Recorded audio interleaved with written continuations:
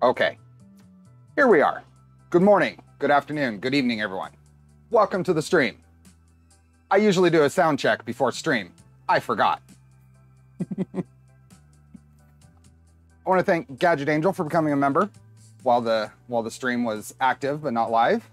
Um, good morning. Uh, hi Tracy Moon. Hi Nathan. Hi Delmar. Hi Mr. Clown. Hey Joker Nut. Sorry about that. And Charlie's going straight for the Thunderbolt cable. Hi Steve. Hi Vincewall. Hi Bill. Hi Tiny Truckin. Maker Source. So exciting news. Stealth Burner and Clockwork 2. Release candidate 1. What that basically means, it's a released.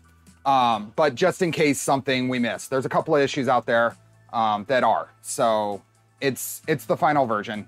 There are a couple of things just so it's tagged correctly on GitHub. It's marked as a release candidate right now.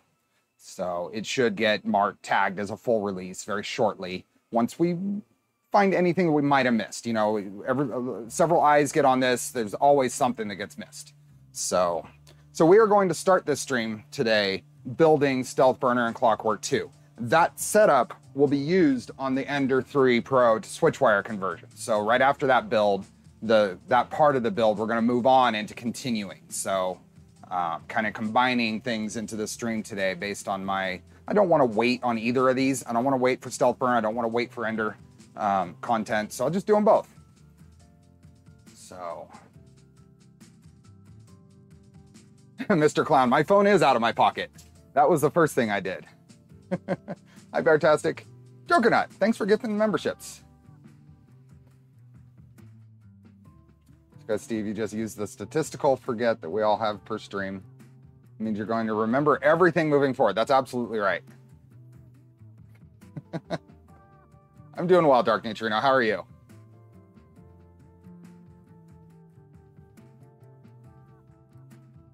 Oh, what do we have here? Toho's. Remember for three months. Time flies. Building the RCF now to a Voron 2.4. Have fun with it. Let me know how it goes.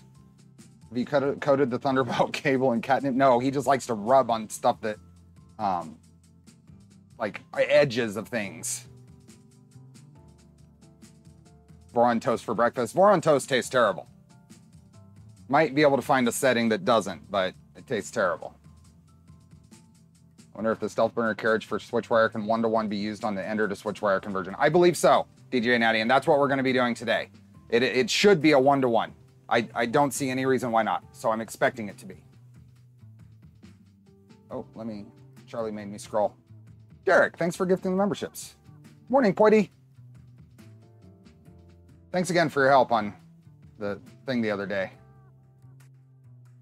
Reprinting my stealth burner for my current beta 5. That's probably a good idea. Beta 5 is a bit a bit old. The changes from um, the last beta to release are minor. A couple of cosmetic, a couple of very small tweaks.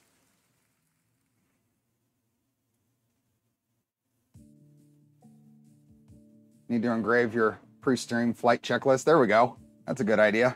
So we played with a uh, diode laser engraver on um, on the member stream yesterday, and that'll become public um, sometime before the next stream. So the just an example of something I we engraved. So a, a, formula that I always get mixed up and forget. So I'm gonna mount this somewhere. I'm gonna cut it a little closer and mount this somewhere so I won't forget. Stuff like that. Um, I did try to eat the toast. it wasn't a good idea. Different piece of toast. I that was the second. That was the second attempt.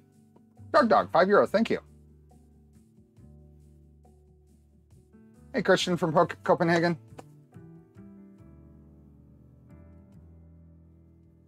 Uh, Domar, what is included in the LDL store Stealth Burner upgrade kit? Doesn't include the stepper for CW2. Not yet.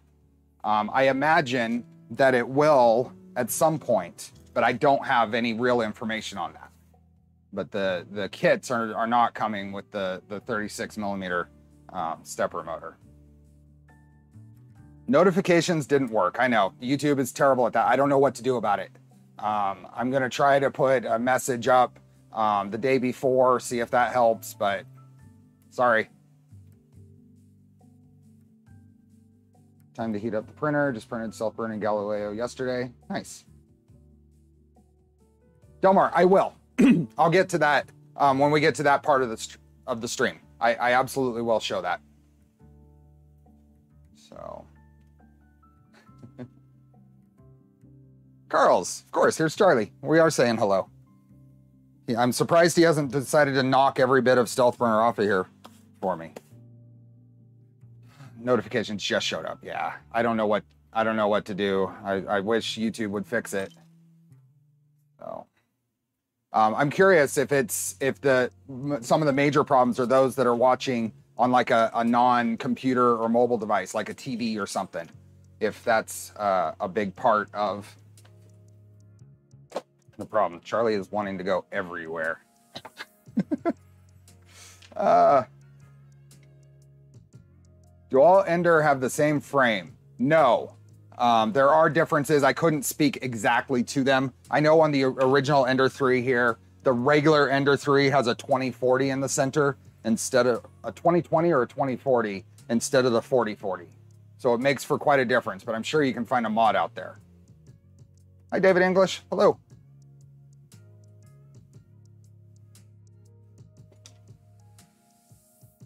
Hey, Thomas. Hi, the Viper Man. So I'm hoping to get Charlie's nervous energy out early so we can get to this. That's why he's up here. That's why I try to bring him up here. I've started bringing him up here right away. Give him the pets. Give him all the pets.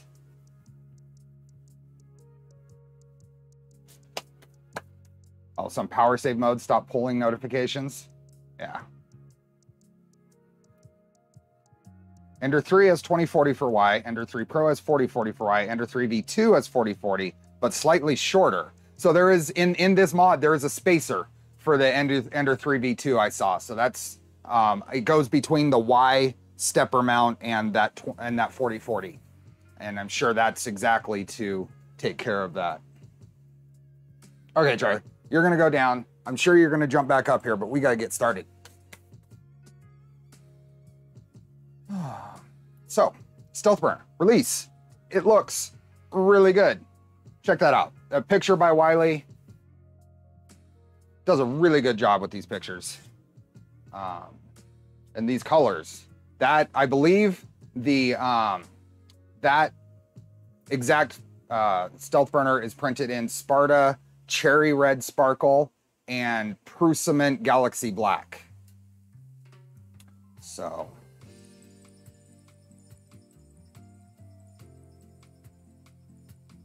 Ender 3 S1 and S1 Pro have no normal V-slot extrusions. Oh, okay. The S1 is very different then.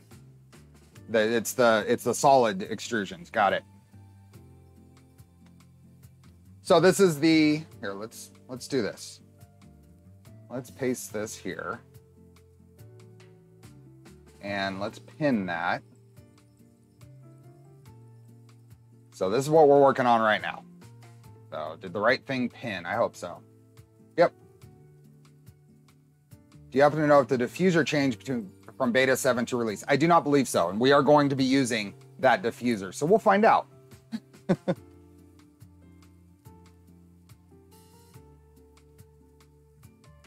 hey, Sanity. Um, the picture, this is ABS. The picture on the screen is all ABS. Well, the, the Prusament Galaxy Black is ASA. Kinda, since you have more communication with LDO Jason, will the LDO motor kit be upgraded from the pancake to the round pancake? I don't know yet. I haven't heard. So, um, feel free to ask on the LDO channel, either their Discord or the LDO channel in the Voron Discord. I'm sure you'll get an answer.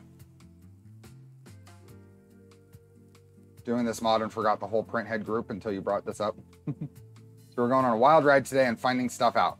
Of course. It's usual. Hey, Jaeger. I'm Melting SP. So, Stealth Burner gets its own GitHub repo. All the CAD, all the STLs, and a manual.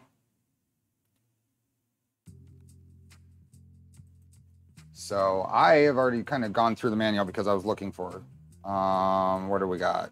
Oh, home. There we go. Let's go to the top of the manual. I pre-cut some wires and I wanted to confirm what lengths we were suggesting. So that's why I was in there. I suggest preheating one of the Tridents to be safe. I, I'll use the V0. Then it'll be a super quick print. Hey, Squirrel Brain. So the manual. Voron Stealth Burner. All the stuff. We have a table of contents.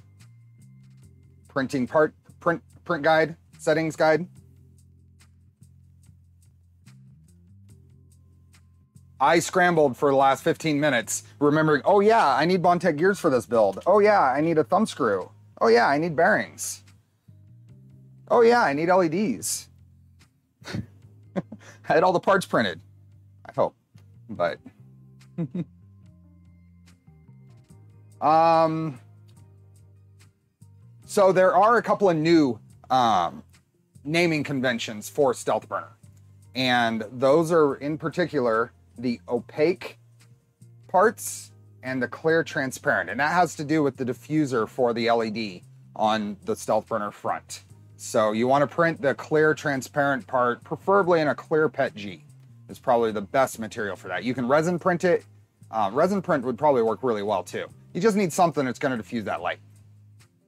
And then the opaque part, it's just a dark part. I usually just use black. It's not seen. All it does is control some of the light bleed. So you don't just end up getting a glowing front part of your um, for stealth burner. This this part here, depending on the on the filament, the whole area will glow and it'll glow less with this okay, opaque piece in there. So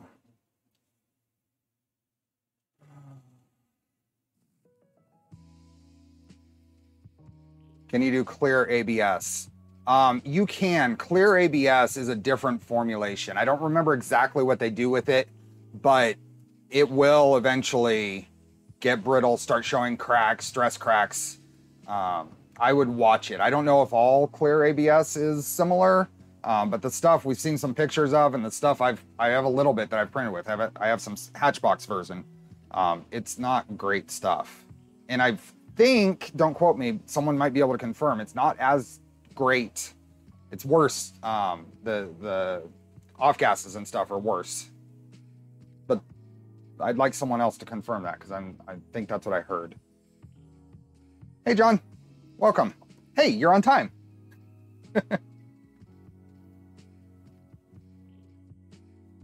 oh, so you want to do ABST for that insert? Oh, I would do that would be fine.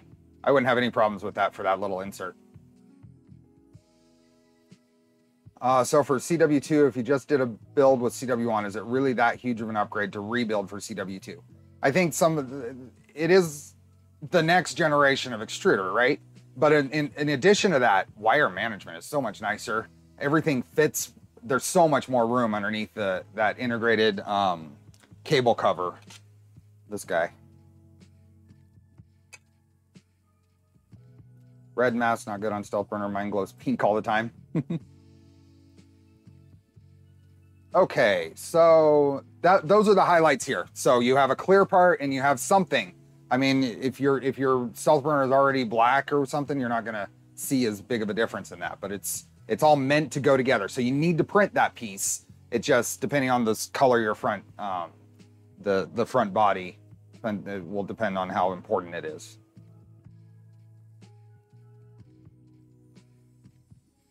Um, reporting issues. So there are a few issues that have been reported, so we'll get those fixed um, before it goes to get marked at, as the, the release. Uh, any plans for a Bowden stealth burner? I don't know. I'm not sure.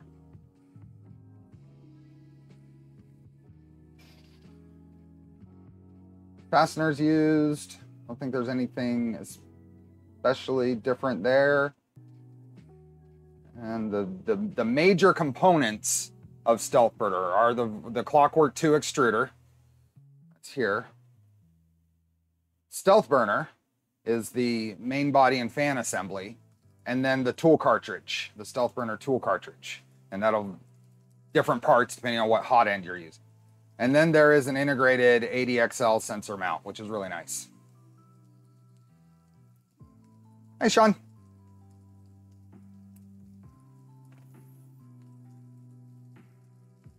Yeah, and the BMG guts are the same for CW1 versus CW2. You just don't use that 17 tooth um, gear that goes on the NEMA 17. Instead, you use the 10 tooth that's integrated onto the pancake stepper. So we're gonna start with Clockwork 2. Now I've assembled this many, many, many times. I'm gonna go by the manual. I'm gonna try to go by the order of the manual. It may not, I've, I've assembled it without a manual up to this point. So we're gonna try to follow the manual. And I've got a bunch of stuff and I'm gonna preheat my, my soldering iron and try to get a good camera angle and let's get going. So I did not do any prep on this beforehand. So sometimes in my newer, more recent streams, I insert the, oh boy, I got camera all over me. Um, insert the inserts and stuff like that ahead of time. We'll be doing all of that today.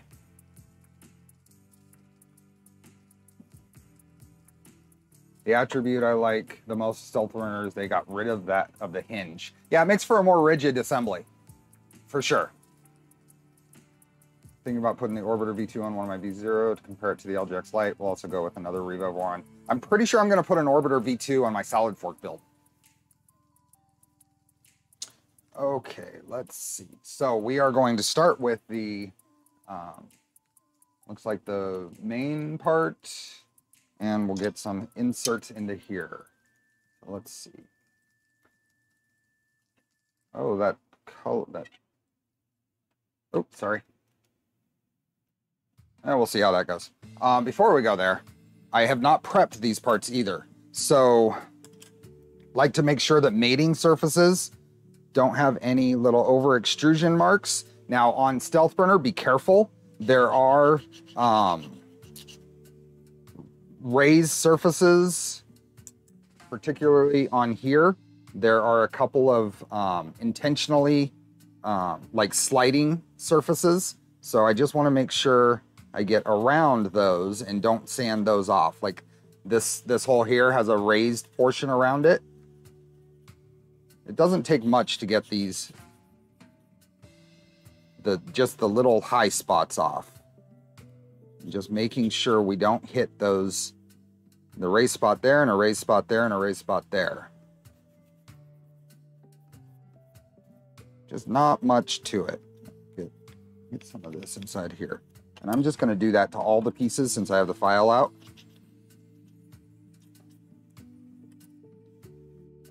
Especially this piece, the, the guidler.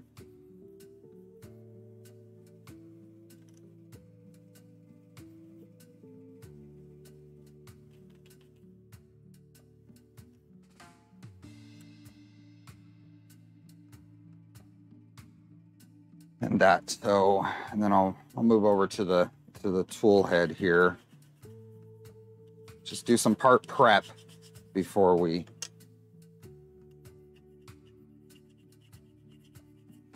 before we move on. Okay. See where we're at.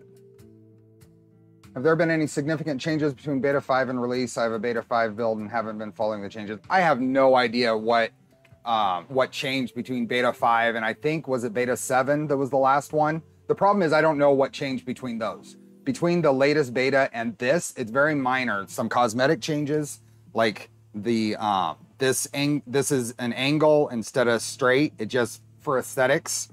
It also um, registers to a spot on the tool head. You see here, it, it registers in there and, and fits really nice.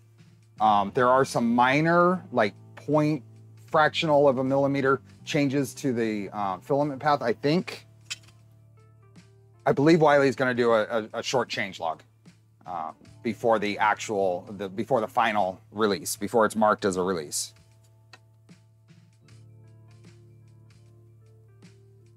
Any chance for a list of parts that need to be reprinted when compared to the last beta? I would reprint it all. It's uh, I mean, at the at the very least, the the tool head is all all has tweaks, and the front has tweaks. I would I would go with all all of it, and it does look better with that angle. So now we are. I've done the just a little bit of cleanup on the parts. so let's get to inserting some heat sets. According to the manual, we've got a couple.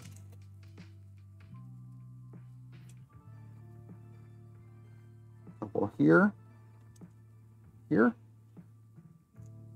Now it is critical on most of these heat sets to make sure that they are inserted straight. I I think I annoyed Wiley a couple of times talking about stuff and really the problem was that I didn't put the heat sets in as straight as they could be. It's really easy to to miss that.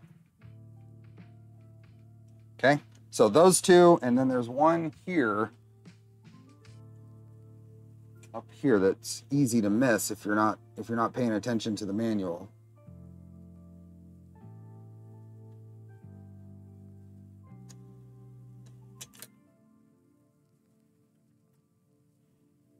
Hi, Bruno.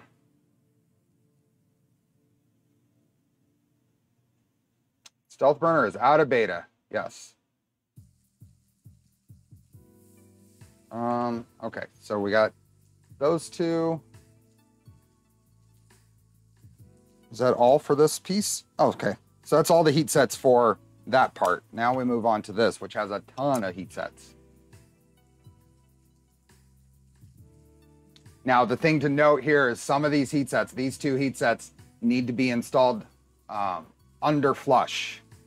So, hi, Troy. Hi, Fis. Hey, KB3D. So, these two, this one here and this one here, need to be installed about, uh, I thought it said about a millimeter, but it just needs to be under flush. So, we're going to start with this one.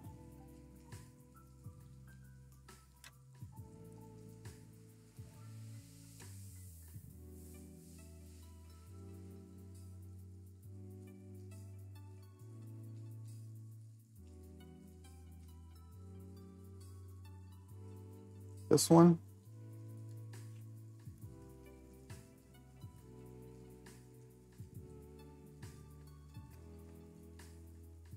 got one in the end here. This is for the cable cover, uh, the screw that holds it closed.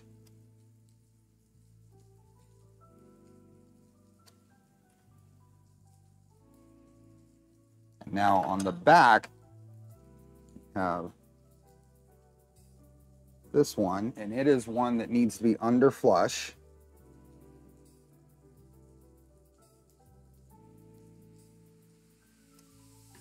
that.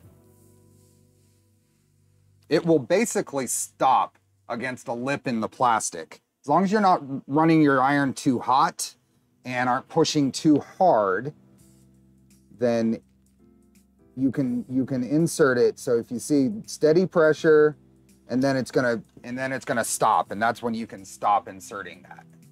And you see how that's just a little under flush. Yeah, I can't wait for Obsidian. I'm very much looking forward to that. Don't like the sound of underflush. No one likes a floater. Vector 3D made a very cool heat set press. I just haven't had. I mean, it's it's fine. Just be careful. Uh, what do we got here? It should have been released with Revo or Revo delayed. E3 may have lost out on a huge profit on this. Uh, the, the, the, the ecosystem will build. That's Okay, and then we have one more over here that is not under flush. This one will be will be flush.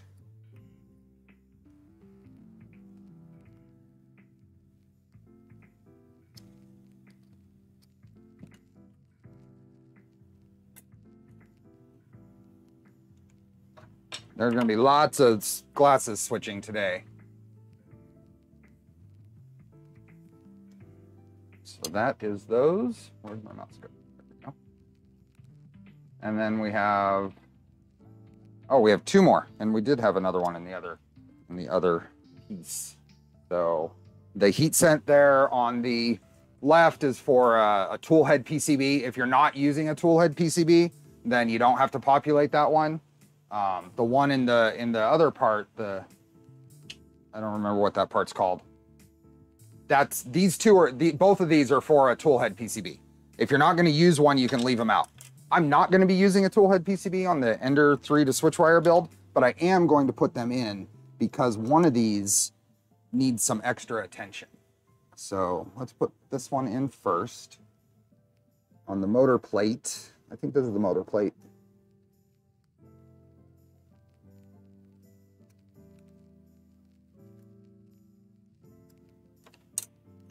Now, this one, it actually is more difficult to install with one of these uh, dedicated heat set tools because you can't go in straight on it because this this uh, plastic is in the way. You can, I, you, if you're careful, you can place that in there. Let me see if I can get a good view here.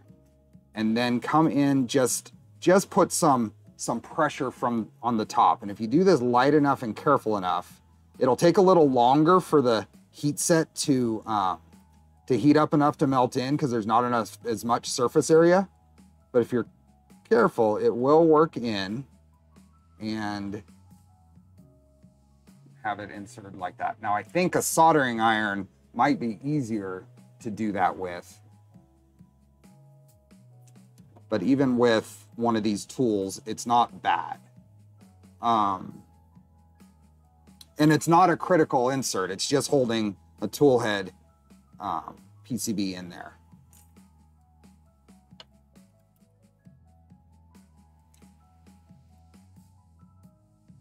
was a good low cost iron to buy for heat sets. I'm not sure. I've had this Weller I use for like 20 years. Is there a publicly announced release date for Obsidian? I don't I don't believe so. They've been doing a lot of social media stuff, but I haven't heard of a release date. Okay, so these are for the toolhead PCBs. It's optional. We installed them just so I could show you that um, tough to get to one, but it's not it's not impossible if you're careful and take your time.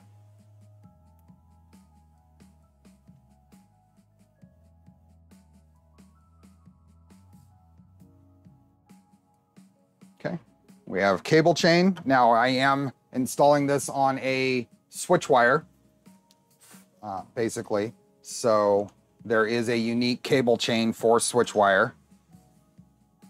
And there are four, I'm gonna use generic um, cable chains. So there are four inserts to put in this part.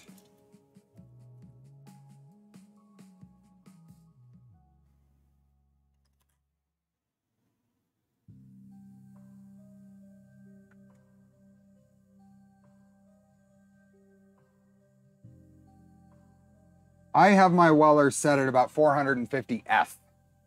I don't know how accurate its temperature report is though. So I basically set it to about where it, um, the inserts go in relatively slow. If you set it too high, they just sink right in and then um, that's too much. You want to put some gentle pressure and have them sink into the part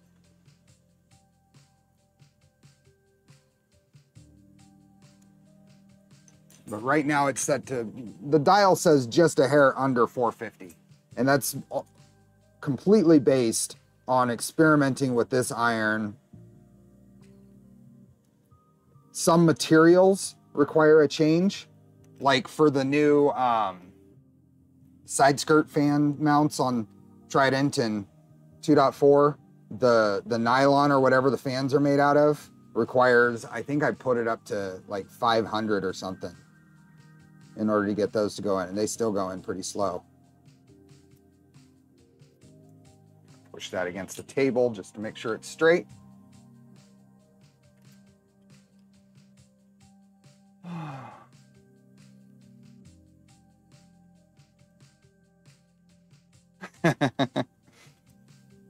Without doing the conversion, it, I mean, it says Fahrenheit on the on the dial there, so someone can do the conversion for for us. Okay, so those four inserts are done. And then we have the um, Guidler and shuttle set up. So there's two inserts to do here. So that's this piece and this piece.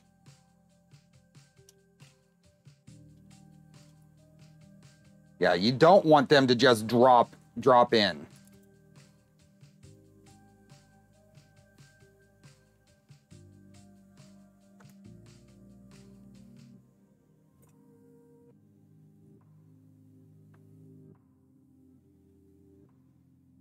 This one you want to make sure is just the tiniest bit um, under flush, just barely. You just don't don't want it to stick out. Push that against the surface of the table just to just to make sure.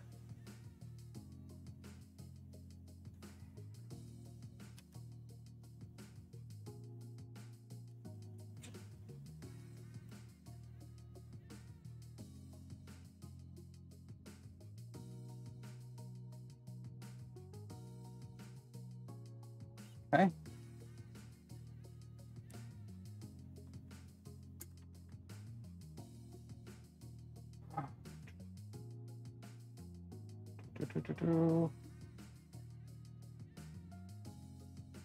Okay, we can start start assembling. It looks like. I'm assemble the guidler. Let me grab a few a selection of fasteners. So we're gonna do a 16 here.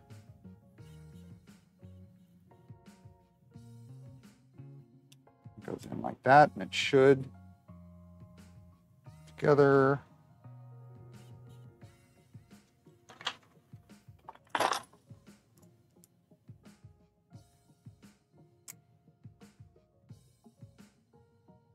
Snug.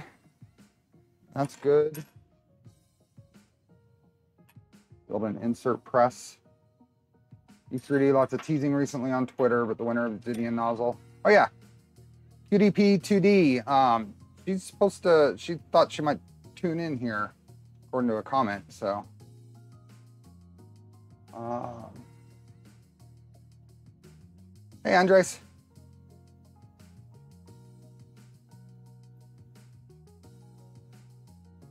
Then we're gonna put the BMG idler assembly in there. So let me grab that and we're gonna grease it. And so what do we have here? We're gonna need that shaft. And then obviously we, we want the one without the set screw hole, idler. Throw these back in here so I don't lose them. So we get that. Little bit of grease. And let me grab, let me be right back. I need to grab uh, paper towels. I forgot to grab those. I'll be right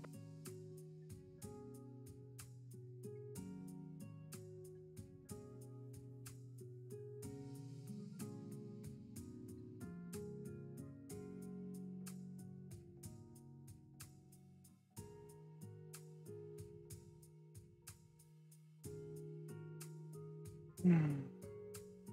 Where Nero kept whispering next week last night about Obsidian. You know something I don't then, because I don't know. Okay. I'm gonna take some of this. I don't even know. I think this came in a V0, an early V0 kit, but I'm not sure. Put a little bit in there, and then I'm gonna push this there, and then put the other bearing on. And if I cap the end, then it'll force, it forces the grease in between the bearings. And then I just kind of rub it between my fingers just to distribute it. And that is good enough. Get the grease off my fingers because we don't want it all over the outside of um, at least the, the filament part of the idler.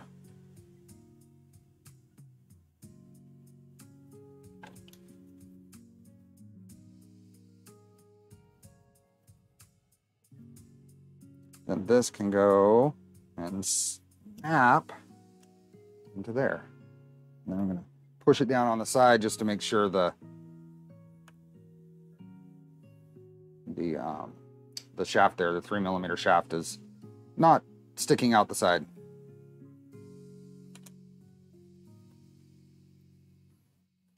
Then I'm gonna put just the tiniest bit of grease on the BMG gear here. Just the tiniest bit in a couple of spots and it'll it'll work its way around.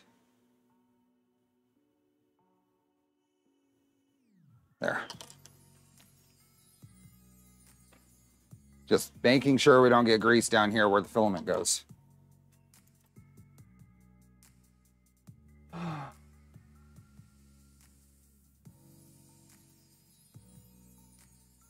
Oh, that one's not super glue. No.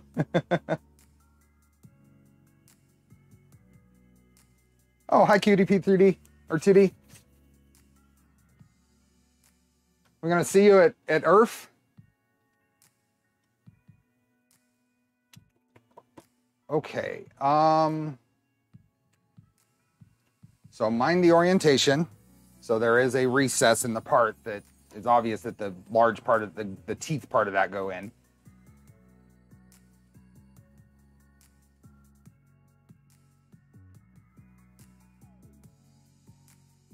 And then we're gonna assemble the tensioner screw and the shuttle on here.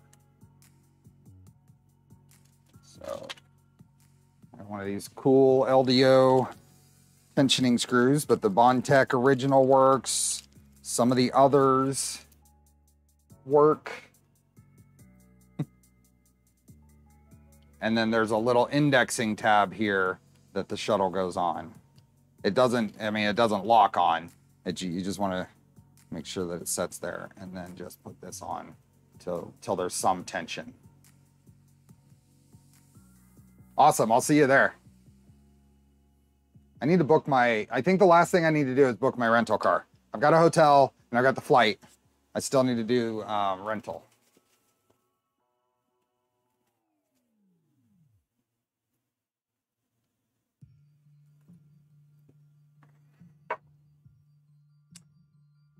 Okay, that was easy.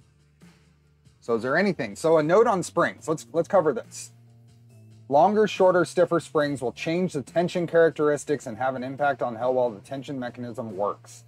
Consider buying the original Bondtech part, as those are known to work well. If sourced from a different vendor, check if it's roughly 12 millimeters long with an outer diameter of 6 millimeters and a wire thickness of 1 millimeter. So be careful with this spring. It's gonna the your your selection of this screen is going to have an effect on your end results.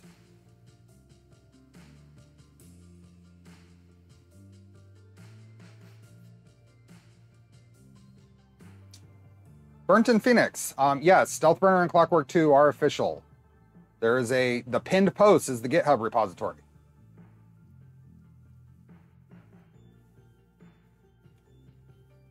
QDP 2D. Um, I found out on rental cars, if you have a Costco membership, um, they have really good deals. That, that's the best deals I've found um, without searching, like going with some sort of mainstream something. So if you didn't haven't looked at that and you have a membership, check it out.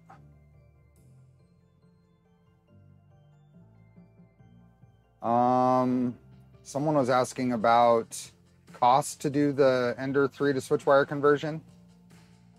The major critical components are going to be the rails, right? You can reuse a lot of the Ender 3. Whether you want to or not is a question. But the rails are the biggest change. Then you need five of them, five MGN 12 by 300s. Probably should have added a small text to the pinned link. That's true. Oh man, I'll have to check into that. Thanks for the tip. Yeah.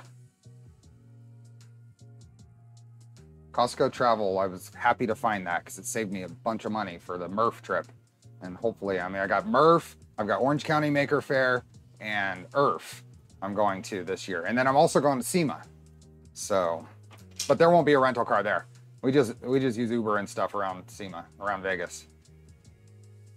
Do we know what has changed between beta and release? some some minor things and a change log is going to come, um, but mostly aesthetics and a couple of very small tweaks in other areas of it. But I don't have a full like detailed list for you. Don't buy an Ender 3 just to build a conversion. I, I would agree with that.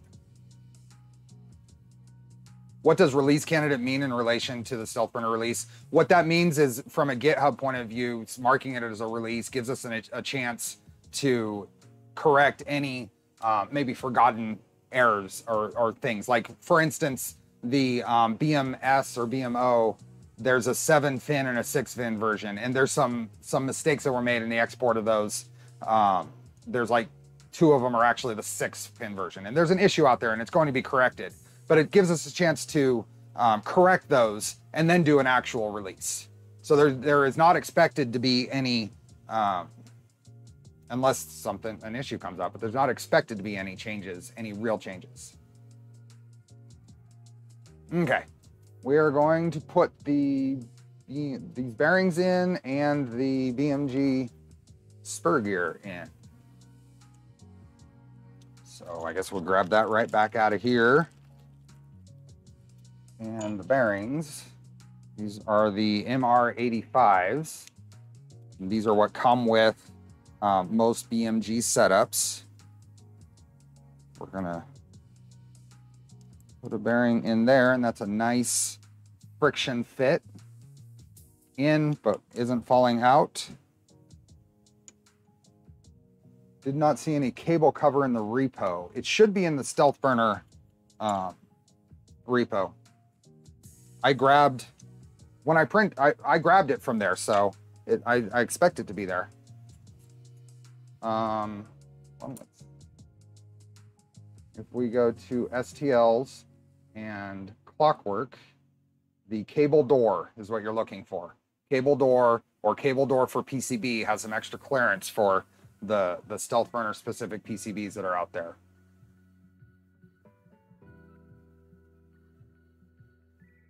Hi, Vincent. Uh, bearing fit here is important, so check that, check the notes. We have, so we put the bearing there, uh, put the bearing in the main body here. I can use the, oops, pulled this one out.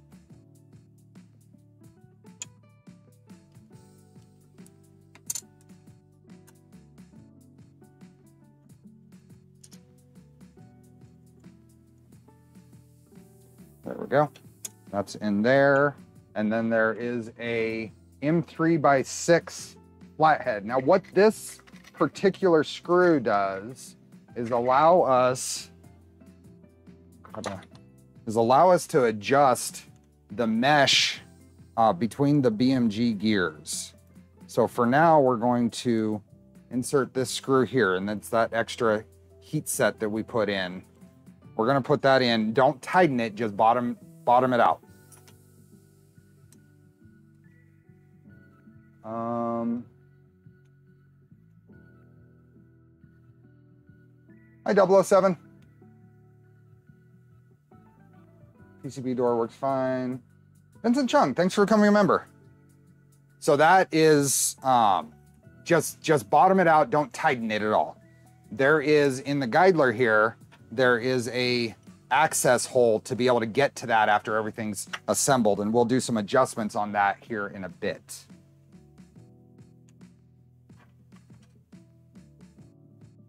So we have the, the bearing, the screw, and now we need to assemble the, the drive assembly. So I have this and a set screw. And I'm using um, some parts from an LDO kit so these set screws have Loctite all pre-applied. If you're not, make sure you apply Loctite to the screw.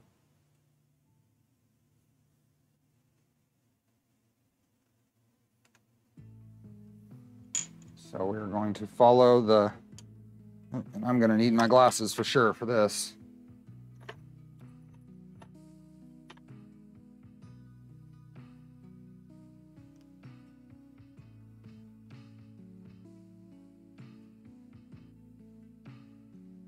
And then make sure we're tightening the set screw against the flat side of this.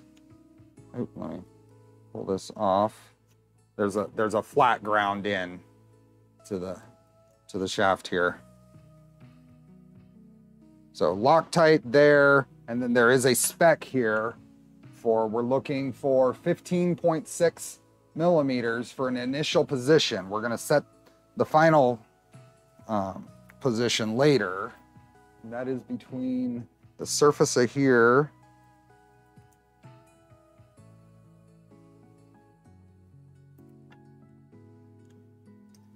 So we're gonna set this final. So I'm not even, I'm not gonna, I'm just gonna use my ruler to go about 15.5.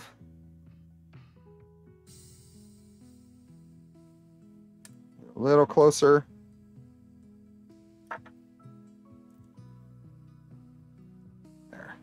That's about 15.5. We're gonna fine tune that. Dune 591, thanks for becoming a member. Hey, Edge of 3D, welcome.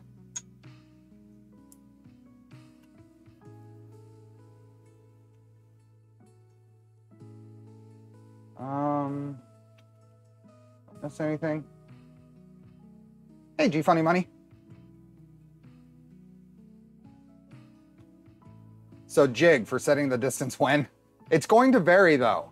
The, depending on the exact Bondtech gear, all of this, you really need to fine tune this. So a jig is actually a bad idea here because then it's gonna cause folks to assume that that's gonna be where it needs to be. So, and then we talk about thread locker here. We talk about the original Bondtech parts are highly recommended for this. Once again, the quality components you use and the care and assembly is going to directly affect your level of success, right? So now we're going to assemble this and then we are going to do an alignment check on the on the gears. So let's get this assembled. So I'm going to put this in this side and then the motor plate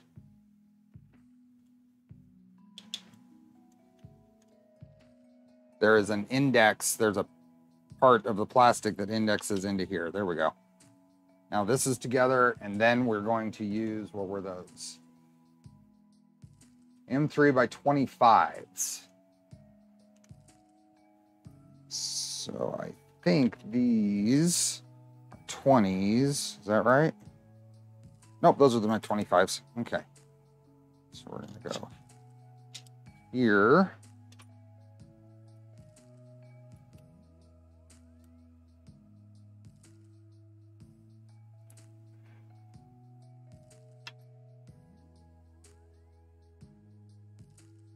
Um, what do we, I doubt even the 20% of the BMG part using Vorons are original Bondtech products. So yeah, jig wouldn't be, yeah. if quality affects, quality in affects quality out, why did you start with an Ender 3? It's a good point, but the, the changed parts are quality, right? Go Brother, they didn't originally either. Then screws start falling out on linear rails. Oh, I don't use um, I don't use Loctite on the linear rail stuff. Only basically on grub screws are the only thing I use. Okay, so we are going here and here. So there and there. And yes, I know I have the ES15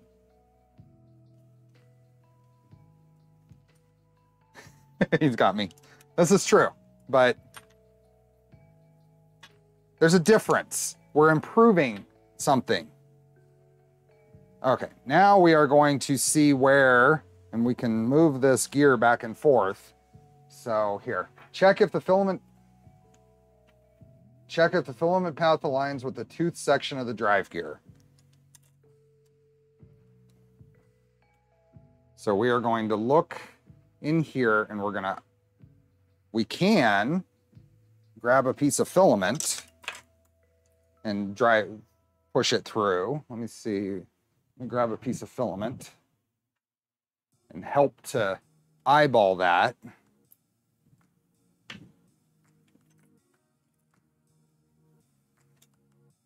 Also, it'll help to make sure that your filament path is uh, straight. And then there is some play back and forth, intentional play. You want to make sure that that play ends up basically centering the um, the filament on the grooves in the gears.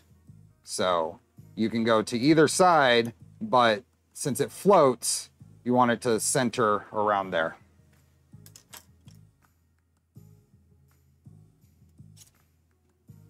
And it and it was. So I am going to, because I didn't torque that down yet, I am going to sneak in here and torque that screw. And that's about three Ugga Not too much, because it's a small set screw, but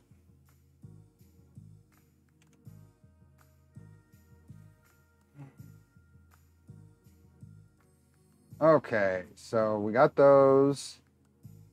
Oh, this is where we insert the filament and check the alignment. With the filament inserted, verify if the filament path and drive gears are aligned, loosen the set screw and adjust the position of the drive gear if needed. The drive shaft must not touch the motor housing. Make sure it does not sit. Yeah, we are we are good on this. The Finch just just booked your hotel for ERRF. Awesome. Bill Brothers, I used a Wera torque driver and had problems with the X bottom rail. Oh, okay. So that's why you went with the thread locker for that. Um, okay, so we did all of this. So pay, pay attention to these notes here. And now we can put the Guidler assembly in and an M3 by 25 on the bottom. So the Guidler assembly should just slide in here and go in like that. And then an M3 by 25 into the bottom here. Oh, I've got the wrong bit. Oh, where did I put the bits? Hold on. Where did I put those?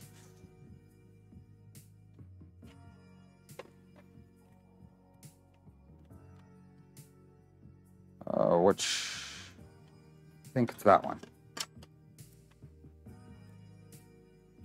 Hi, Shane.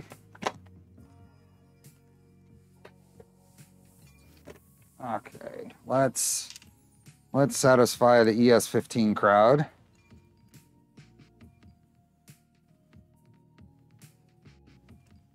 Oh, this is where. There we go. That's about one Ugga Dugga.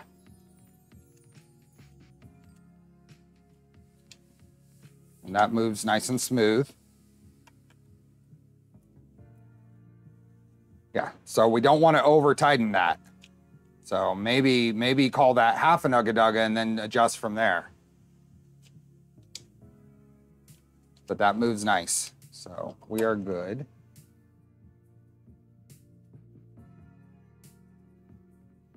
And we got a latch and another M3 by 25.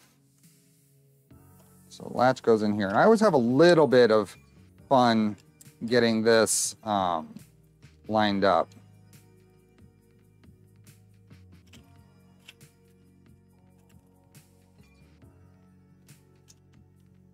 Oh, that time it worked.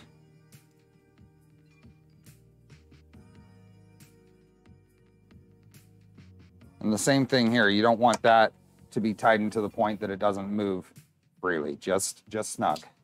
And then it should latch on, so. So the this blue, Troy, is um, Sparta Sparkle Sky Blue. Sparta 3D Sparkle Sky Blue.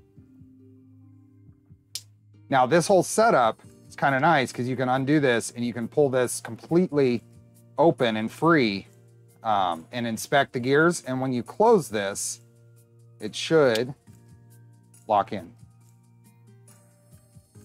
Any plan to build a VZBot? There are no plans right now, but not for any reason other than there are no plans.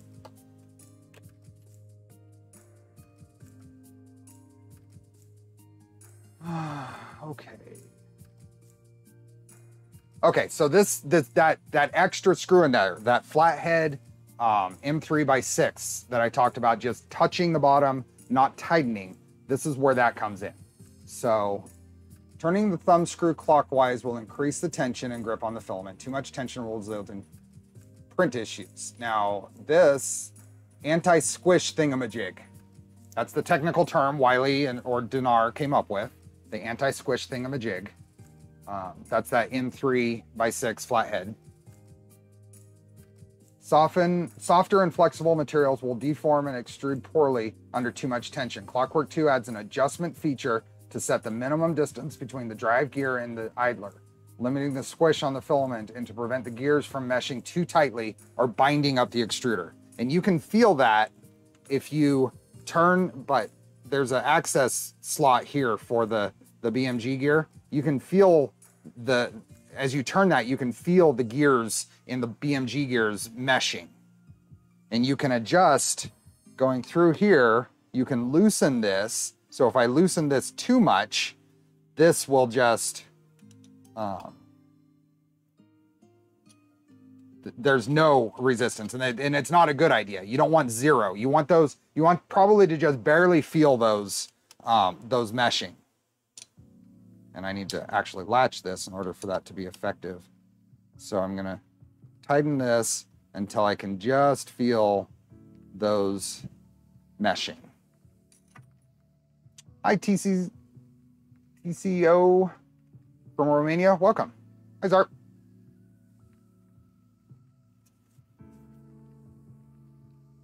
Um, Sparta 3D is sold out of Spartals. Oh, it is? They're sold out? Hi, East Power from Kenya. How are you?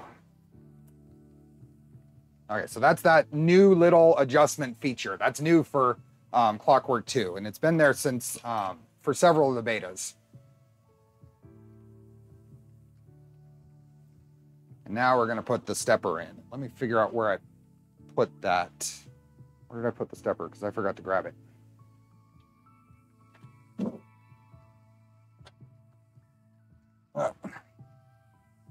I'll have to be right back.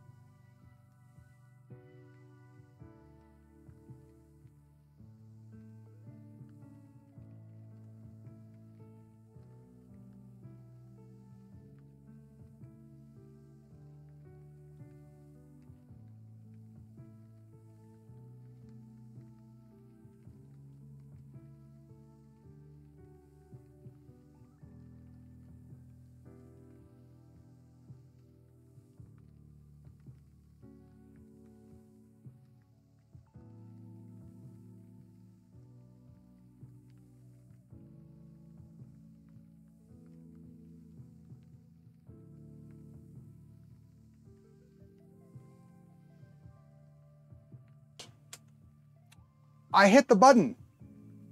I must not have hit the right button. I kind of pointed at it and, and I must have missed. Derek Hawkinson, thank you for becoming a member. Bill Brothers and Gary Putnam, thanks for gifting the memberships. That wasn't intentional. Okay. So we have the, this happens to be an LDO. There's several makers. I think Moons makes one and OMC makes one. Um, this is the 20 millimeter, 36 millimeter pancake stepper. It has an integrated 10 tooth gear. Hi, Jose.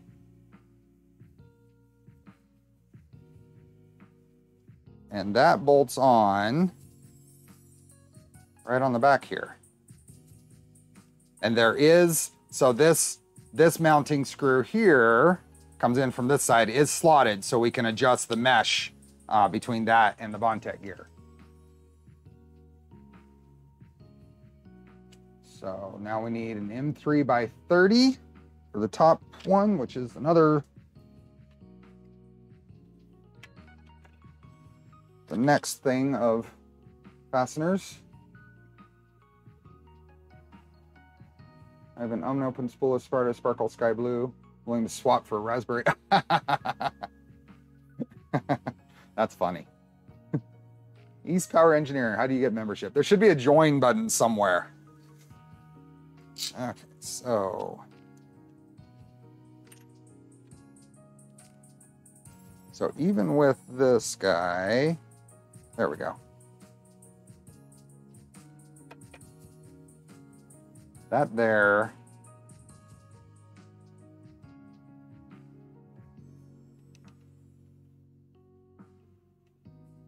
Sure good luck finding someone to buy that. Yeah.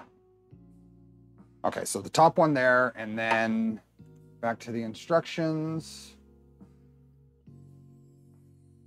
This brings the filament into a good spot, or the wiring into a good spot. And then we need a washer and an M3 by 8. M3 by 8 and a M3 washer.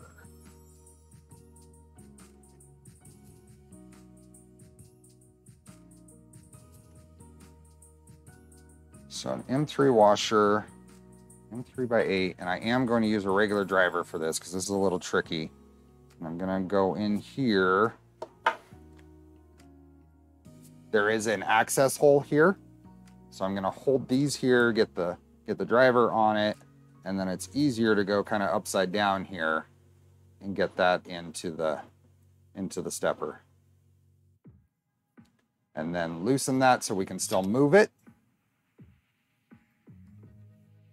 And now we're going to check tension by wiggling the wiggling the, the BMG gear here. And you want just the tiniest bit of back and forth play.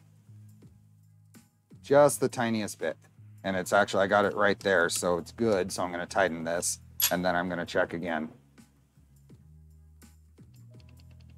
Hi, Jake from State Farm.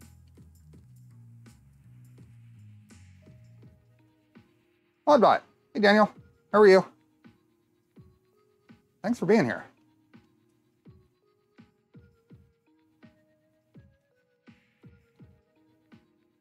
Yeah, everything is good. The tiniest, tiniest little bit of play. If you've ever um, assembled or worked on RC cars, it's, it's the same concept. You want a tiny bit of play for thermal expansion and any out of round in the, in the gear. You don't want these to bind. Binding is going to increase the stress on the stepper, increase heat, increase wear on the gears. This is a Delrin or whatever gear uh, meshing against a metal gear on the stepper. So you don't want that to bind up and cause extra wear and heat.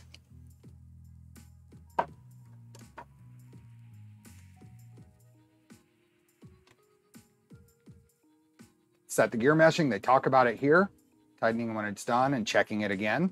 All that that I just went through is talked about.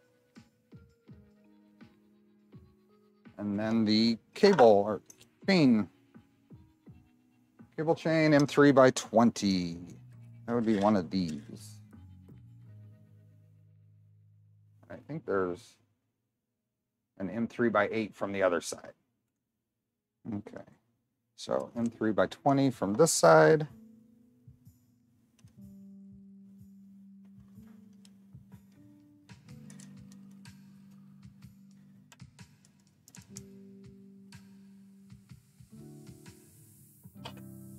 And then an M3 by 8 from the other side, but I'm not going to be able to get into that with my ES15.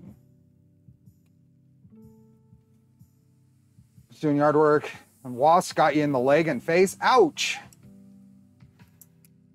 We've got a bit of a wasp problem here. Fortunately, so far, I haven't been, been bit, stung. And that's on there. Everyone knew how much space between the cable bridge and the stepper. So this is a little, um, this is going on a Switchwire. So a Switchwire moves the, the cable mount back about, I think it's about four millimeters, three or four millimeters back. So this isn't a, on a V2 or Trident, it's going to be much closer to the stepper than this.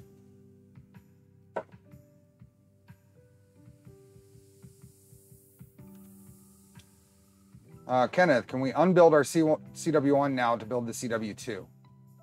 Yes, but you need to change the stepper.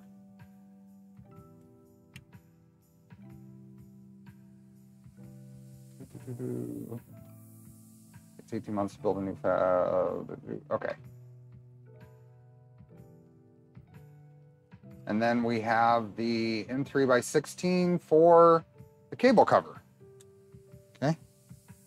That is this guy. And you have to open the latch in order to get access to it. And this is another one that the ES15 won't hit.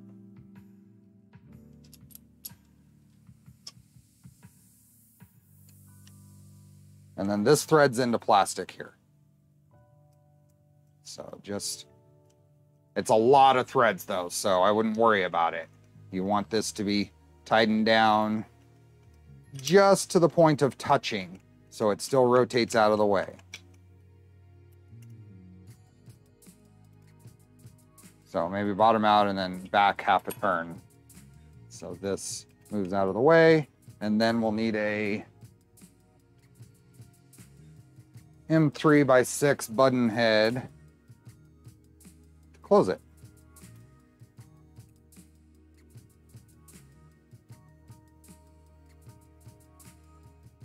So there we go.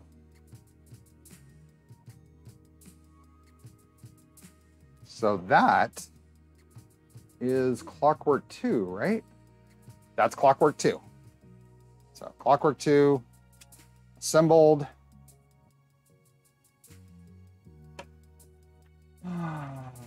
Do you know the RCF toolhead board or Hartk's board will mount to this? There is a stealth burner version of this. The older versions don't fit well because of connector clearance. I'm sure someone's going to come out with a mod for that though. Hey Steve, guess who changed to CW2 and didn't realize the gear count was different? Oh yeah, I've done that.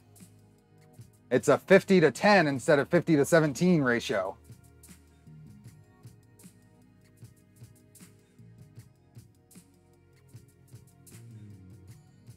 Hey, Lanover.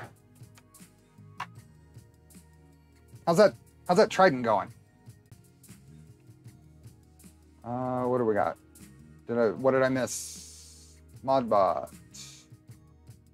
Inside, didn't know to do. Okay, I'm too far back. if I missed something, feel free to re repose the question.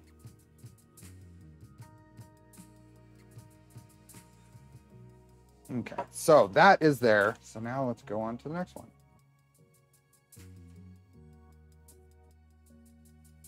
Toolhead. So we're gonna have some unique things to do um, for the toolhead I've chosen for this build. The um, Stealth Burner setup supports many different hot ends. I'm using the um, Protoform, the Protoprint I keep getting that wrong. The Protoprint Raptor is what I will be using on this build. And it is just a um, V6 groove mount. However, the wiring on this is very different. Um, I'm gonna have to do, just route it a little different than normal. Uh, so we will cover that right now. So on, on most of these, you're going, you're going to be able to follow the wire channel on most um, hot ends, you're gonna be able to fo follow the wire channel as intended, which is entering here and exiting here. On this, the, um, the heater block goes all the way up. So there's no room to take the wires that way. So I'm gonna take them up and over and kind of sneak in the side of the, um, of the wire channel here.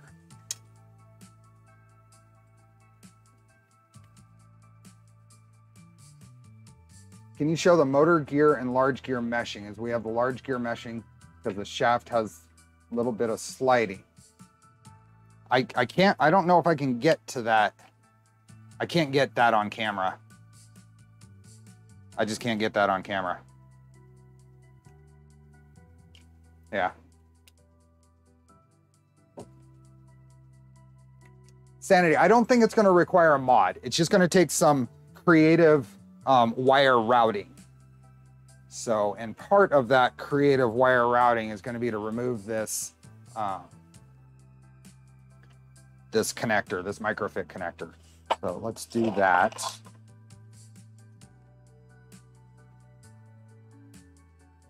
So, Frenzied Narwhal, what's special about this hot end? It, it, is, um, it is a groove mount, but it doesn't necessarily have a proper orientation because it has a round heater block. It also has this um, integrated, so it's basically finger tight, no, no hot tightening.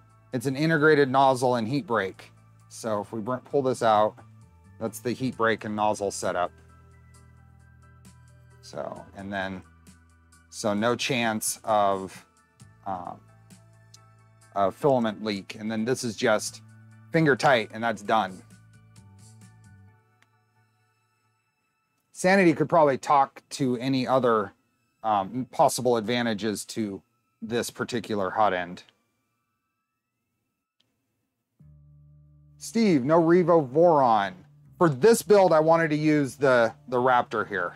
Um, Revo Voron will be going on other builds, but this one is getting the, the Raptor.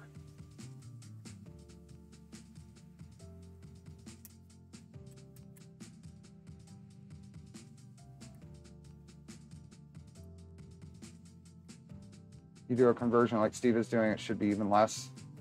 Yeah. Um, let me let Charlie in. Oh. I thought I heard him at the door. That wasn't him.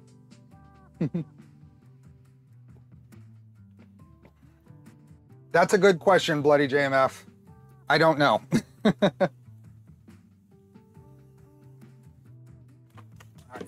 I'm gonna need some wire. I'm gonna use the printer as a stand there. This stuff out of the way, and I'm gonna remove this connector. Has replaceable heater core and thermistor separately, okay?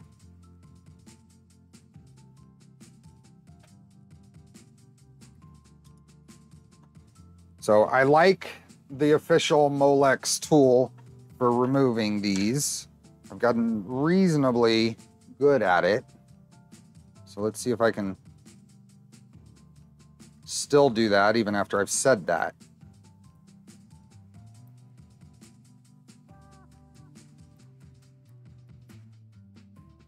It's a little twist instead of bend. There we go.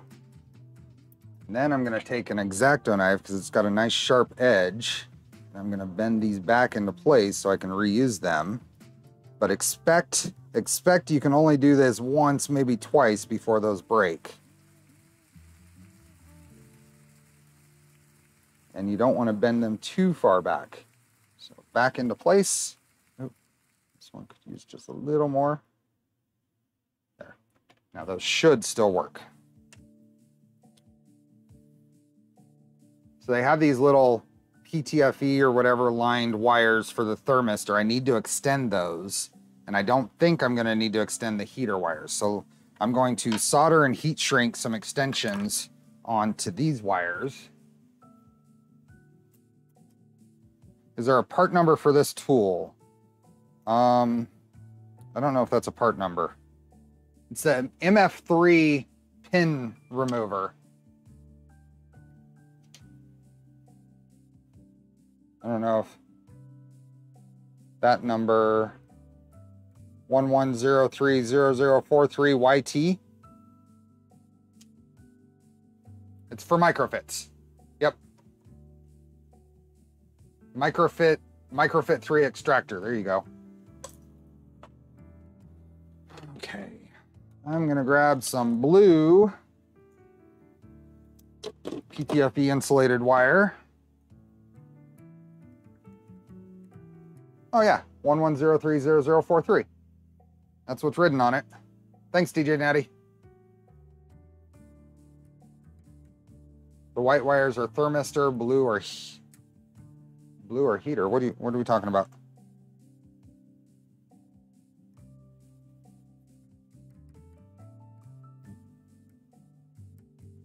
These wires should be the thermistor, right? Or am I completely wrong? Or is that the heater? Are these things the heater?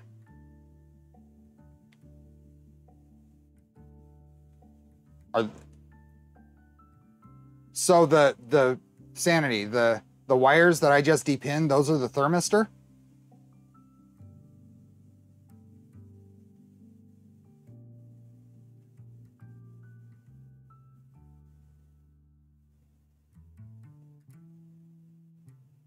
There are no blue wires. We have clear PTFE lined wires. Are those the heater? Those transparent. Oh, well, I was I was backwards. The transparent are the heater. Those are some thin gauge wires for the heater.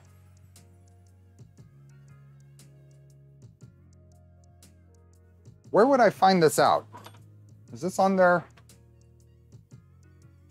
is this on their website?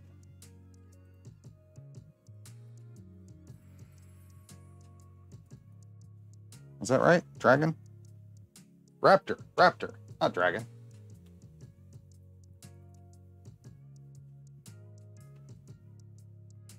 The transparent is a heater, okay.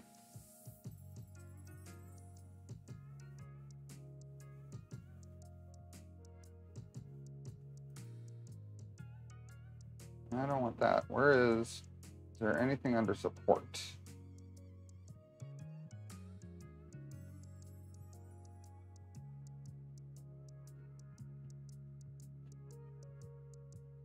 Interesting. Is there a manual? This is a model.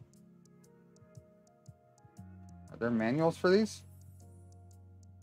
Raptor hot end installation manual. Let's look at this. Definitely we can check the resistance, but resistance is futile. Let's look at their manual. Oh, did they have an English version of the manual? Not that I saw. See if there's anything here.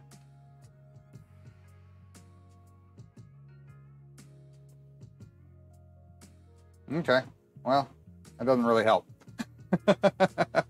it doesn't help me. Let's see what the resistances are. Just for our fun. John Claude, three months. Hey, Steve, replace CV axles on the wife's car. Ooh. That sounds not fun. I've done that more than a few times. Okay, so we want to, we can touch one side, but when you're measuring resistance, you can't touch the other. Otherwise, the resistance of your body gets factored in. The resistor at room temperature is 1.1 k ohms.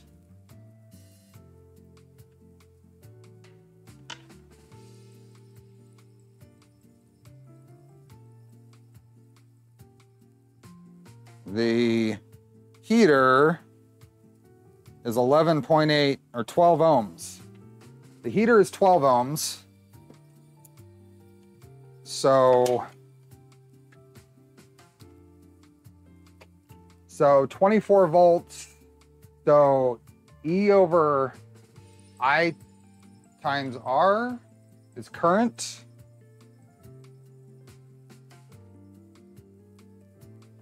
Oh, is it a PT1000? Oh, that's good to know too. Um,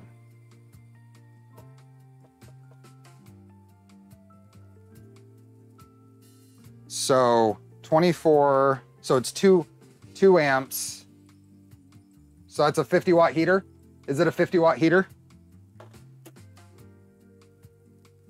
About, is it a, is it about a 50 watt heater? That'll confirm right there. And, and that sounds right. So that definitely sounds right. So heater of those. So that changes the wires I'm going to use. Okay. I'm to solder, I'm to solder a couple of 20 gauge wires to that then. Yep. Yep. I remembered some of my high school electronics.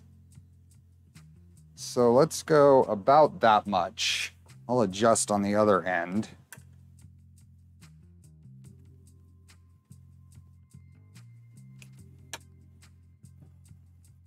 Could I please open the manual again? Um, sure. Is this, can I get to it in my history? There we go.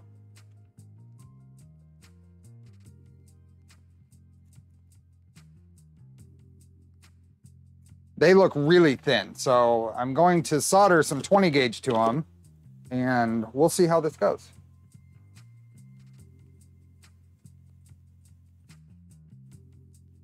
Is it a PTC or whatever style heater? Is that what's changing things?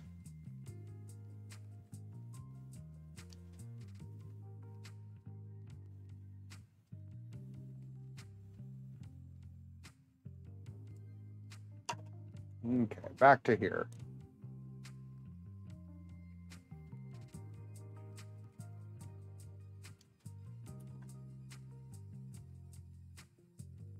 They are solid core. Yep.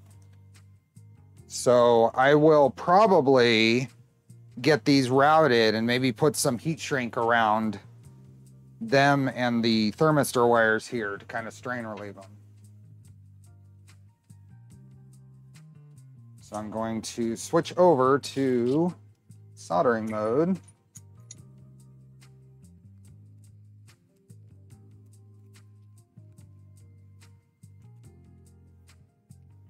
And some heat shrink.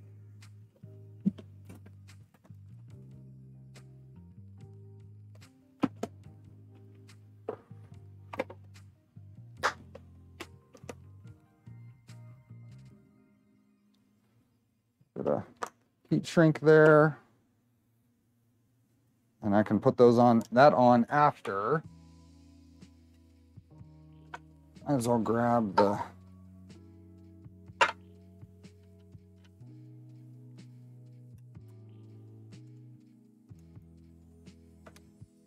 turn the temperature up. Okay.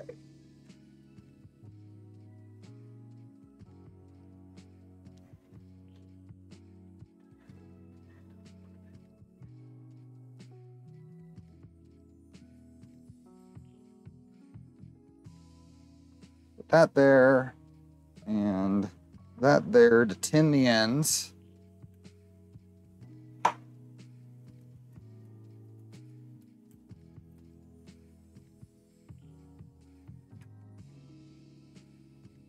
Here we go.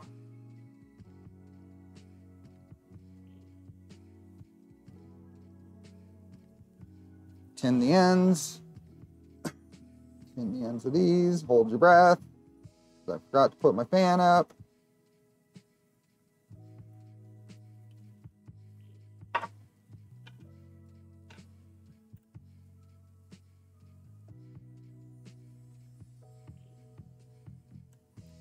Little more solder on that, so.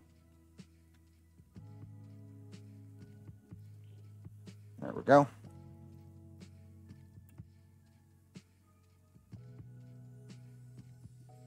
There's one.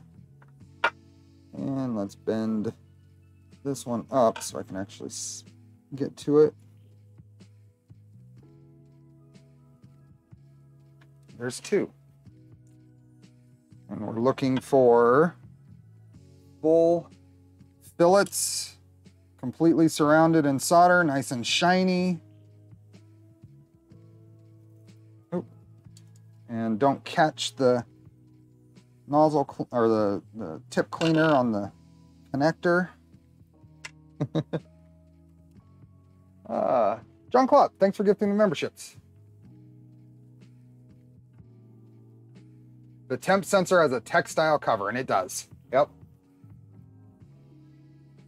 Going to be interesting to see if there's a patent war between E3D and Protoprint.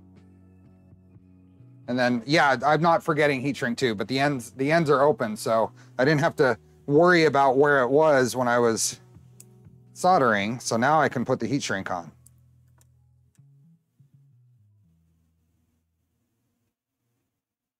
The, the Raptor uses the regular V6 mount, yes.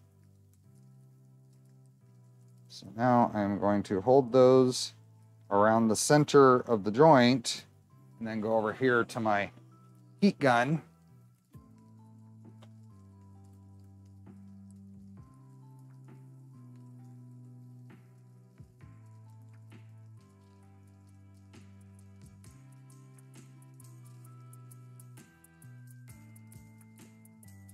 and get them insulated.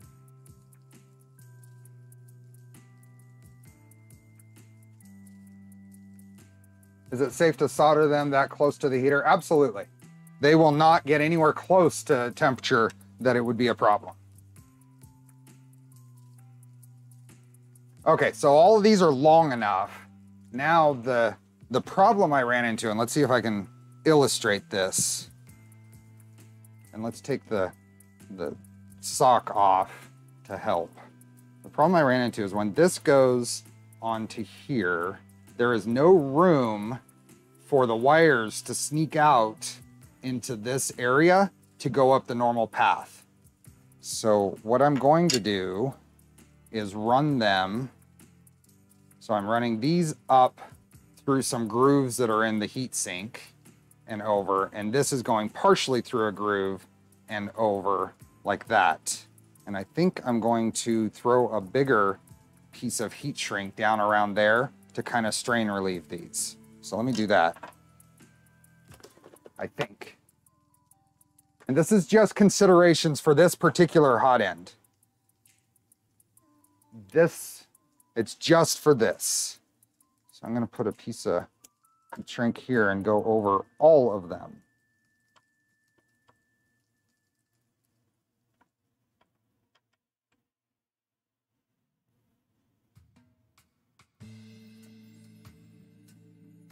And then hoping that that adequately strain relieves all of this.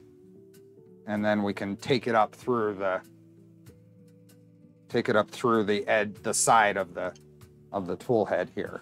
So more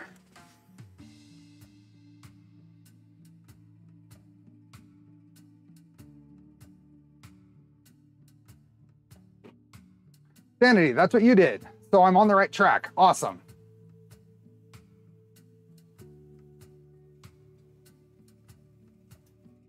Okay, so I've got those there. Now we're going to take these and I'm gonna sneak these up through through the side here, through this hole, I think like this.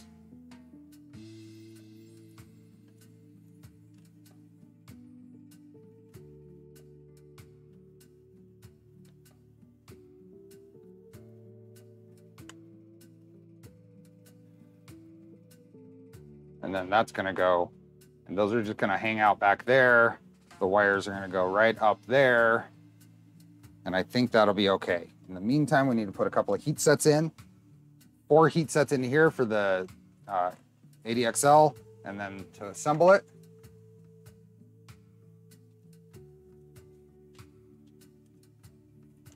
Oh, and I left my soldering iron on, so it is very, very hot. What do I have here? That. Stage my setup here because I don't want to wait for it to cool down.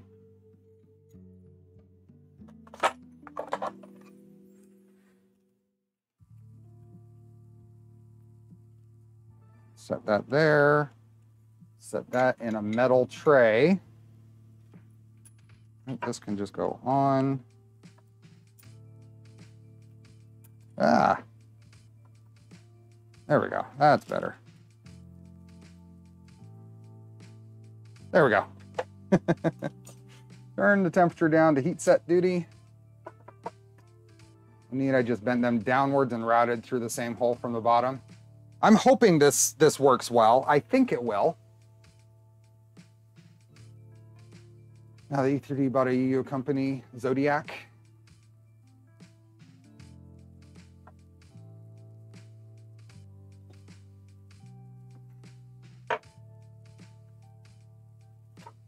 Okay, so we're back up to temperature. Let's put in some heat sets. And then I gotta get back to the stealth burner manual. Here, let's do that first. Let's do that first because I don't wanna, I wanna follow the manual. So we got the right tool head.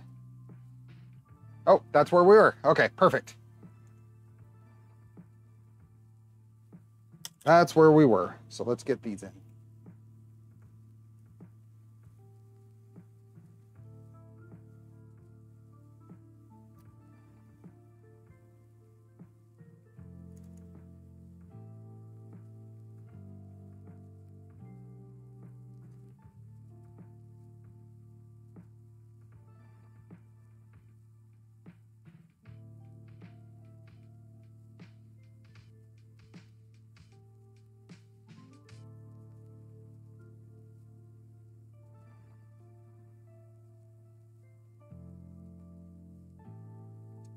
Them look good.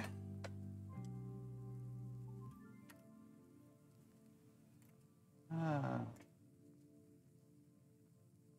I brought that out. Do, do, do. Print stealth burner and pin mods now. Oh, you're printing. Cool. Okay, so that is there. Back to the manual. Revo stuff, wire routing, and then two M3 by 16s to clamp it together. Oh, and then we're not gonna, we're gonna put those in, we're not gonna tighten them yet because we need to get the correct PTFE length. So we're gonna put this now here. So now those wires, and when this is clamped down, it should,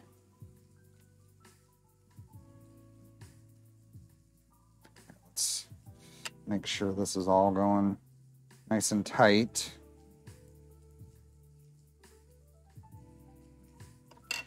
Yeah, right there is where I want it. Okay. So now the M3 by 16s here.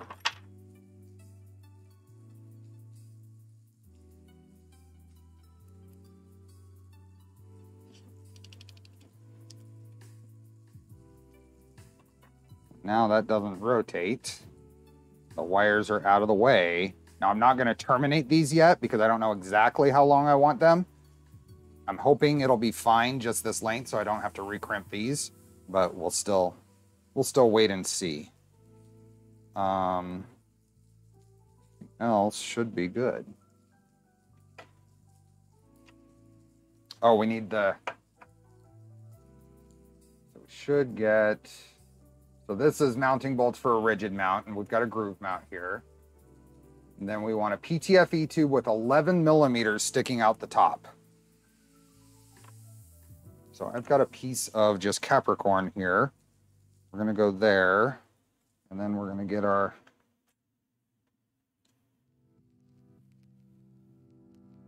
Oh, let's see. Let's make a a rough estimate here.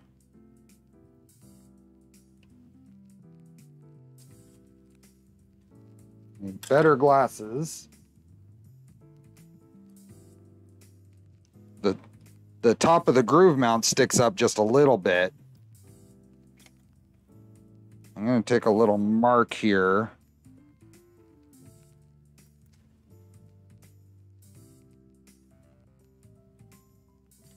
Let's see what the total here ends up being. I think this ends up being about 37 millimeters. Does that seem about right for a V6?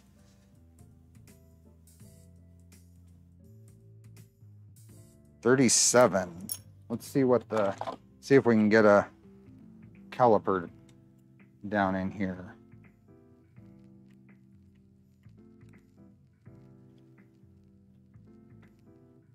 28. So that's about right. It's about it's 28 millimeters the depth of the of the hole here. 28 millimeters plus and it and the, it sticks about a millimeter almost a millimeter up from the surface of here the groove mount does. So plus 10 so 38 is what we'd be looking at. So let's go 38 38 millimeters on the on the tube. So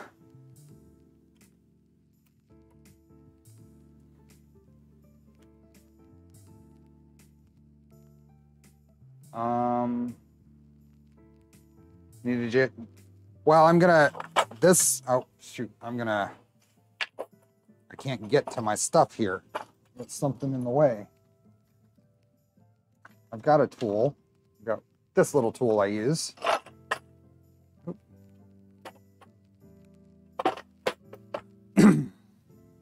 and this. So I want a clean side of this. And I want about 38 millimeters. So we're going to put this in here. And we're going to go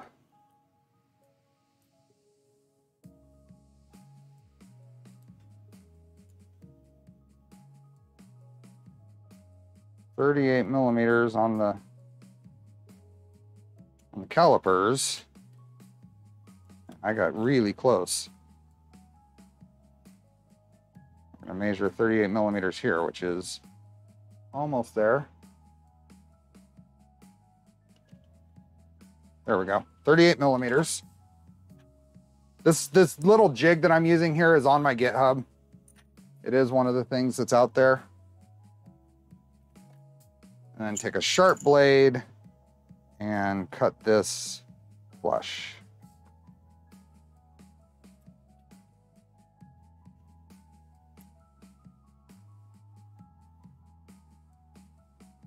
So that's flush. And then I have the uh, countersink bit that I bought. You've seen me do this before. And I'm gonna put a chamfer, an inside chamfer there. And that's gonna be the side that points towards Clockwork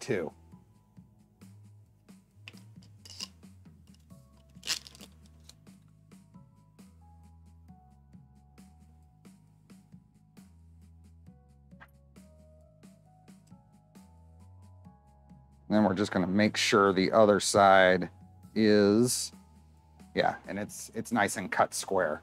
So the whole thing can come off of here now.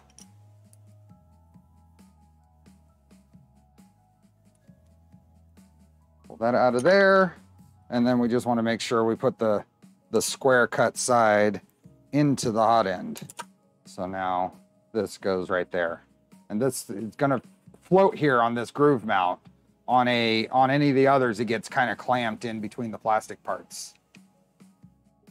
So, and then we should end up, let's see how close we are to 11 millimeters here. We can't really, we're just over 10 and then that little extra lip is almost one. So we're right there at 11. So we're good.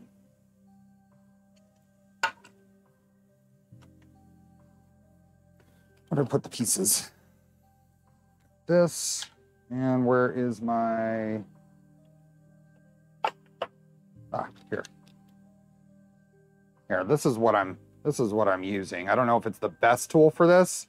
It's a three flute countersink DE. I got it off Amazon.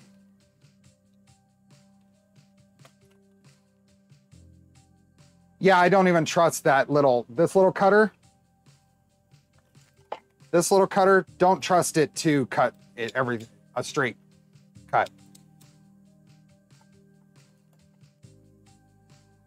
I made a tools like yours, only 10 millimeters tall. Just use it like a spacer and cut flush. That's a great idea. It's a great idea.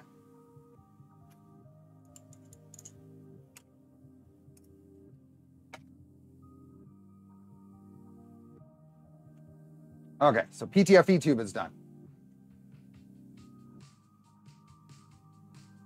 And remember, if you're not using Clockwork 2 for this, that length may vary depending on what tool head you're using. Yeah, I think it's a 60 degree chamfer, Mr. Clown, that I use. Just some sort of chamfer is what's needed. Oh, now we're on to the stealth burner stuff. Put these things away.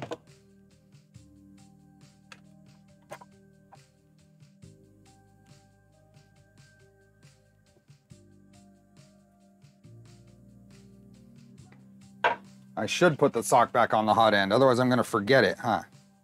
I'm going to lose it. There we go.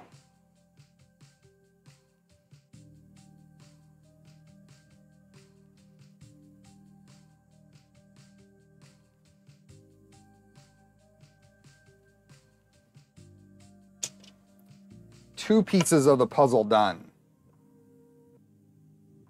So the main body has some built-in bridges um, for some wire management. We're gonna cut those out.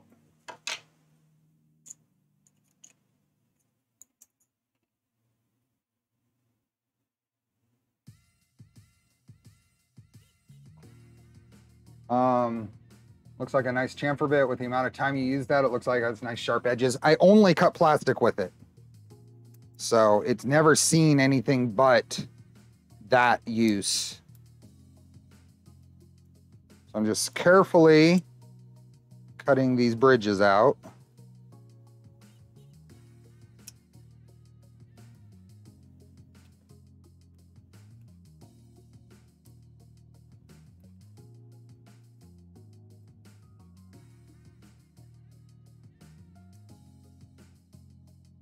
And I don't need to cut this one over here out because I'm not going to route the wires that way.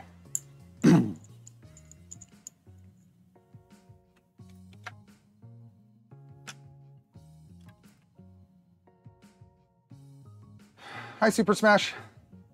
okay,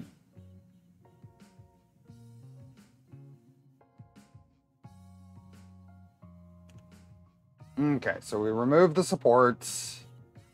And now we are going to solder the NeoPixels. So this page is useful. It gives us wire lengths, recommended wire lengths. You can get away with a little shorter on some of them, but I cut I cut wires to exactly these lengths. So I did one set at 120 millimeters and two sets at 100 millimeters. And we're basically basically just gonna daisy chain the NeoPixels. Um, I'm using 28 gauge uh, silicone insulated wiring I got off Amazon. It is at the limit of the outer um, diameter that would probably work well for this. So I cut them to length and I stripped the ends, but I have not um, tinned them or soldered the NeoPixel. So we're gonna do that right now. So we will need all our stuff back out.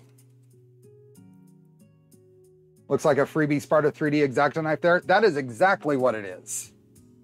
That is exactly what it is.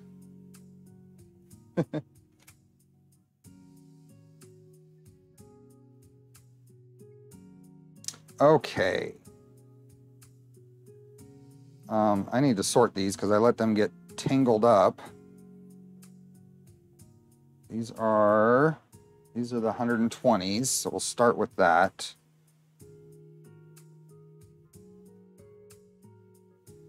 Just gonna try to get those all in there, just to tin them.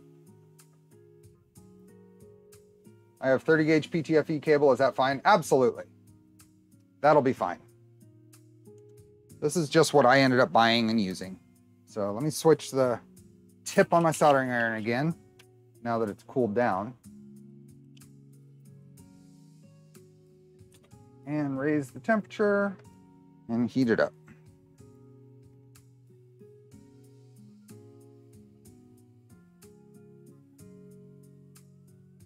Think I'll go with light blue and a dark gray for your E3 to Switchwire. Yeah, that'll look good. I keep modding my printer rather than make the serial video. Just make it clean, as long as it's clean, safe. Managed wiring, deck panels in place, and printing.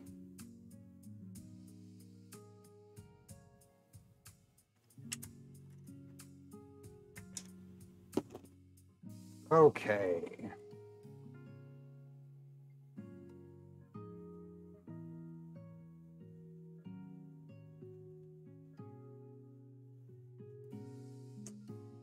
So that's those. I'm going to put those in a set over there. And I need a set of the 100 millimeters. I'm gonna, just going to batch all of them. I'm going to tin, tin them all.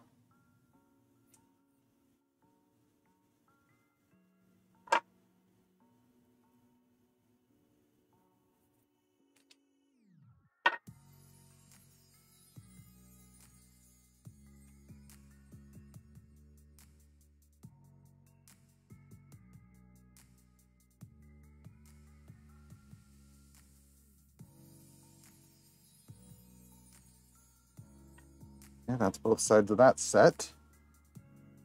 One more.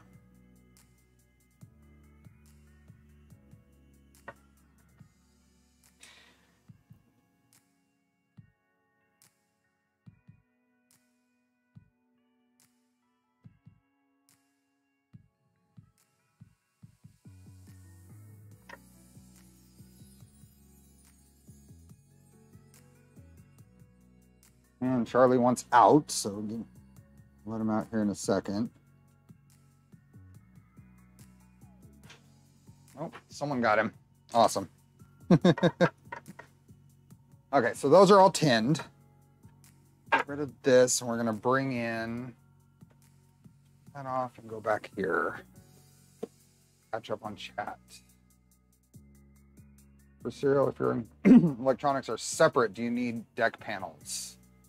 Um, I do. I would not consider. I would. I would have a hard time considering a printer with the electronics completely separate from the from it to be a Voron. So if you're going that far out of in, into the mods, we need to see it. But I, you're going to get some little extra scrutiny there. Voron noob. I generally set the iron to about 600F for soldering. Can you use the new laser to burn the Ender logo off? The Ender, there's no more Ender logos. No more Ender logos. Okay, so I'm going to use this, this vise to hold the NeoPixels. And we're gonna come up and maybe something like that. Let's see how this looks. So I don't know if we can get a NeoPixels have an in and an out. So I am going to solder these, all of these with the in down towards me. So that's just, and then I'm going to clamp them in here and let's see what we can do about an, a camera angle.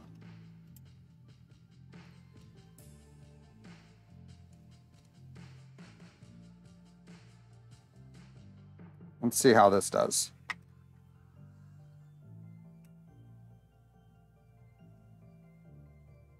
What kind of laser did I get? So I, I uh, Daniel at Modbot, we talked at MRRF, and he was kind enough to send me an extra um, diode laser that he had in order to dip my feet in the in the laser cutting uh, market. So I'm playing around with the Offero Laser 2.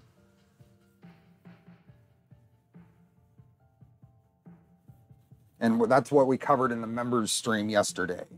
I'm going to tin these and let's see if we can get some sort of tin each pad. Don't leave your iron on there too long.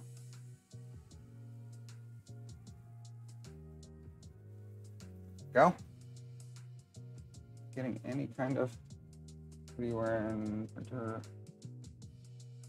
printer in an insulated metal enclosure so moved electronics out of heat for longevity. We'd still need to see it there. Goes dog. Okay, so we're starting with the 120 millimeter wires on the inside of this NeoPixel. And they are marked so the in, in this orientation, the left pin is voltage, the center one is signal, and the right one is ground this focus is absolutely horrid. And I, can I do any better with this?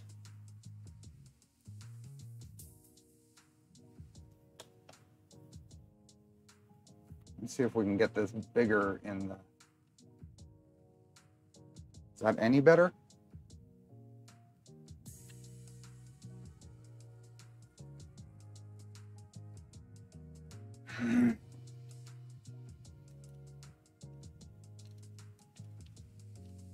Well, I'm gonna put a one,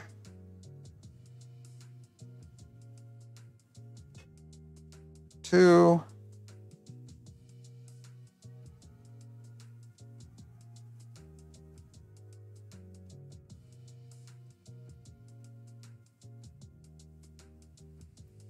uh, oop.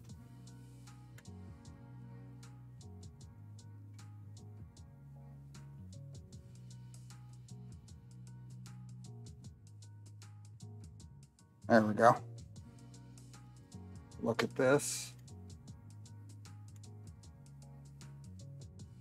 So what we're looking for is to make sure we have good fillets on the solder joints and shiny. The focus on that I'm sorry about. So good fillet joints and shiny. Now for the out, we're gonna come in from the same direction with the 100 millimeter wires.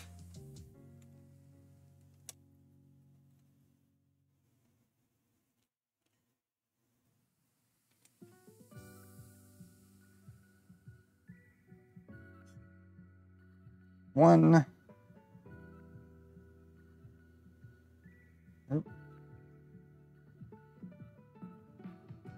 Two.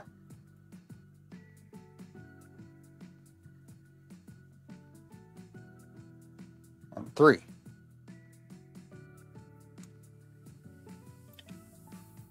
Shiny fillets, no stray wires. That's done. Now we move on to NeoPixel number two. Where did the rest of my NeoPixels go? Oh, they're there. Same thing, in, in towards me.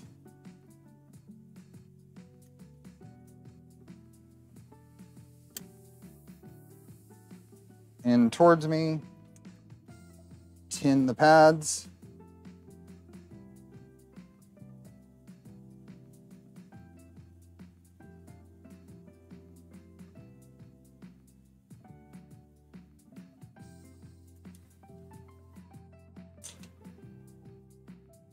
That better? Let's try that. Now we get the out from this.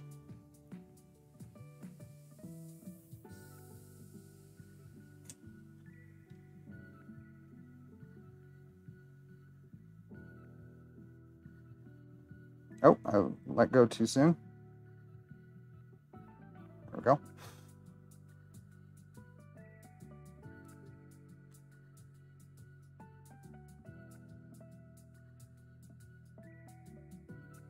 Out,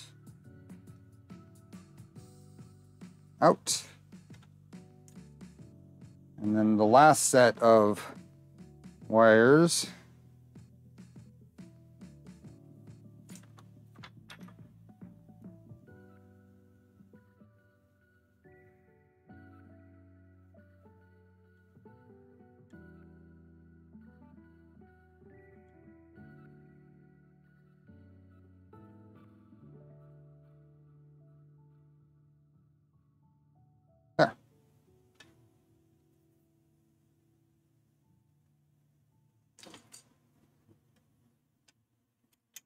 Then the last NeoPixel. And we only have to tin the in the inside of this one.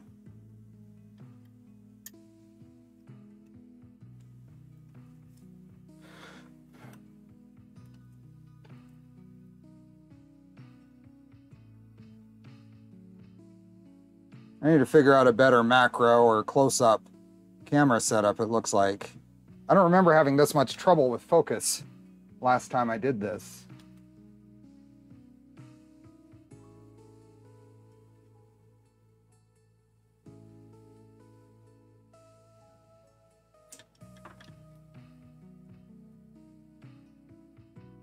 One, two,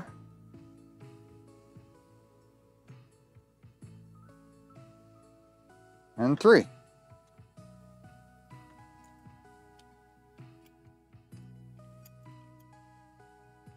And now the harness is done. Okay, let's see how bad that was. How many how many comments on that focusing? Miss anything?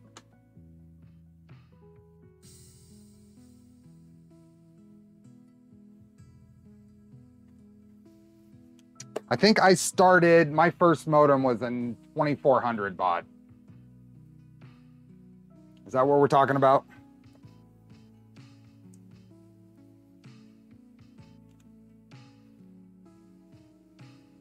So we have our harness. I haven't put the connector to the rest going back to the controller on it yet.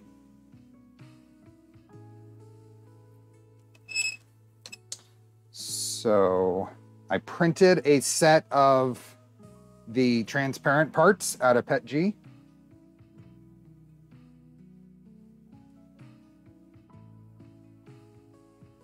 And a light shield. Now on the, the light shield piece, which is this, I recommend um, deburring the edges to take care of any um, elephant's foot. And I'm just gonna scrape the side of a X-Acto knife here along the edges.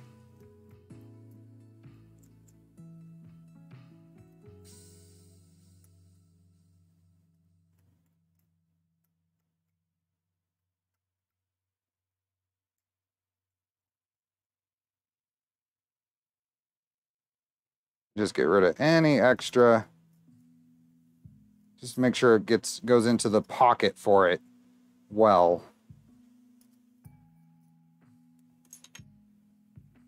Slow data rates. Oh yeah, on the old old stuff. And then this piece with the logo inserts into the light shield here.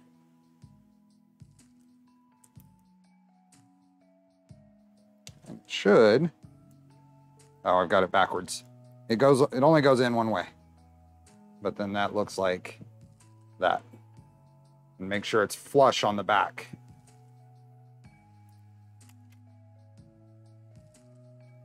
started when John asking who came up with the serial numbers, and I went with before Voron. Mine were usually oh. Concern you, sir, are not wrong. Nobody in you can be proper humor now. I'm hot garbage on solder, so I threw a few bucks. Yes, so there are several of these harnesses that are uh, people are making, companies are making. Um, so I would check and check your favorite Voron vendor. I bet you they have something.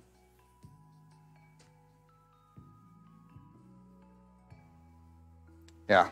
The soldering is not um, too bad if you're if you are uh, used to it. Okay, there is a pocket in here that this goes in. So it's kind of fiddly, but sometimes I just kind of try a couple of times. Oops. Uh, this is why we got rid of all that elephant's foot.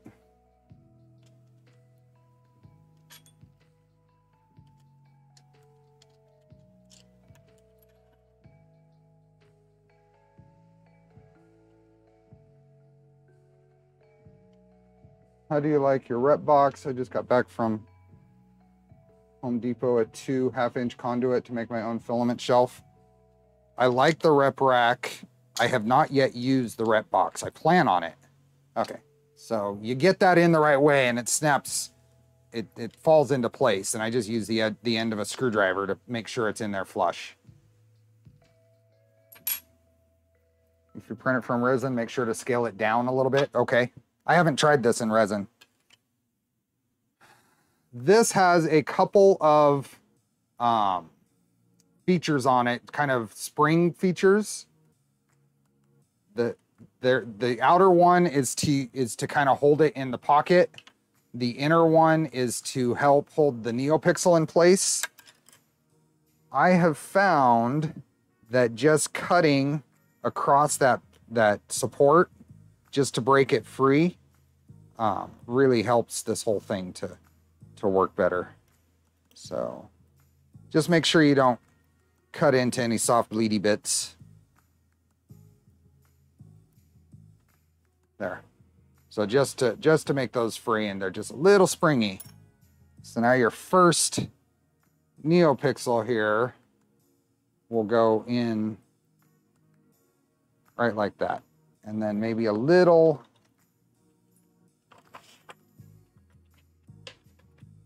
just a little push on a screwdriver or something to make sure it's seated in there.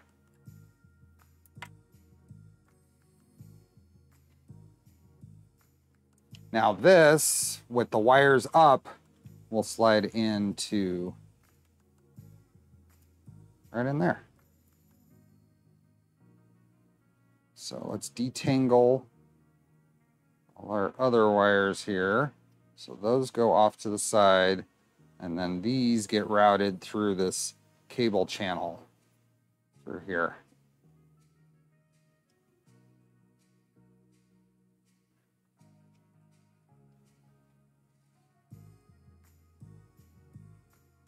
Little screwdriver probably help push things into place. Through one, through another.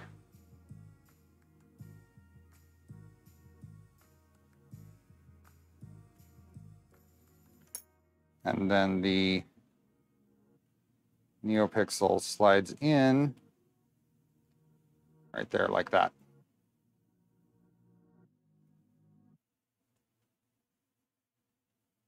Now the last pixel goes through this channel way. Pushing wires, pushing all this stuff down out of the way. It'll pretty much tuck into pockets there and stay out of the way.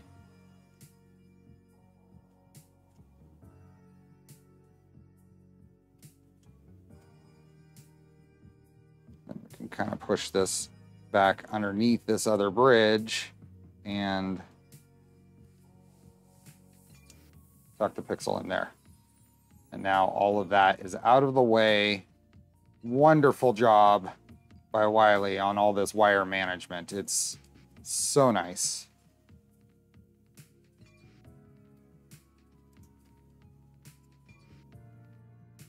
Tuck all those down out of the way. Did you cut those bridge support thingies? I did on this side. I didn't cut it on this side because I didn't need to. So now the main, the, the input goes through this channel up here. And we'll also be putting a fan in here that'll cover, that'll follow this channel as well.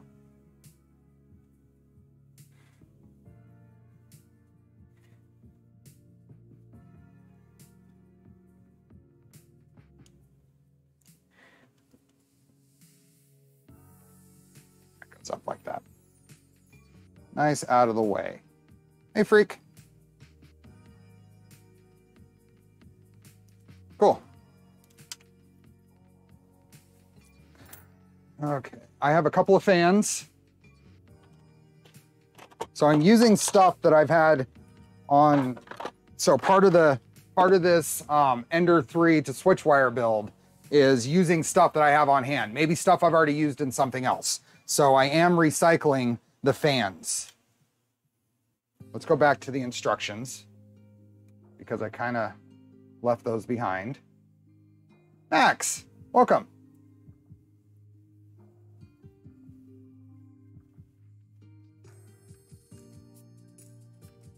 So back to the instructions. This was putting in the LED, assembling the little light shield, routing the wires,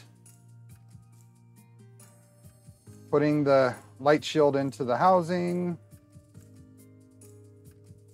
There's a, the uh, wire routing we did. And the supports that'll break away. They will break away. And then putting in the hot end fan. Okay, so I have a hot end fan. Hopefully the wires are all long enough. But make sure that it is label side in. That's really all there is to that. Just snap it in, the little supports will break out of the way, and then we've got hot end fan there.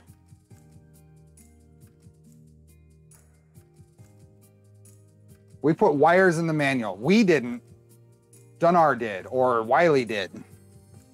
I don't know who actually generated the graphics, but yes.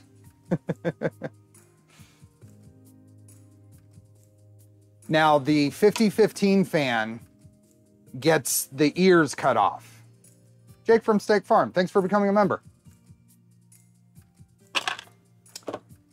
Let me grab a non-cut 5015 like this. So this is what they look like unmolested. We take the cover off and we cut the ears off and we get this. So make sure that um, when you cut the ears off, you, you sand it flush, basically. So Steve Build, Sanity Bill, John, I'm prepared to order a V0.1 early mid next week and don't want to deal with ordering 20 things. What kit bomb in a box would you suggest? Um, I don't know which ones to avoid. I think the I think the question I'd rather go with on there is which to avoid, and maybe some chat can give some suggestions there. Okay, so once you've cut the ears off, the the mounting holes off of a regular 5015, this will slide in like so, and that support over there will break out of the way, and then this will sit in, and then we need two and this will this will cover here. So we have wire routing. We cut the ears off. And then two M3 by 6 flatheads to hold it in place. Let me grab those.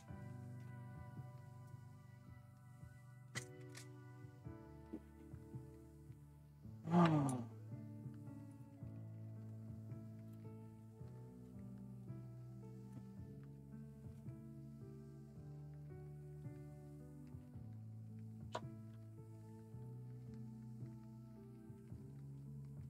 And you don't want to torque these down. All they do is prevent the fan from pushing back into the housing. Max, thanks for becoming a member.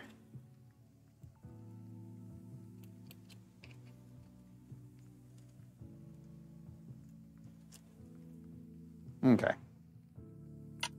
So that is the Stealth Burner fan assembly. Can you can you let us know if V0.1 will be easy to build as a V0.2? Are the changes only to the printed parts? I can't let you know that for sure, but to the best of my recollection, most of it's going to be printed parts. I know that's not a great answer because 0.2 is still kind of being finalized. Um, we showed off, so I can talk about it all. We showed off um, to what it's at now at MRRF, and that was new skirts, which is all printed parts. Um, you don't have to put the display in, but the little uh, V0 display is has a nice little mount and integrated. Um, the stealth burner, mini stealth burner, is all just printed parts. I don't know what else might happen though beyond that. To what we showed at MRRF, it's just printed parts.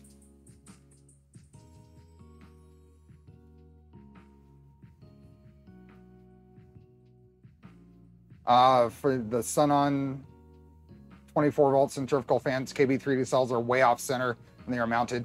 It they vary. All of the fans vary so much. There isn't a standard for exactly the dimensions and the size of the center and where it is. Um, so this the end this end result is the best compromise between all of them that we knew about. I know Wiley spent a ton of time um, trying to make that as good as possible.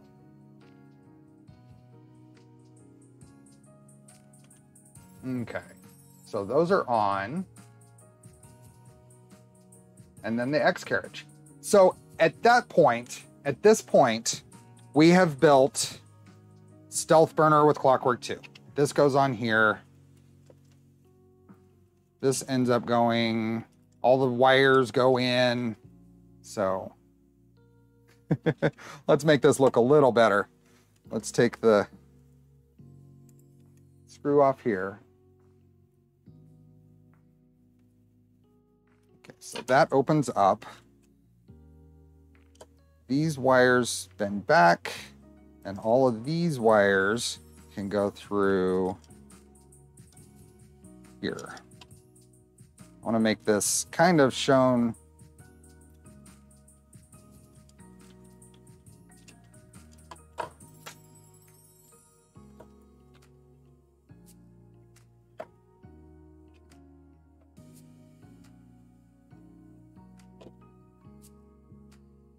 show this thing off pretty much.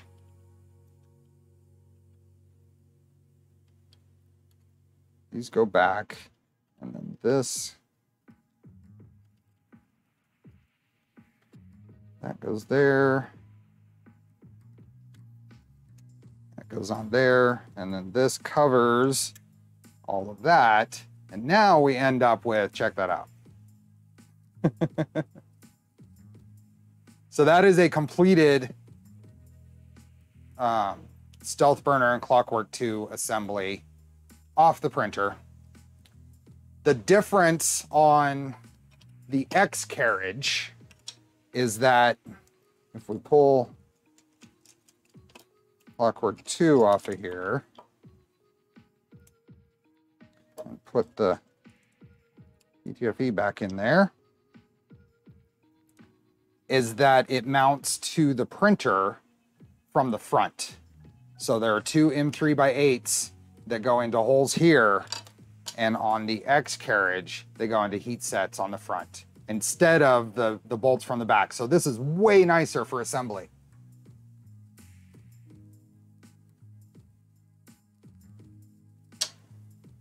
Okay.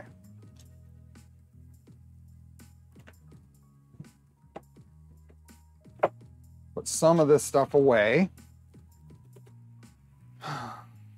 So, Stealth Burner and Clockwork 2 is done. That is assembled. This is going to go on the Ender 3 to Switchwire, which we're going to continue making progress on right now. And just set these aside for right now. Put some fasteners away. When is Stealth Burner headed out of beta? Monkey Butler Labs. Check the pin. It's out of beta.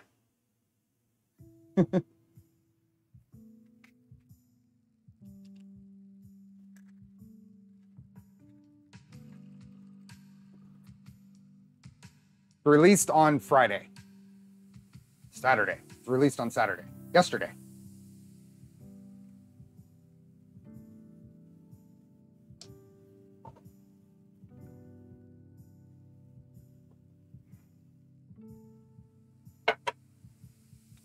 Um, did I miss anything up here? I remember you fighting Wiley on those screws? Yes.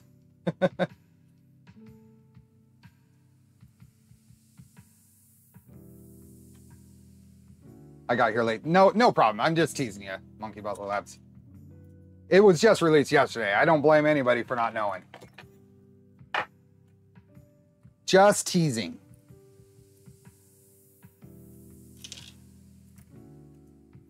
Yeah, it was like 10 a.m. Pacific yesterday.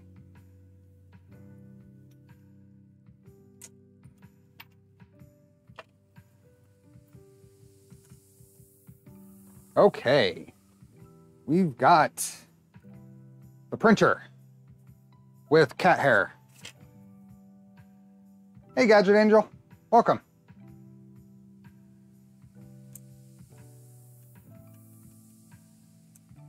Where's Mini Stealth Burner Beta I want in? and not there.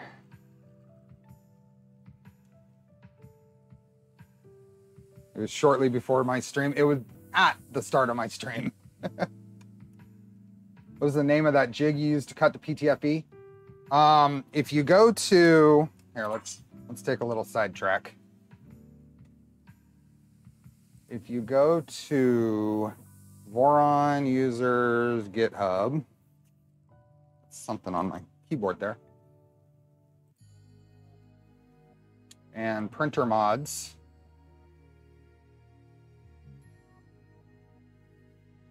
And let's go down to STV PTRSN. I'll post a link in, in the chat here in a second. You go here and then go to parts, jigs, and mods. And tools and jigs, it's the PTFE flush cutter here. So let's go, let's just grab this one. That jig is located there. This is gonna bug me, so let me put this out of the way.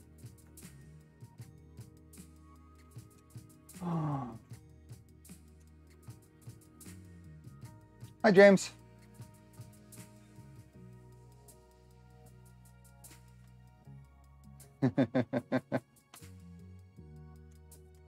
okay.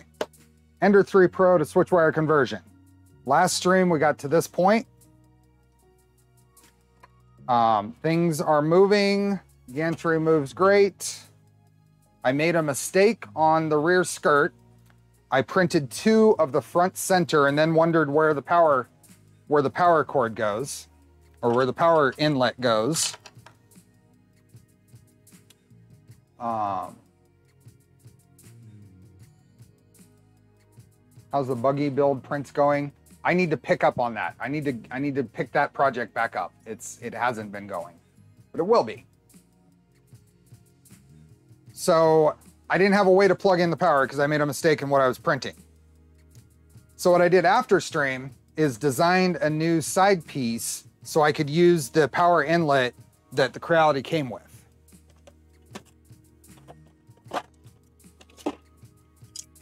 So it, it comes with, the Ender 3 comes with this style um, inlet.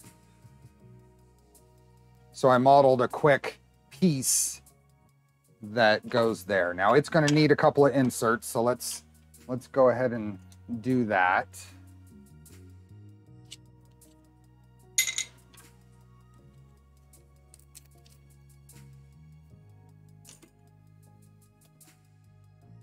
Oh, I was thinking this would be a Stealth Burner only stream. No, it's Stealth Burner and Ender 3 progress. I, I wanted to do both. I didn't want I didn't want either people who were looking for either to have to wait. So even if it's not, it would have been better from a YouTube, whatever point of view.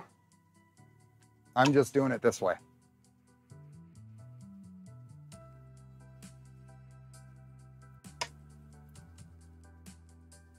Oh, did you send that piece to Dark Dog too? I did. I did send this. I think he's going to go with in a different direction, but it's that's that's his. That's fine.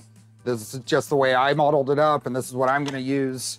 Um, I think he's to. I think he's. They are going to um, rotate it 90 degrees so it mounts uh, vertically here instead of horizontally. Got a couple of heat sets to put in.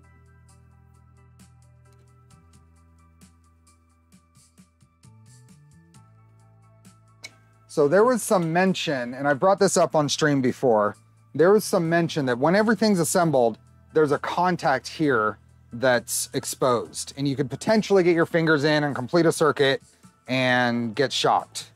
So the setup, the way I, I built this and designed it is there's one heat set here, and then the, the inlet goes in, and then the other heat set is in this piece that will block that contact. So calling it a shock blocker. Oh, and I need to put two heat sets here for the, perfect, I have two more. Hey, Maker Viking. Okay, so this heat set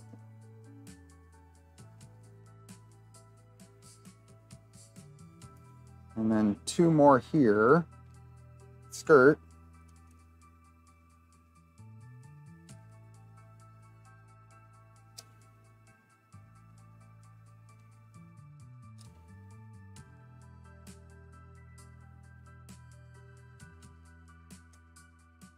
Okay. Switch the glasses. So we have this then this piece, and then I think I need a couple of flathead screws. I only have stainless.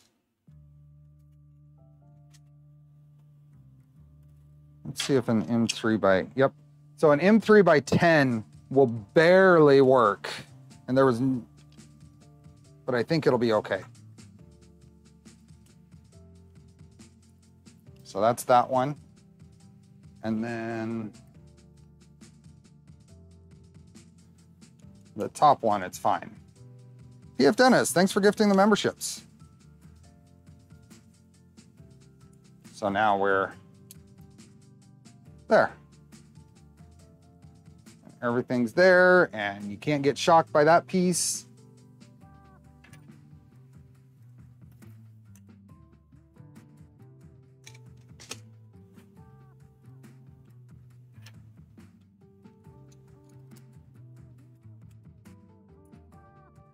So now we're going to replace this.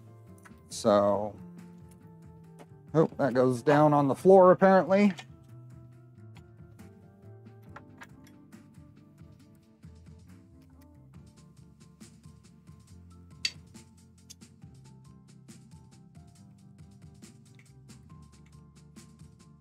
I want to wait, and Stelper has a release candidate. It's perfect time to make that change.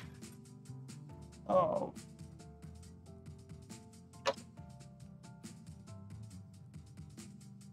And then what were the fasteners on the back here? Looks like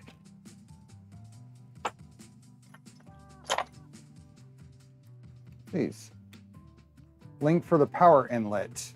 Um, I'm pretty sure that Dark Dog is is going is including a version of this in in his modifications. If anybody wants the part, you feel free to message me on Discord but I'll let um, whatever for this mod, I'll let Dark Dog um, release what his final vision or what he wants for this.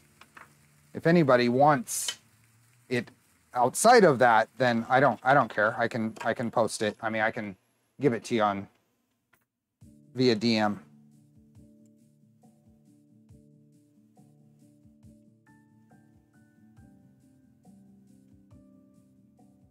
Mm. Let's see. I am missing something.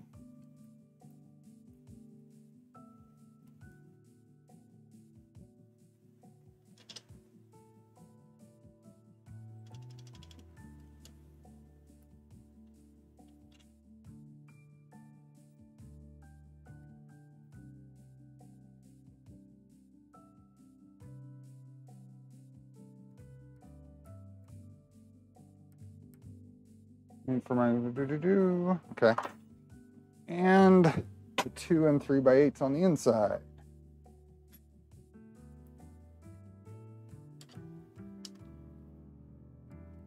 The nice thing about this location of the power inlet versus the center is we can keep the AC wires over here on the side of the printer instead of going across the middle.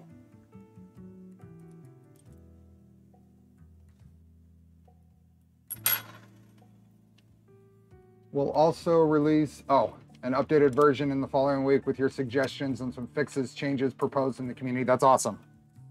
That's good to hear, Dark Dog. I like the, I like the continued um, development here.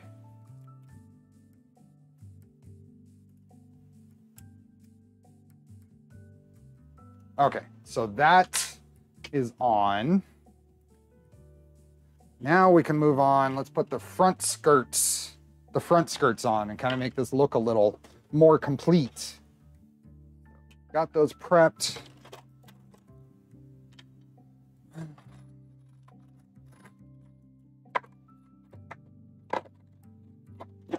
So I did not have any M5 by um, 60 fasteners. So I went to my local Ace Hardware and found some. They are Phillips head, but they'll work. If you can think of a way to make this assembly go together without having to buy those, that would be awesome. Maybe do something like diagonal fasteners or something to be able to shorten them. Because I understand the need for this to be for the long fasteners because of this spacer. But, oops, Phillips. But something, some way to make it not need those would be nice. missing Charlie. Charlie is asleep. He is fast asleep and way underneath the bench.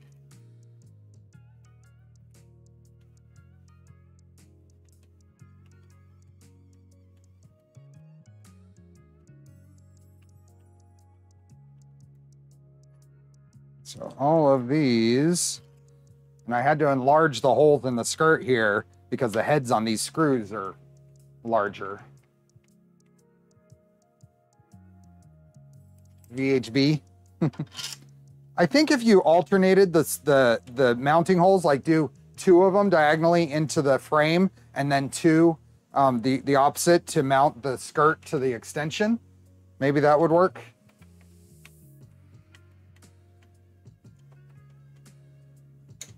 Anders, thanks for becoming a member.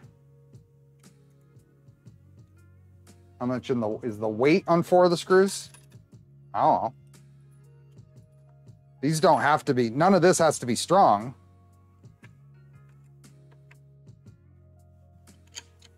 Magic marker hides stainless sins. Yes, and it hides um, scratches in, in anodizing too. An anodizing pen.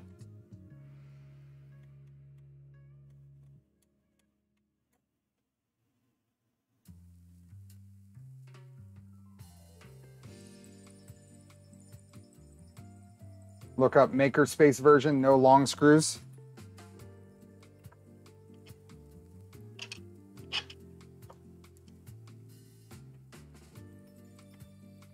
Oh yeah, I'm thinking about lowering the CG.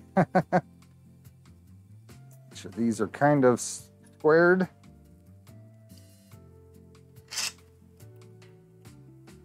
Already some anodizing pen.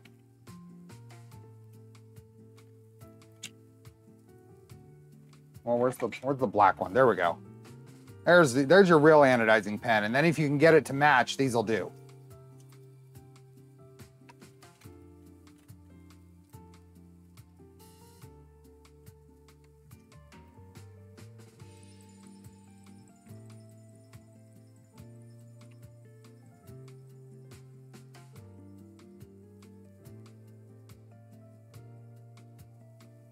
Okay. That's there now.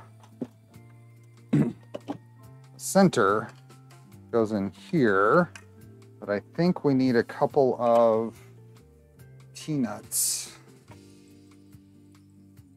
I think this goes here with a couple of T-nuts to hold it to the bottom.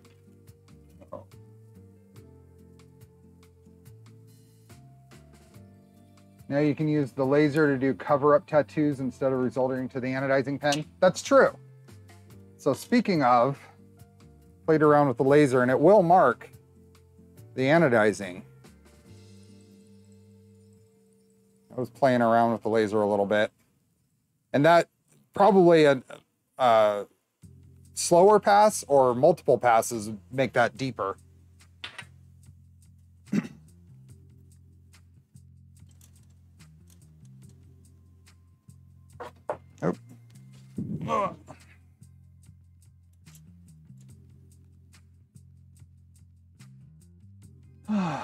Coming along nicely, I see. Was doing a homebrew conversion of my Ender 3 Max until I discovered the board that came with it fried itself somehow that makes the steppers stutter bad with layer shifts. Ouch. Okay, a couple of M3 by 8s. And line up the T-nuts. There we go.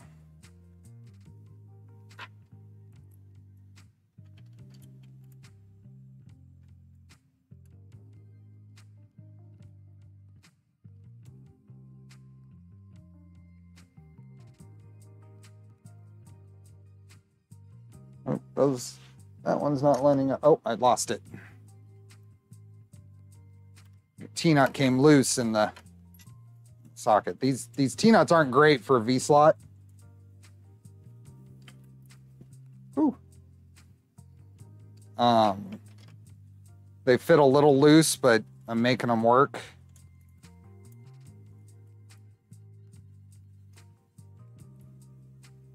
Laser will only burn the color off unless you invest. Absolutely, yes. So all we're doing is burning a coating off, or in the case of um, stainless steel, heating up the metal to discolor it. It will it will make marks, visible marks on stainless steel.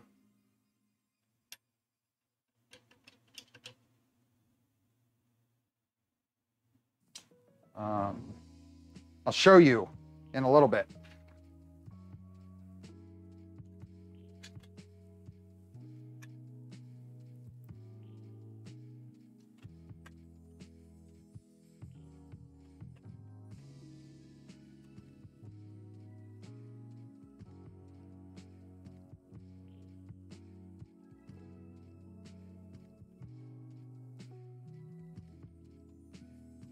Okay, these are far from centered, so let me loosen all of these.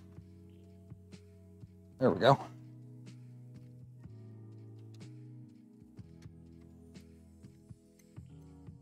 What am I missing? Occupied with the build. Did I miss something?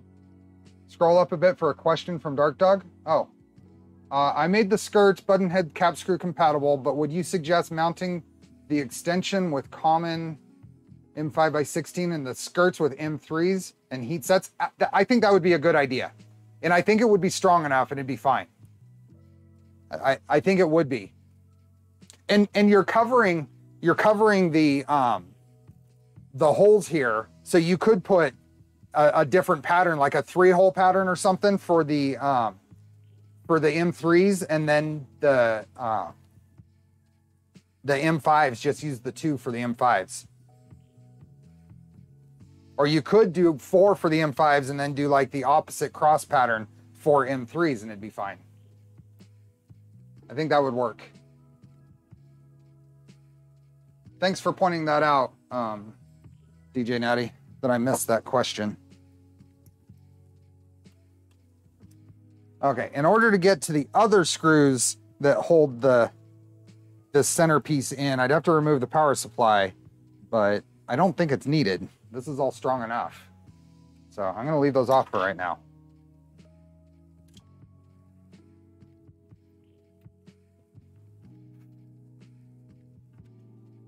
Um, to etch stainless steel with a diode laser, just use an interface on the metal. You don't, I didn't need an interface. It may, it may work better with an interface, But I did that on the back of this flex sheet with the diode laser. Isn't that cool?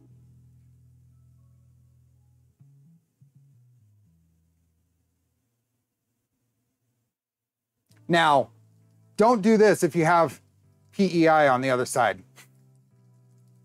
Oops. And it's actually bubbled up. It's unusable. I'll have to take it off. It actually completely burned it. So I'm going to put a new piece of PEI on this side and hope I can see that through it.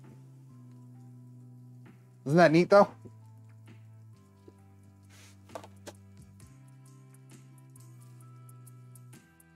That was at 90% power on the 5 watt laser and like 50 millimeters per minute.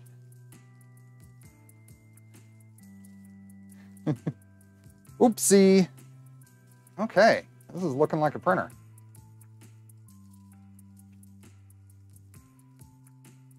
Put the carriage on. No reason not to. Some M5 by 8s on this little block.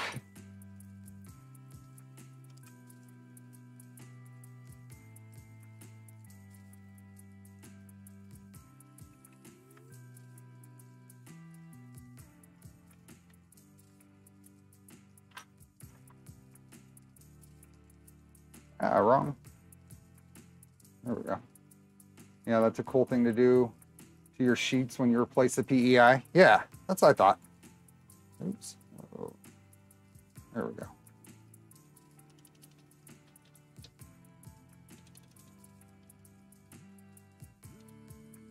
Maybe lower power with more passes would, would have caused less problems. Maybe. I think, I, I would imagine that you need a lot of heat though to, make that happen. I'll just make sure I do it on a sheet that doesn't have PEI already on it.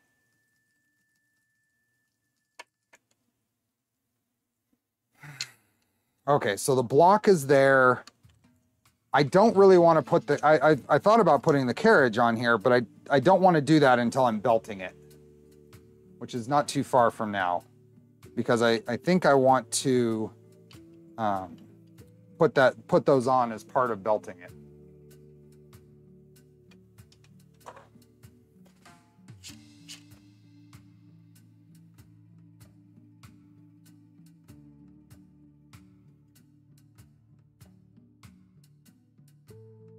Oh, tried a black Sharpie before lasering as, as an interface layer?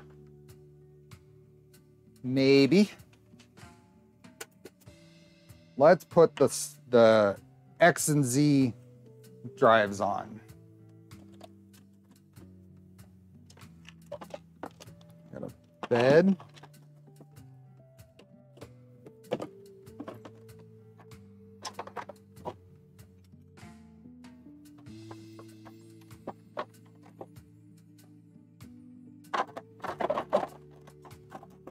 that and that.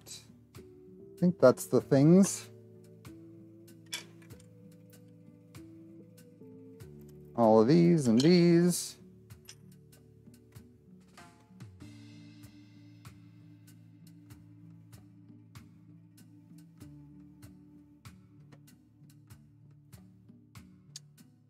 We have the CAD. Available as a reference. Let's see if they are doing, so this is a M3 by 40.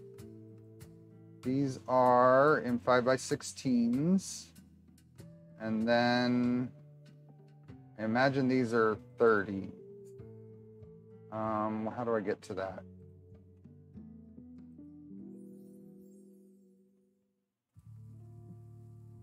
Let's get them that out of the way. Those are M3 by 30s. Okay, so all the same types of fasteners as a regular Switchwire.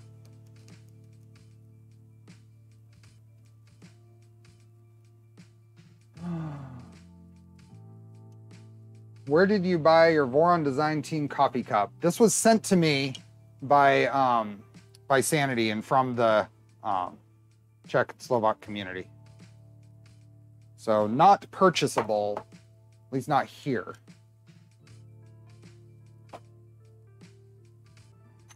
Um, okay, I'm gonna clean these up, just making sure there's no extra extrusion artifacts on the top surfaces.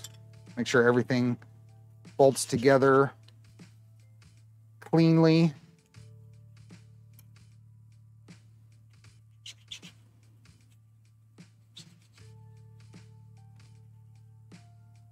Yep.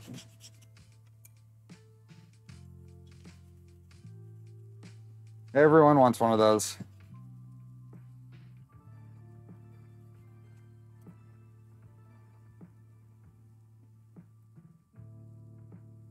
Okay, so we have these, and I have steppers. Now I have not cut the the flats in the stepper shafts um, that'll take a Dremel. I'm going to use a Dremel and I'll probably do it off camera, but we'll still assemble and I'll take the marks that are made by the set screws and I'll do it. I'll do a disassembly and do it between this stream and the next. So I need to pay attention to which side because I, have I've decided to use the Ender 3 steppers. So the extruder one is on Y and the um, the old Y and X are going to be X and Z, but they have different shaft lengths. So I need to make sure that I use the shorter one with the pulley that has the set screw closer to the stepper. So that would be this guy here. And this one's going to go over here.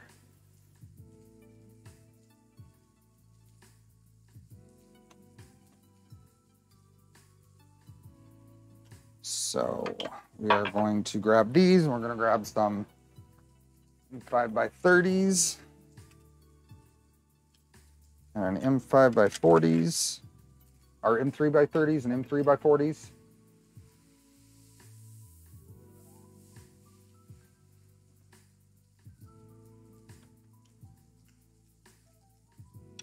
This goes like that, and this will be this one.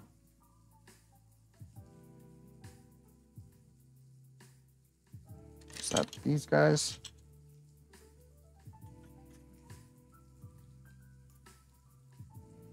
Yep, those are the 30s.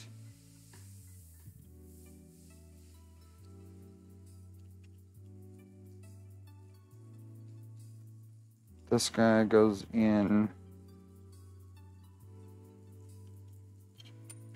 Oh, oops.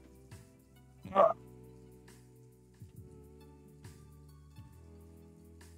Okay, goes in there. So let's thread that into one of these first. And then this goes like that. This goes like that. And then we put these 30s in here.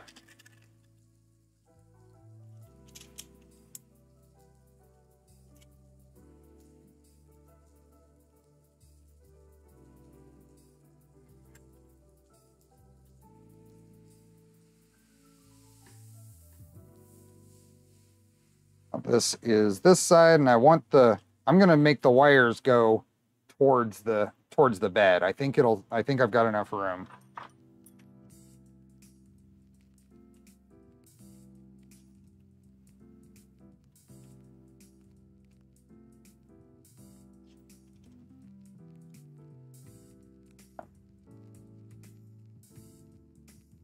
Let's let's loosen these a little bit, make sure I'm not cross-threading anything. That's the only problem with the ES15 is making sure I don't, that one doesn't want to go in right. So what's going on? That one's cross-threading right away. So let's pull this all off. Let's see if it's the fastener or the stepper.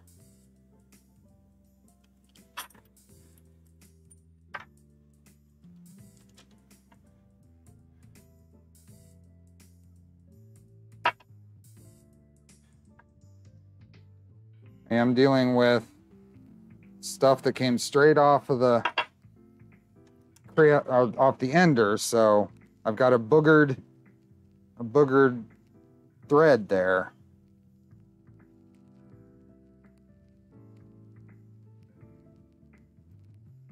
What is that does not want to go in straight. So let's see. I have have an M3 tap right here.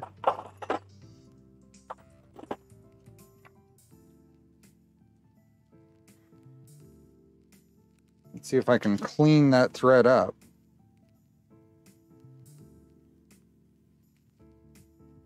I'm just going to do this by hand to minimize the risk of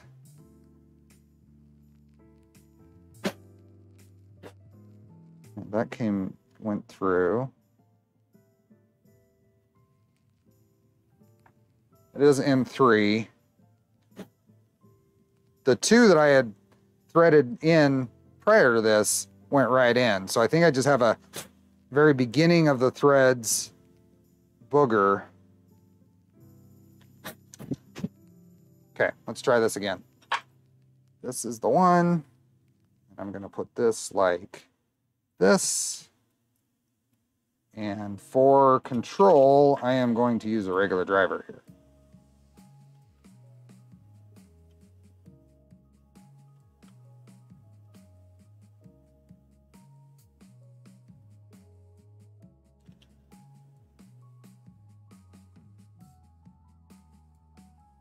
Okay, that's still not going in right with my... That, that goes right in. So let me try a different, maybe it's the, maybe it's the fastener that I'm having trouble with. Put this one over here so I don't get it mixed up.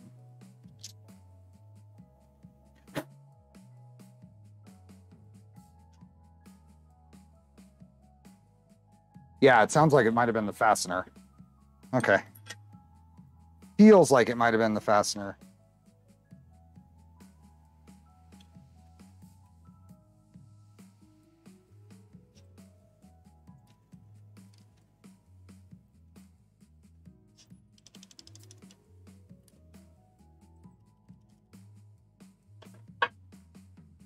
So I did all of that and I grabbed the wrong stepper.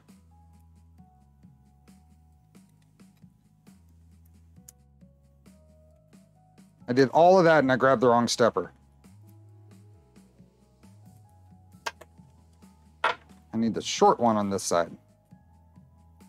Let's see if that still goes in smooth. Yep. Okay.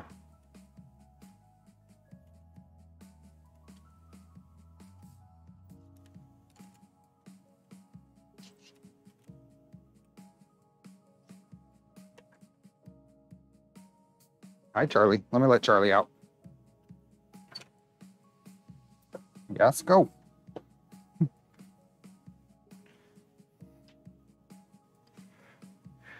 okay, so that, and then I need some set screws for the pulleys. See where I'm missing. Take the Phillips screw out of the back of the motor and thread a long screw from the back and it will, that's a good idea, but I, I didn't need it. I think the, the, the screw I happened to grab was just faulty, so it is going in the trash.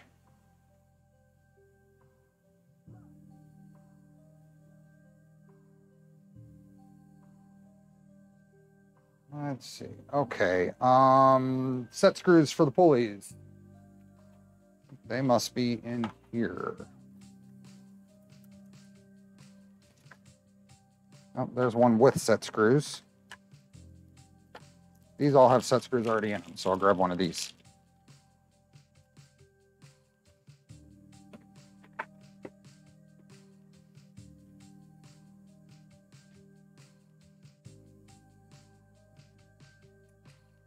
And then I am not going to do anything. No Loctite, no nothing at first. We're just barely put it on there and then I'll torque them down to make some marks. That's good enough for that for now.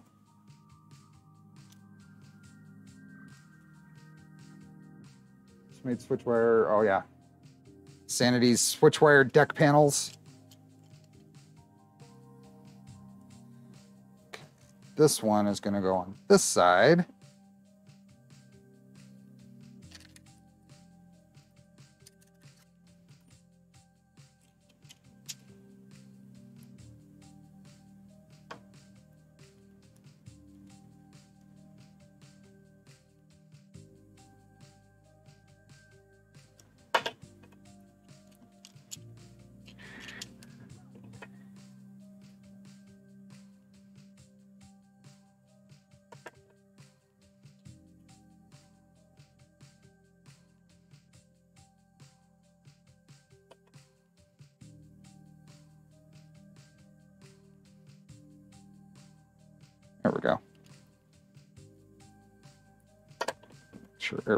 Lines up. Just kind of slide the parts against each other.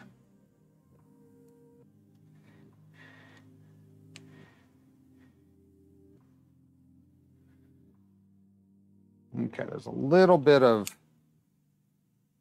these don't slide in here well, so I'm gonna pull this apart. Is that the same way on this one? Yeah, I'm gonna I'm gonna file the sides of this little tensioner and the the surfaces on these down. So I'm noticing something I need to pull this apart for. I think I'm gonna instead of filing that tensioner down, I'm gonna work on the the mounts.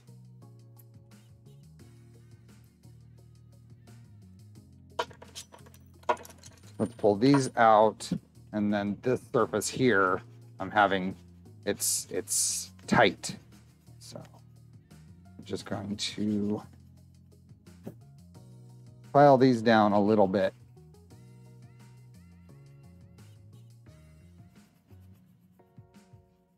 This is not taking much material at all off. And then I'm gonna make sure that there isn't any over extrusion plastic pushing up on these and then we'll try again. Hi, Brian. The build is going well. The build is going well. Let's see if that improved it.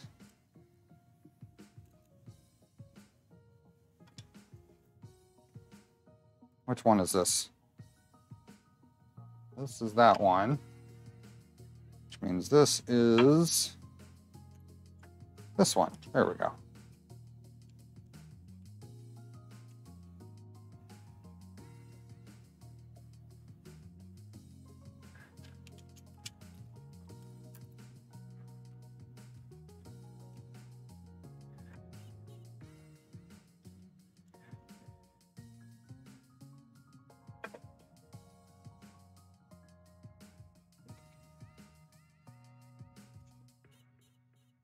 Just going to put two screws in here just for the test fit. Sure everything lines up.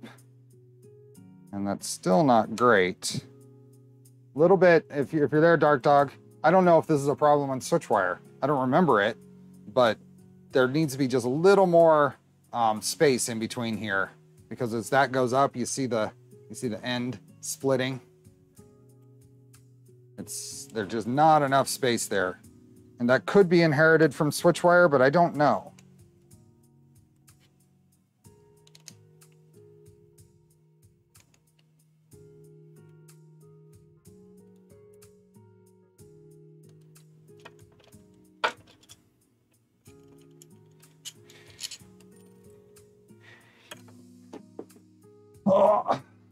Just do a little more aggressive filing here.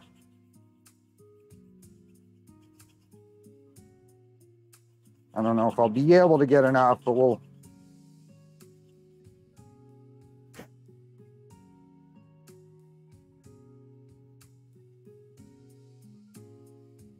Same distance though. Like I said, it could very well be something inherited from switchwire.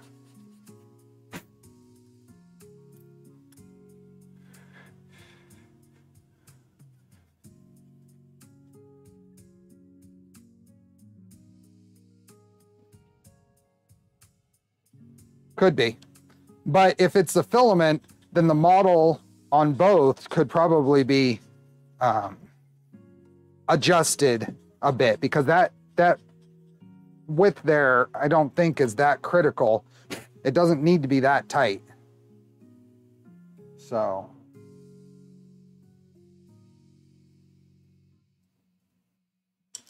And let's see if we can get a little bit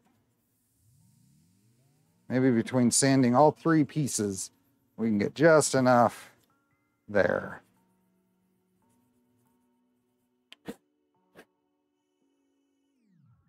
Okay, back to this, this, this. Let's go one.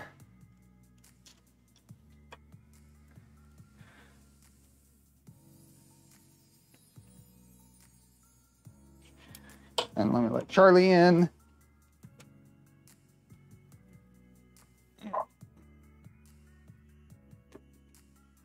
Yep.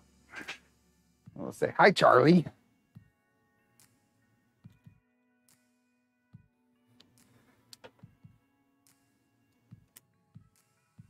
Oh, there we go. Much better. Just enough sanded off. There's a mod to make them bolt together on the bottom. Well, in this case, it would, would have probably made it really tough to adjust tension. Where is that?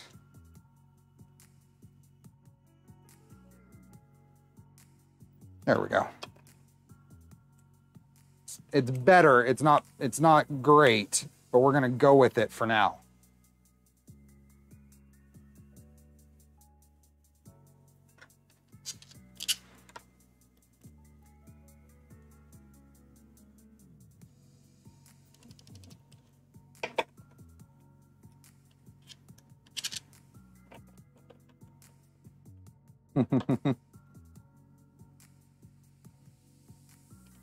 yes.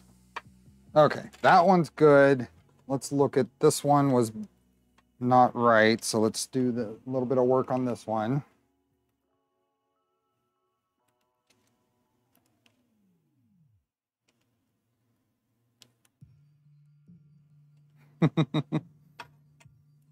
desperate need of pets. Let's get all the hair everywhere.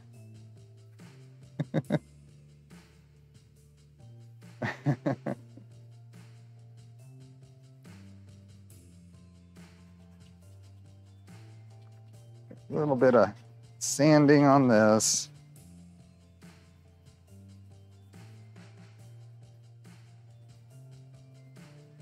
Charlie needs more attention, yes.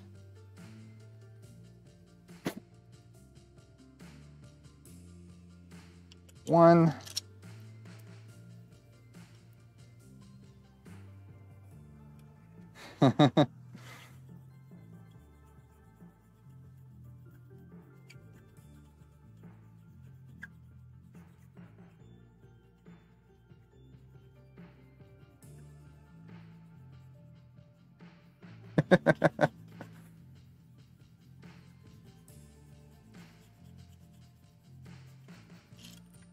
and there they all go.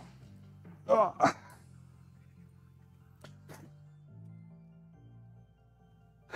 uh, we're at. You never have too much hair. Yes, yes, you, yes, you can. You actually can.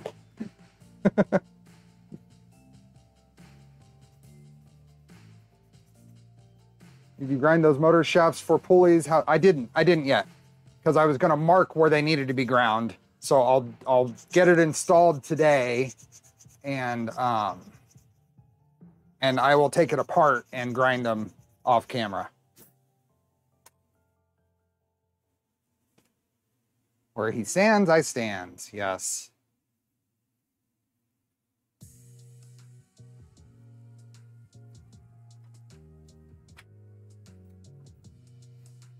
I don't know if you can see that. That hair flying everywhere. Okay, this, this, and this. Let's go here.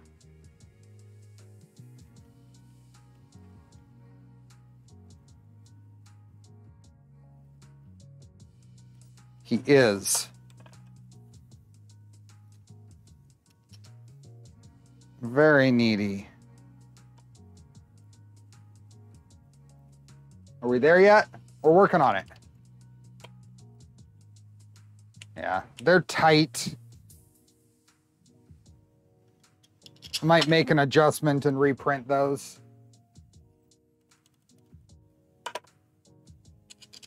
But for now, we move on. They will work.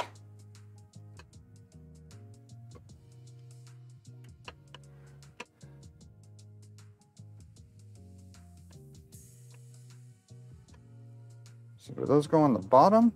Okay. Where's my other pulley, Charlie?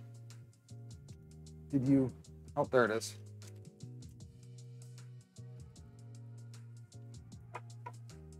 the benefit of my streams is you can you can leave for two hours for dinner and come back and it's still on. Yes.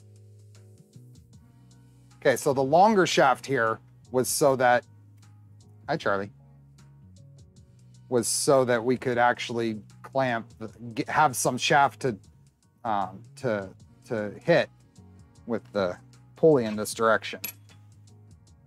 So we are just going to barely touch it on there. And then we'll line it up and then we'll torque it on there and that'll make a mark in the shaft and that'll tell me where to put a flat spot.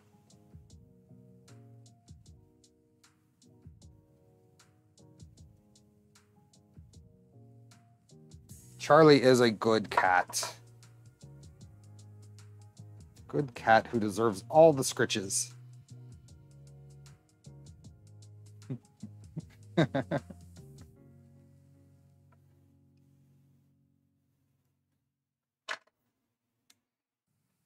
okay, so that's going over there. So we ready to belt this up? I think we might be.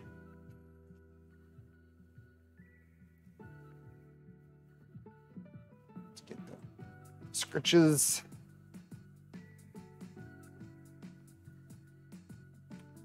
All over. Charlie is a tolerant cat. He does not get angry at anything.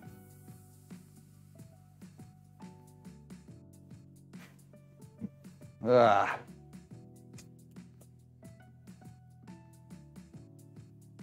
Okay, now you can go down.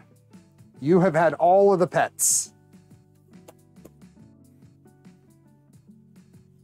All the fur. Holy. Okay. That was probably a mistake.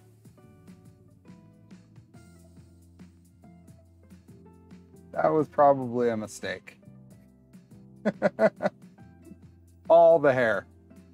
I don't know if that's showing up well, but all the hair.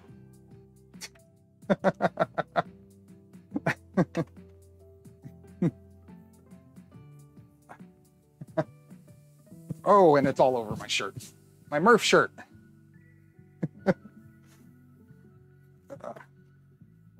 okay.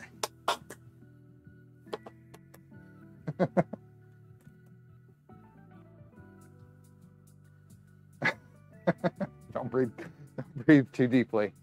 Uh, timing belts. Off the shelf spares is the theme of the build. So let's see if I've got good,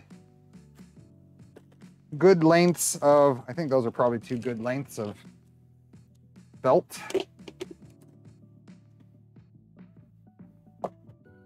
Put that down there in case I need it.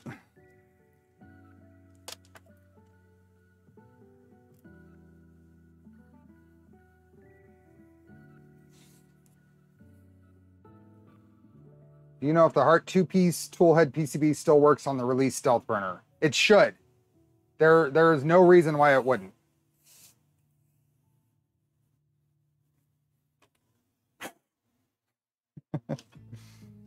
oh, let's belt this thing up. So before we do that, let's get a general, just loosely assembled um, XZ steppers.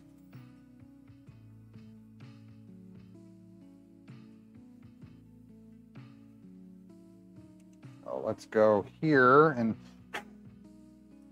blow the hair out of the way. Now what? Okay, so those tension, it looks like they tension into the top slot. And that's what I wanted to see.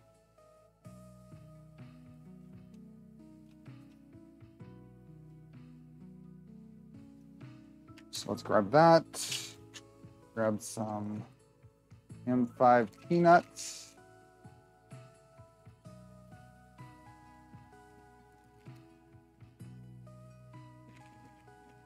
260 degree cat hair going through the hot end. Yeah, that would smell wonderful.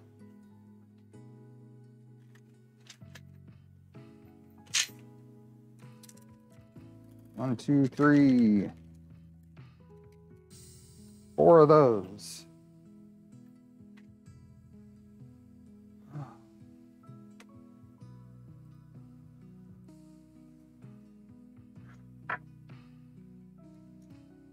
So I'm pretty sure we want to make sure that the the hole in these T-nuts, the the the long side is to the outside so we don't interfere with this um, tensioner here. So we want to put the, the short side facing each other on this. You see that? I think you can see that. Similar to the same way with um, with um, Switchwire.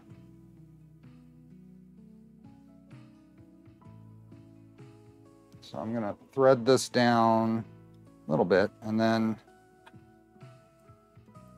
this should go in there. There we go. That doesn't seem right. Doesn't seem right. I feel like it doesn't have enough tensioning in that unless you just I guess you just let it hang up. I don't think there's enough space. Here, let's try.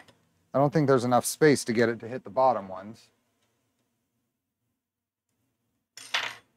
Let's see.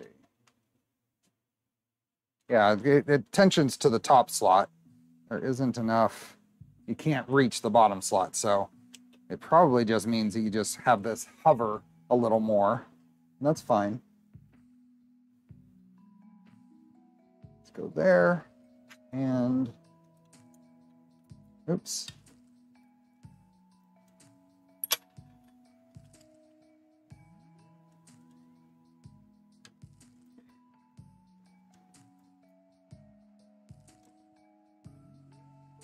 There we go. That one.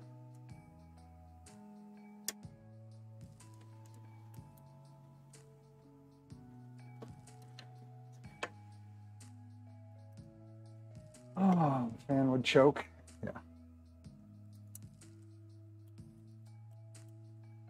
There we go. So now I want to pull this up a bit. That's as far as it'll go for the, the M5 tensioner. So I'm just going to snug that just a little bit and then pull this up to, to match. Right there. So that's the the minimum tension point. And that's what I'm going to start all of this at. So we'll do the same thing on the other side.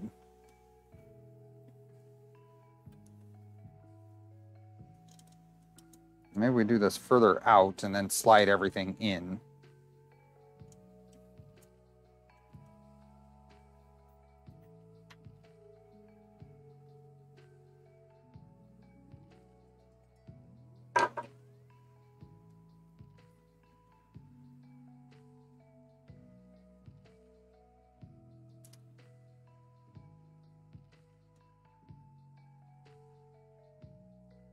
That and push this in.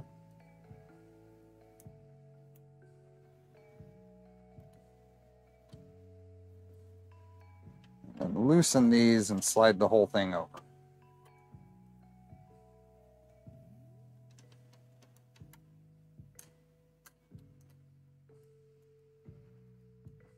snug.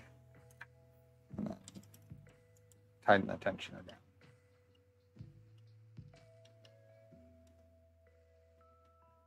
just going until it touches, which is about there. So now those are in place and now we can we can run our run our belts. So I'm very curious. You say you have things like a drawer full of stepper motors. If you wanted to just build another printer right now, would you have all the parts in your workshop? I think I could. I think I could build a printer from just things. All the way there.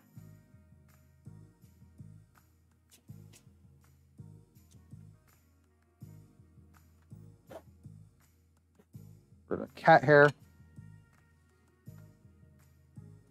So I'm gonna try a little different way than I usually do of belting a Switchwire. I'm going to find these parts and realize I'm missing a couple of heat sets.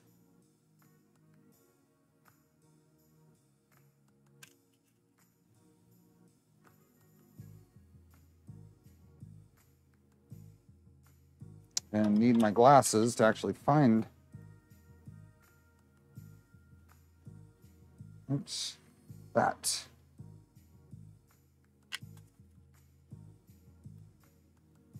That.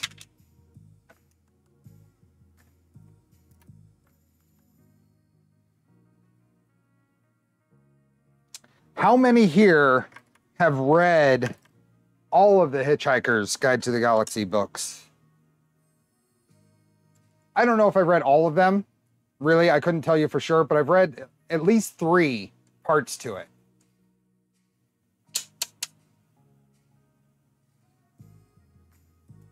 How many have read to the point where you can fly?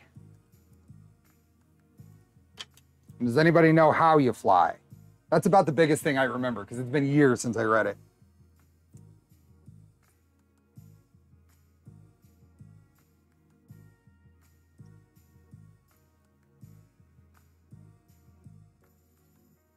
So these are the um, belt um, pieces, hold the belts in.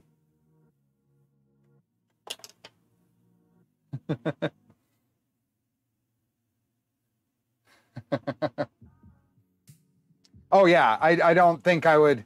I the posthumous. I don't know which that is or whatever, but there was a there was a a, a whatever you call it, all the books in one um, that I've read.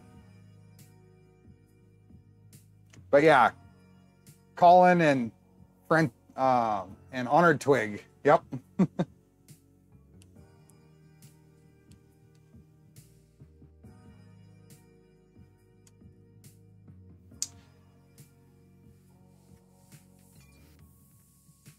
I'm gonna run one of these.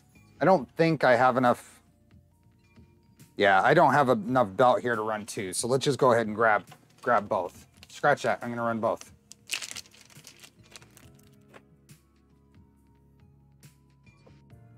I think these are about the same length, so I don't think I have enough of either one to run both, although this one might be close. Let's run this one and see if I have enough to do both. So I'm going to take the left side here and I am going to take an M3 by 12. I think that's what it is. Are those M3 by 12s or 16s? Let's find out.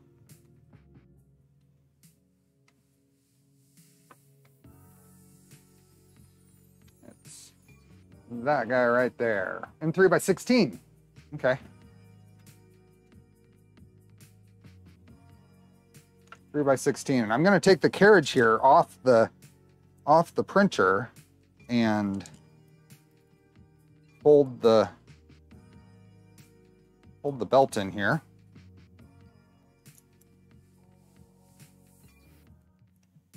Grab a little bit of, little bit of extra.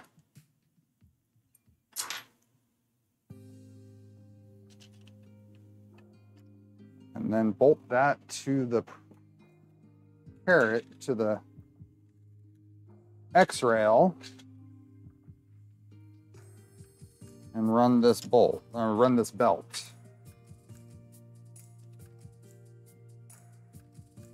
Those must be 12s, okay.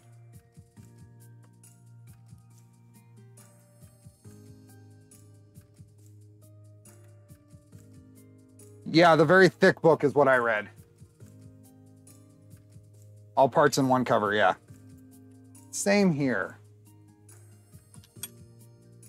Okay, so I'm gonna run one belt path. Looks like I'm gonna run the the Z stepper, right? X, Z.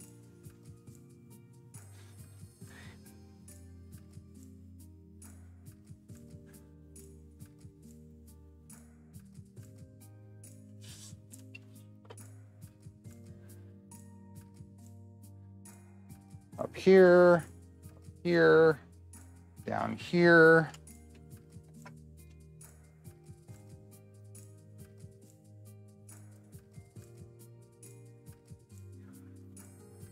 Sure I don't lose all these screws off the edge.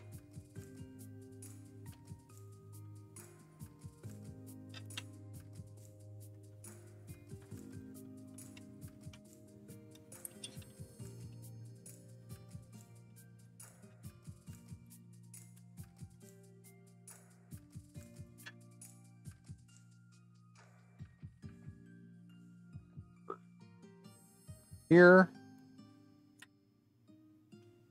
Actually, around the stepper. Yeah, and I definitely don't have enough of one of these to make both belt runs out of it, so that's fine. Well, I just wanted to see. That's one belt run, and I only have this much belt left, so that's not enough. That's okay. I'm to cut this uh, somewhere around there, I think is fine.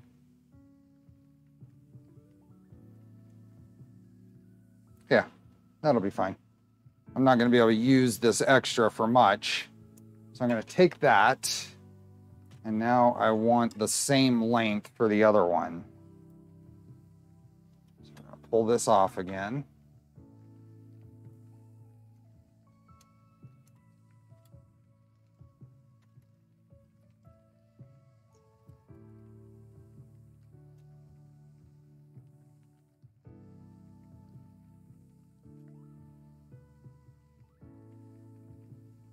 And then I want the same length belt off of this one. Let's cut a even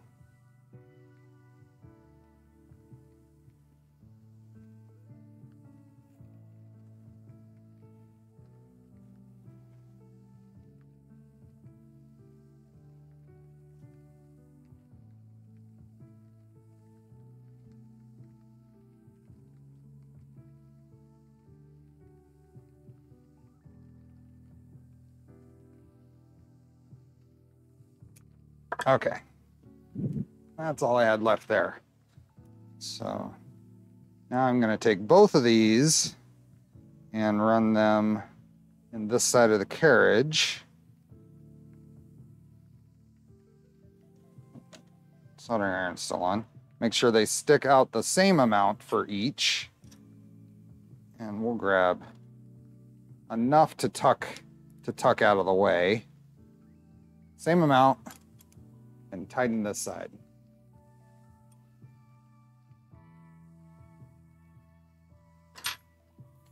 Now we'll put this back on here to hold it in place.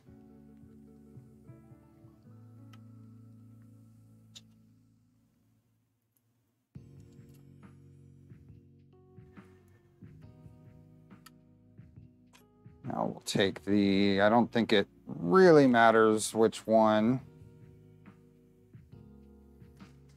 Take this one, I guess.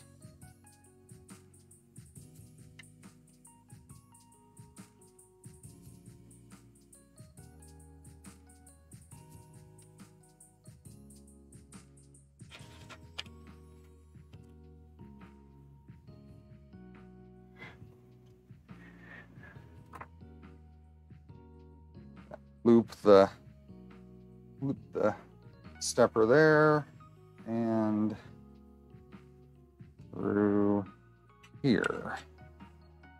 That's just gonna sit there right now. Plenty of space here.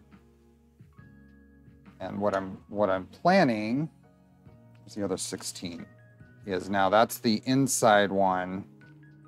I'm gonna grab these on this just off the printer because this is always kind of a pain to get to it's, it's very tight in there. I want to try to see how well this works to give myself enough room to do all of this away from the carriage and then bolt things in and then pull, loosen and pull the belts to the, to the tension.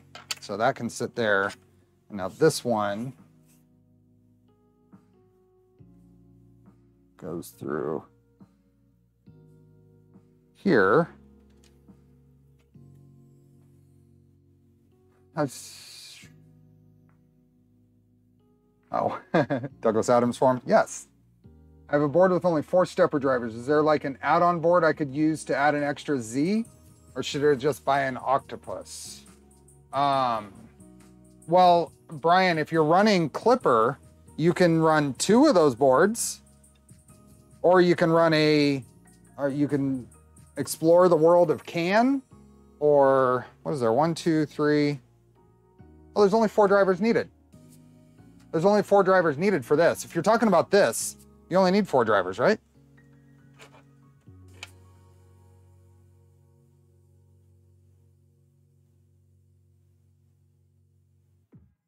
Yeah, you only need four for this.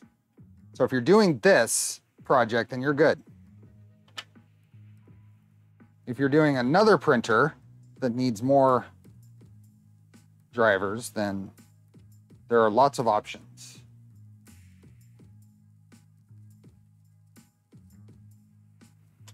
Okay. So now with that one ran, we can run it in here. Both of these can, and I'm gonna leave a lot of space here, a lot of extra room, but still make sure they're somewhat even.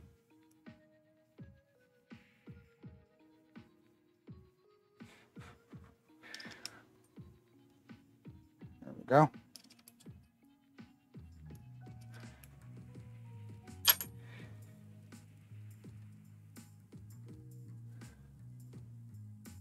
Now this can go on there. So we're gonna need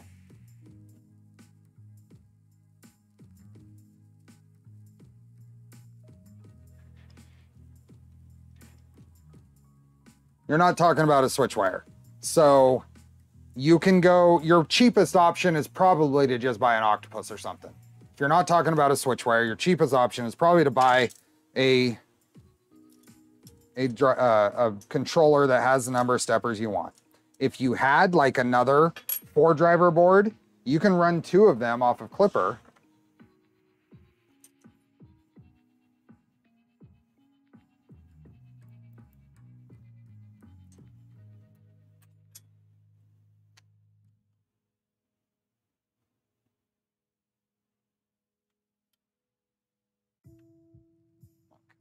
all those go there.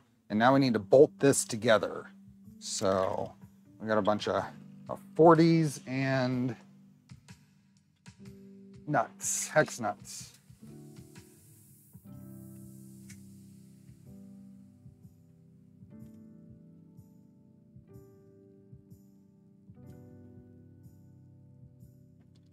Push that in on that side and thread it in from the side.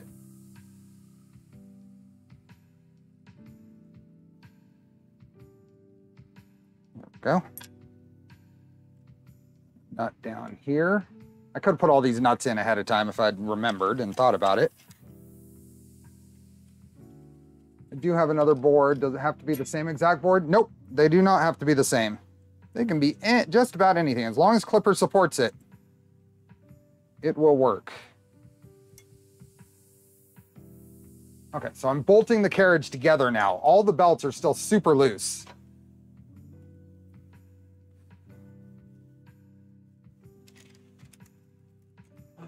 What is this? Brian, do we want a detailed function from Klipper? So I need another driver since currently, okay, I see.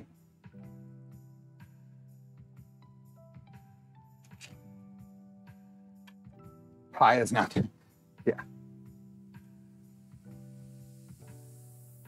Hey, Zero G, G Design. So just making sure, you're Dutch dude, right?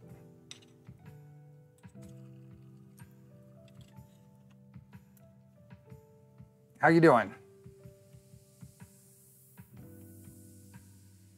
Okay, so the carriage is now bolted together.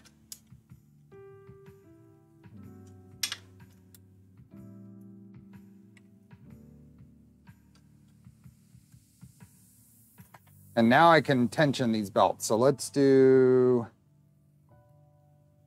what can I hold this whole thing up with? Sure a box. I can loosen this enough to pull these through.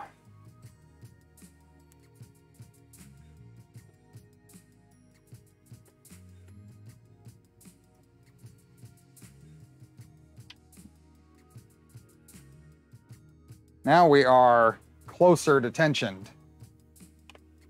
And now let's go through and make sure everything is lining up, is all in the right spot. So that one was not, there we go.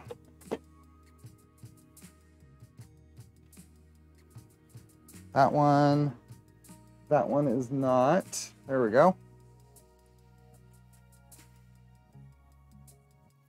And then we want to line up, we're gonna adjust the pulleys here to where, and we're gonna sight down this pulley and make sure it lines up, I mean this belt and make sure it lines up with the pulley behind it. So we're gonna adjust that to until that is true. And I think I'm just gonna set this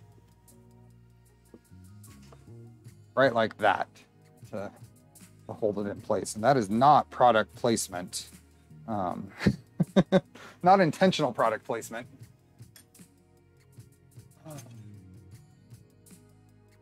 What did John say now? Oh, that's almost bannable.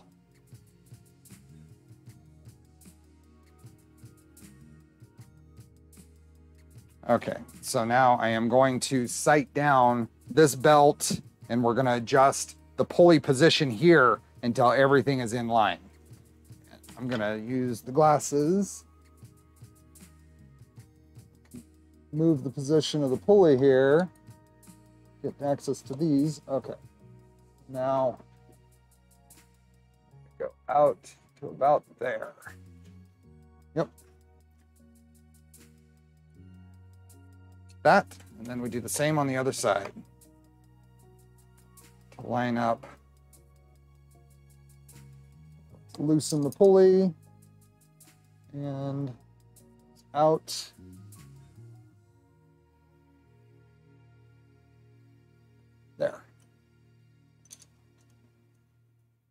And now those are lined up.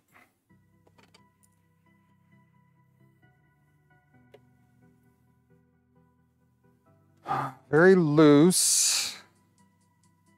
I don't know if I want to pull another tooth on the belt or if I want to see if there's enough tension here, um, en enough adjustment in the tensioners.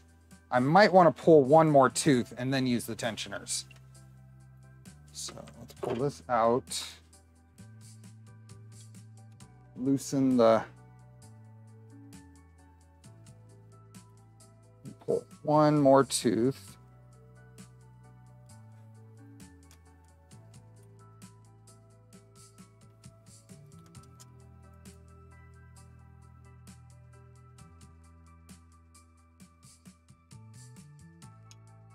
and make sure I've, and they, they still line up. They're this, I'm, I'm comparing the length of the belt coming out of here and it's all the same. So everything is, um, should be close. So I pulled one more tooth and that was about perfect, I think. Oops. Tighten these down. Tighten the other side down.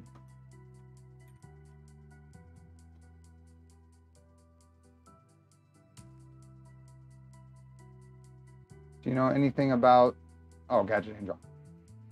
Got to get some of those stepper locking boards to play with. Yeah, that would be cool. I've got to replace the. so Max, I was. I was. I don't know if I was. I don't think it was on stream. I was um, testing this, and this is actually the shorter, higher tension key back here. I gotta. I gotta swap it, and I let go of it, like that. Look at the market put. Look at the market put in the plastic. Look at that mark. I've got a... Don't play with these. They, they can be, they can be dangerous. so I got a new one. This is the, um, the proper one, a little less tension than this one. This is the high tension one. I bought this back when Switchwire was in development. So I need to take that out and replace it with this, but this one, I, this is brand new out of the package. So I need to take the ring off, and then I need a little screwdriver to take the, what do we do here? Is it,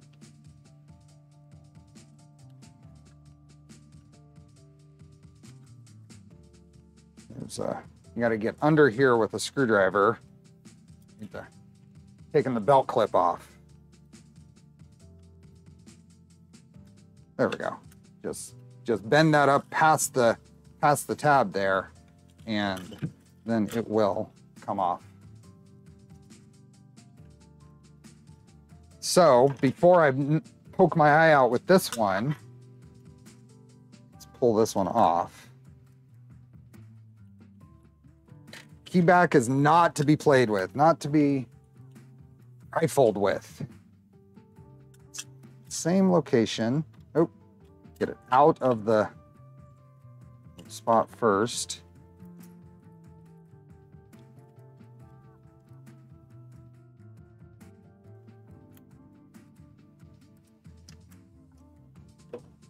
And then don't try to take this and take it around the pulley and bolt it to the spot here because crap like that happens.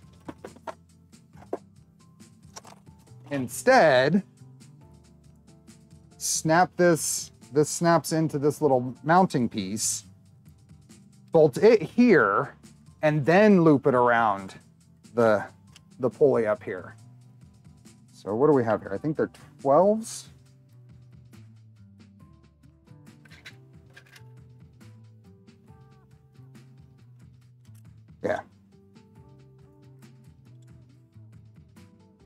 So when it much safer going this way.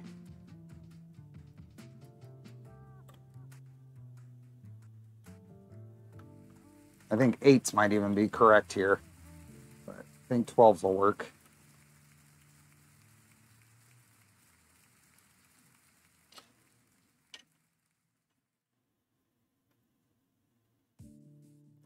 So now that end is secured, and now take your wire and take it across the top. Now it'll hold in place. How much crap did I get for letting loose of that like twice?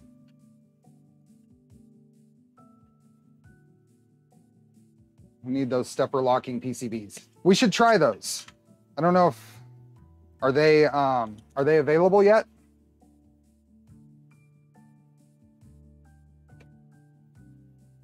Let me get a better angle here.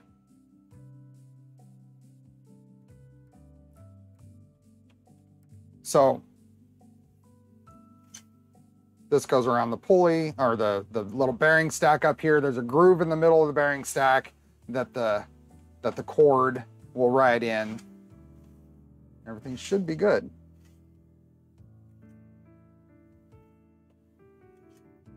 So we are belted.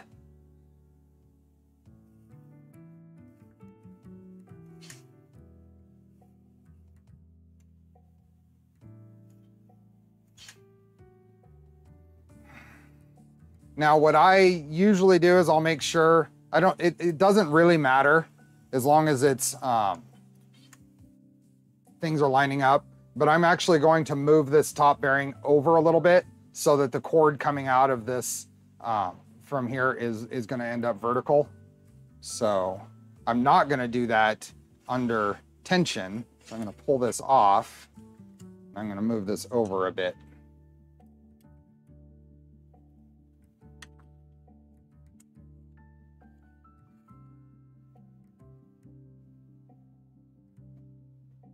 Maybe just a little bit more.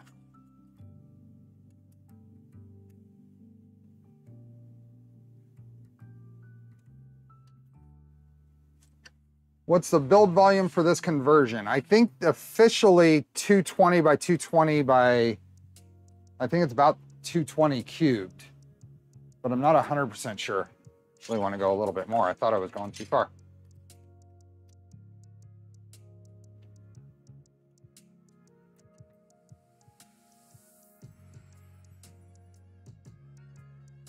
There we go.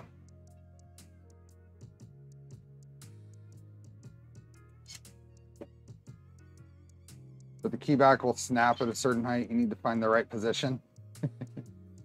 so we are good there. I'm gonna get rid of this one.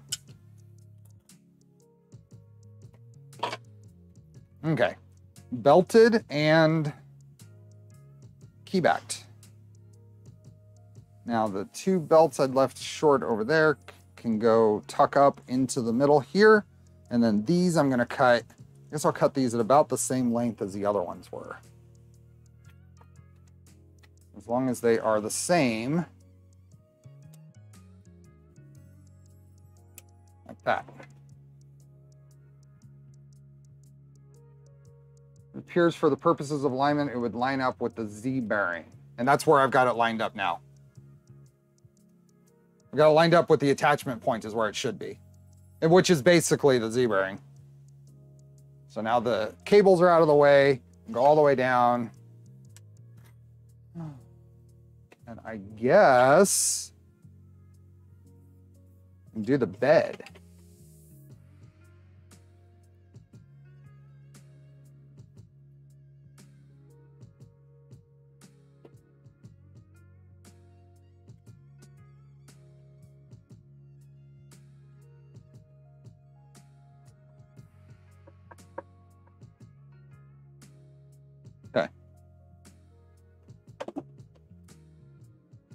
Got the bed.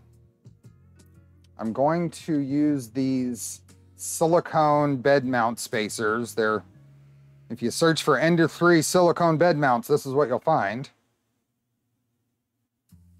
You want to make sure that they are all the same height because some of them have one that's shorter than another because of the little strain relief that the Ender 3s come with. So these with all the cat hair on them. Where does the chain mount?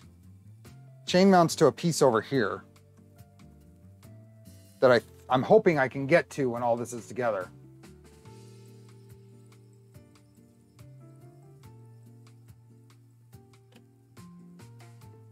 I think I can get to all the things for the chain um, after the bed's on because I'll, just depending on where I put the, the bed position. So when it's forward, I can get to the mounts here. And when it's back, I can get to, or I can get to the mounts. Yeah, I can get to the mounts here, to the screws here. Project RCD, R3D has those stepper boards on back order. They call it a Z motor brake on their web store. Yeah, I talked to I talked to the guy from um, Project R3D about it at MRRF.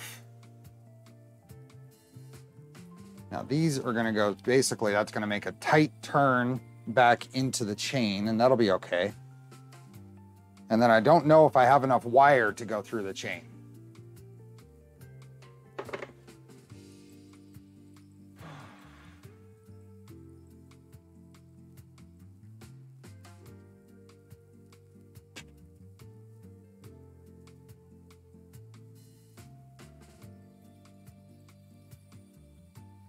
So let's see what we've got.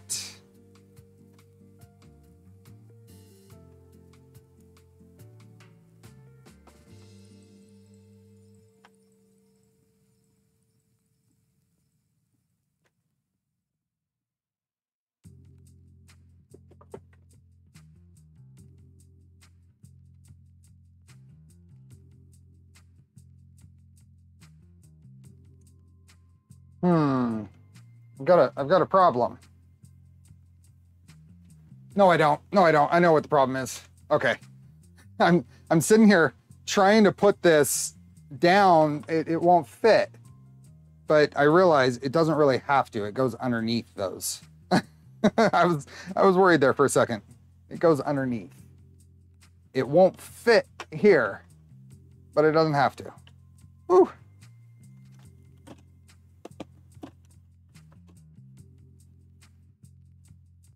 And to put the chain ends on first, then run everything. Trying to attach after the bed is on wouldn't work for me. We will try. Hey, see you, Evil. Thanks for being here. No, the, every, everything's fine. I, I was just, I was just having a little bit of a, a moment.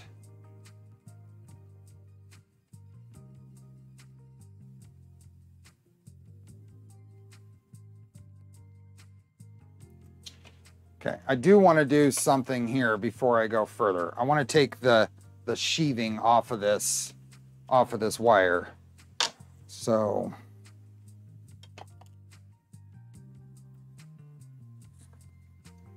I'm going to take this off of here.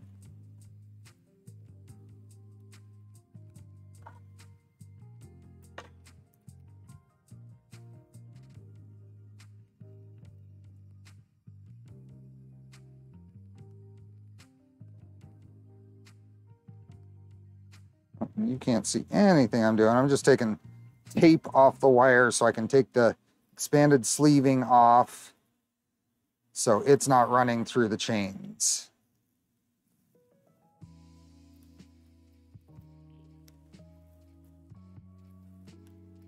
I'm trying to do this without pulling on the wires too much. There we go. So I took this off of here and then all of this can come off down here.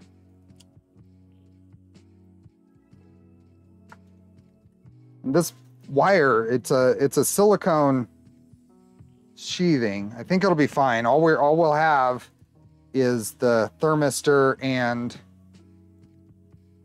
the bed wire through there. I am gonna move this down so you can actually see what I'm doing. I'm gonna put a little piece of heat shrink here to hold the, just to keep the um, thermistor wire running along the, the bed wires. So let me get a piece of that.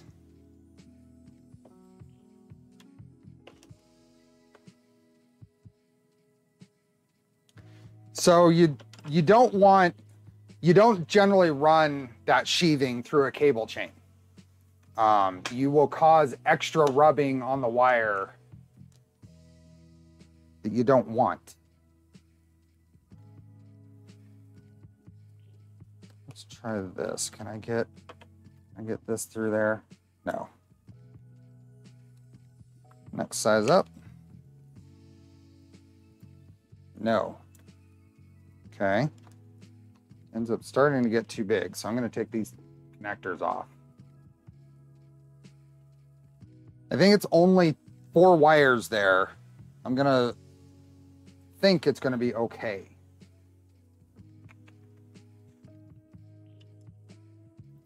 take this JST plug apart so I can get a um,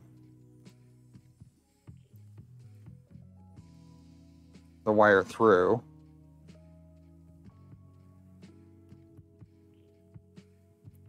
There we go. And then we'll grab probably a more same size.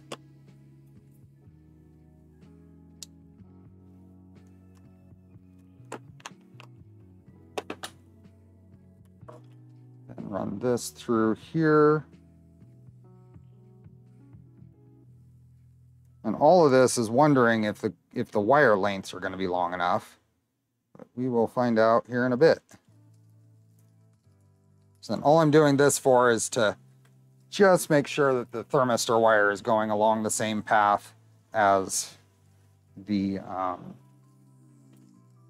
as the bed heater wires.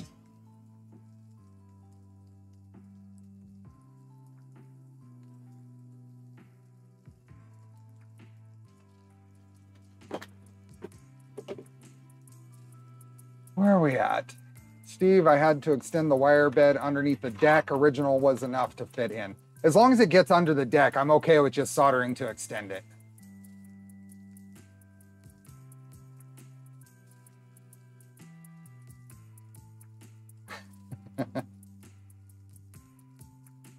have you ordered planetary gearbox or motors for the same purpose?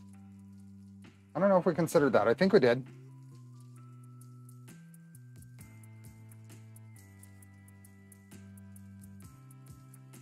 Catch up. There's a Z endstop that will mount on the right side of the bed in the front. Oh, I'm not gonna run a Z endstop on this. I'm running inductive.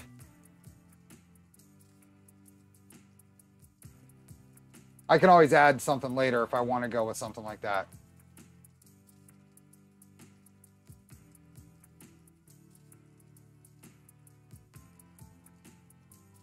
Nuno, I do the same thing. Stretch out the heat shrink with pliers to get it to go over something. Oh yeah, I do that all the time.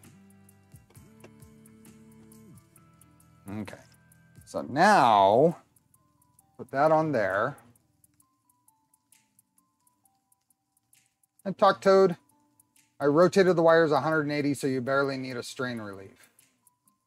I rotated the wires 180. Did you unsolder them from the board and resolder them? Now I need the bed, the bed bolts that are probably in this box, which is all the things that I took off.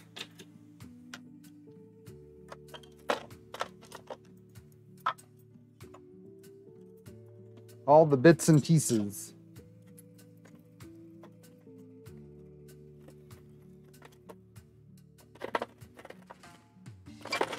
Oh, there's one. There's two.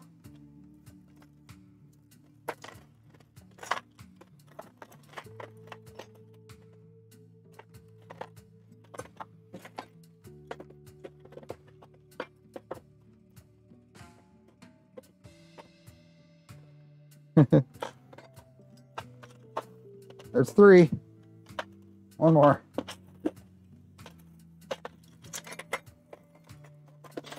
Need one more.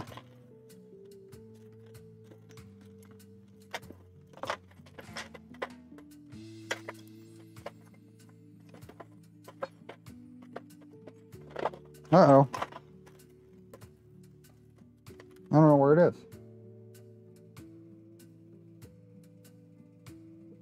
Actually fits into change if you stretch it. I left it. I don't think it's additional protection though. I don't, I don't, I I'm not sure on that.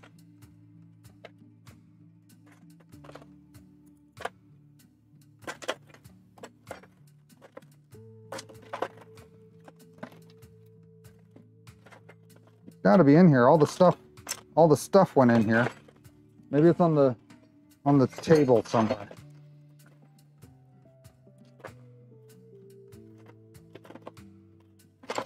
We only need three points to, to hold a bed, right?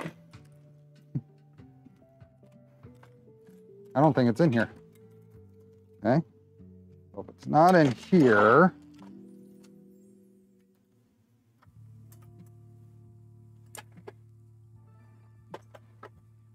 if it's not in here, it's got to be out here somewhere.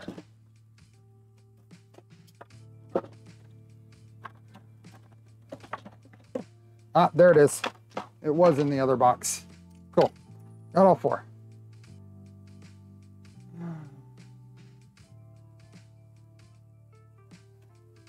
I'll wash my hands after stream, I promise.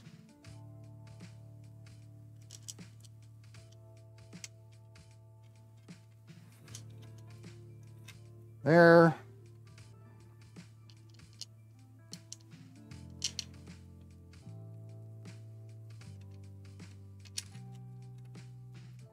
There.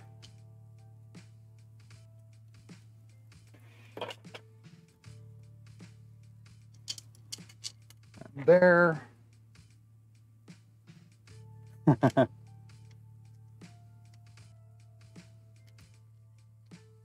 and there. Okay, so there's those. And I'm just going to bolt these down. Some M4 nuts. What do I have here? Do I have some lock nuts? Like to use some lock nuts. These are really long, but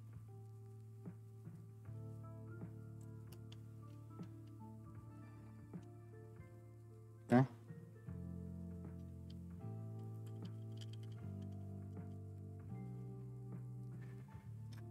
Now, do I have a, well, I have, I have the next best thing to the actual um, size wrench.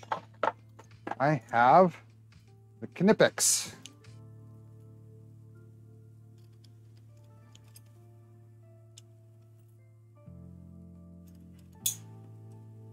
There we go.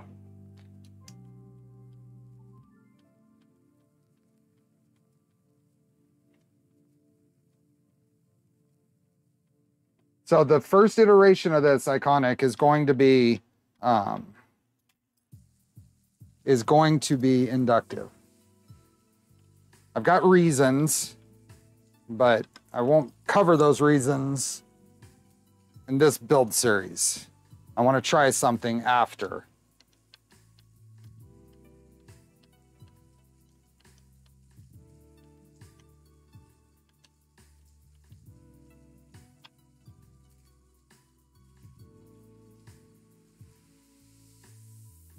Those M4 bolts are freaking long.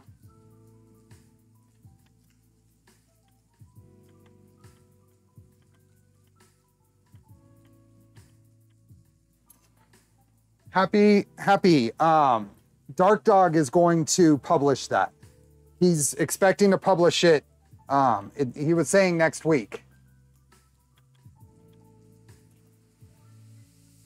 Just getting these just getting these um, threaded on first, and then um, later I will make sure that they're all the same.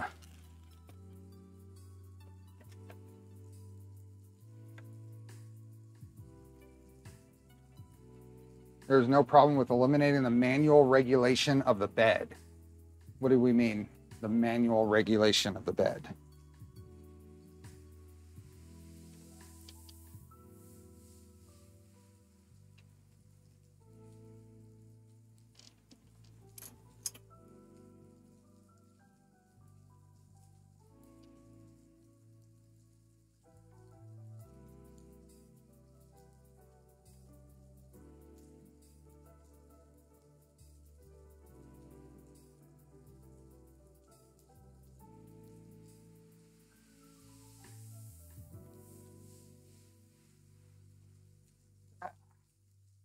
I need a break. One of those silicone columns is shorter. I think that one goes to the back where the wiring go out. No, I have a set that are all the same length on purpose. But you're right, and I did mention that when I was um, when I was selecting them. I mentioned that the um, a lot of those have one that's shorter because of the strain relief on the back of the uh, on the back of the stock setup.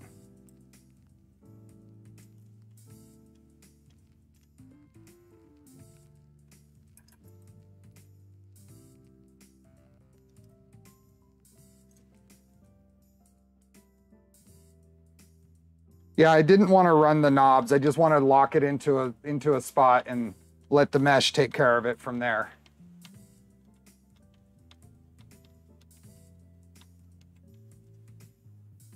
This the the ES15 does not have anywhere near enough torque to do this.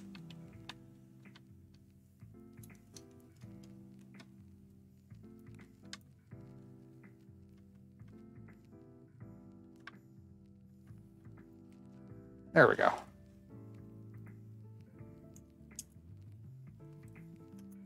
Okay.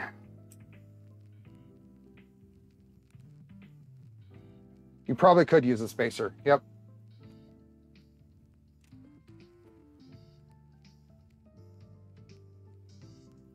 So that's not the final tight or setup on those. Um, okay. Cable chain.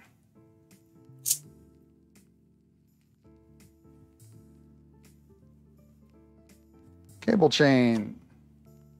And an end.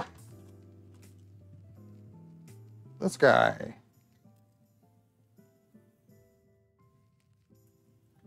So, on these cable chains, there's a floppy end. Well, on many of the generic ones, there's a floppy end and a rigid end. The this side of the cable chain is should be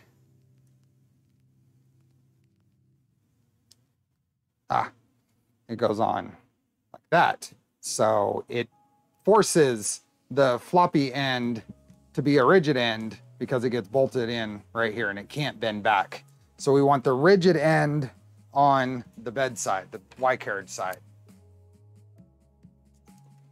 What are your thoughts on the updated switchwire clicky setup? I think it looks cool, but I haven't looked at it in detail. I looked at the repo, looked at how it's supposed to be set up. It's it's cool, uh, but I haven't tried it. I need to flip this around. We need to figure out how many links we're gonna need. So this is going to go something like this, like this. And I don't know if we're going to need full length. I think if we estimate this about here, this is going to go here. And that's going to go there. Probably want to break it right here.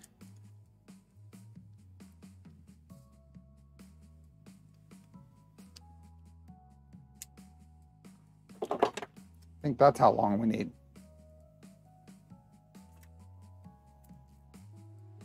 Oh, what do, do, do, do, do. Does the bed have any, have any different strain relief than the different than the original Ender? Um, sort of what'll happen is you can see here there is a um, a zip tie mount here. So the bed wires will just come over and zip tie there. They don't move between those two points. So then they'll get controlled uh, riding through the chain going to the back. And on this other part, there's also a zip tie uh, mount here. So you can properly run them in the middle of the chain. So I think what I'm going to do now is attach this here and then run the wires or run the, eh, let's attach it, then run the wires, sure.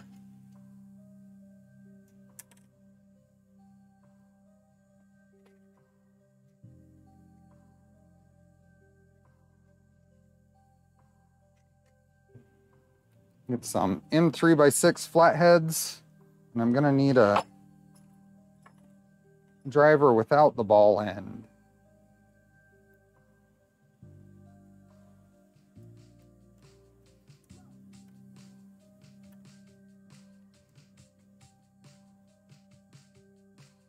So now we'll leave that straight right now.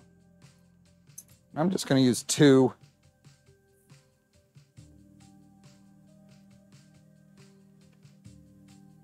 I'm just going to use two. You don't need to, not necessary to use all three, I don't think. I think two is enough. And then we're going to run these all down through the chain. Now the chain does split open, but this is such a short run. I'm wondering if we can run it, just run it through.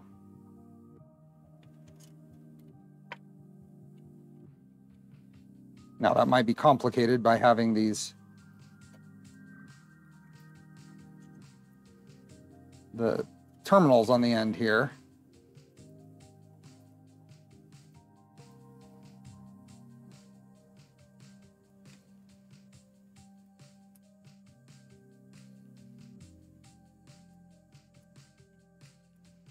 Bend the chain around, following the wires.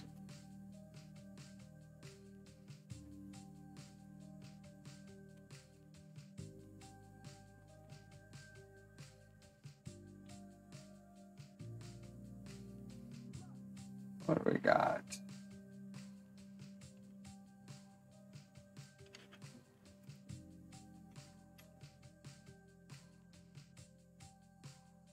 Almost to the end.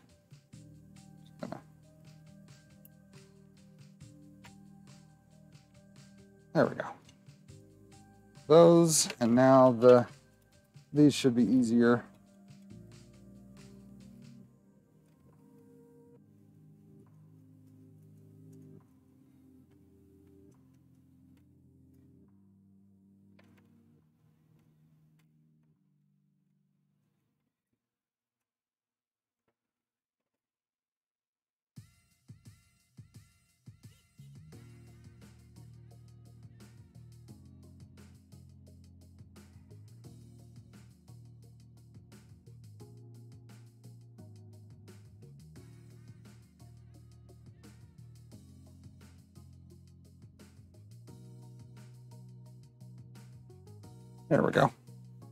Just barely long enough.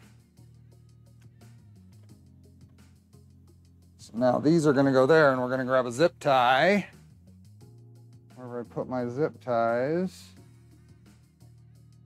There they are. See you, Mr. K. Thank you for being here.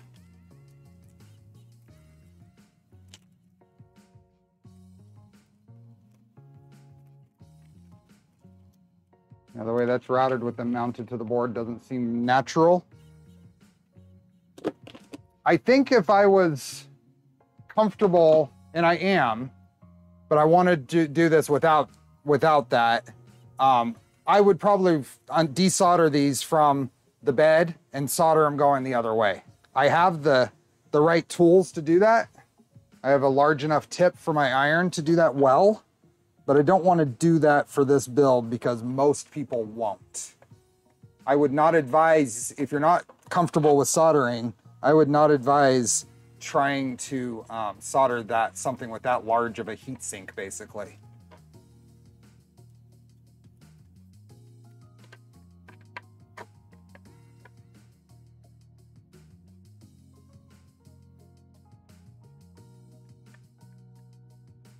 So this is gonna go up and in and pull through here and zip tied here.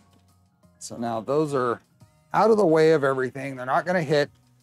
They're not pulled on too much and we've got that much on the on the end, which is just barely enough to extend them.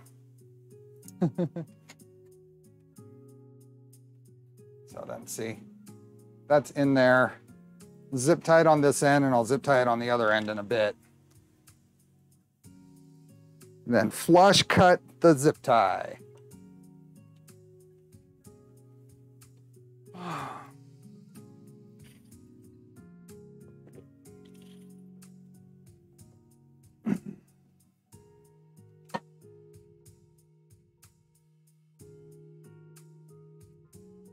on the other side of the cable chain can go on here.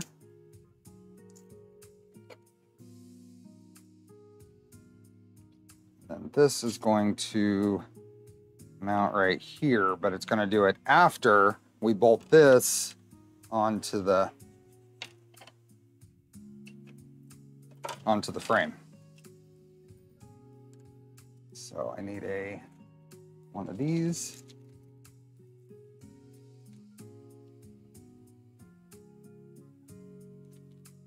I know it's overkill, but I bought a new bed from Roseworks for my conversion, hopefully a lot more level. The only concern with that is the weight on a bed flinger.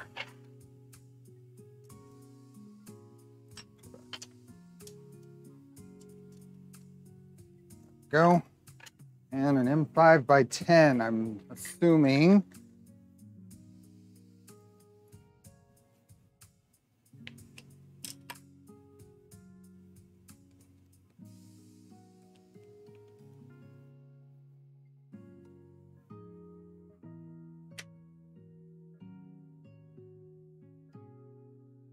Oops, I should use my.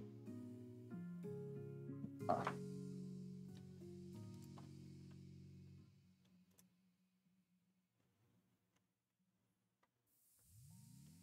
Okay. This is going to come around and bolt to that, but I need to figure out what height to put that at.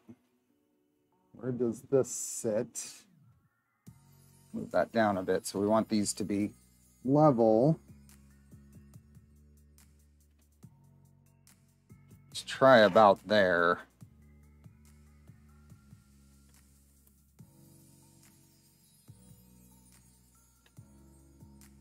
Okay.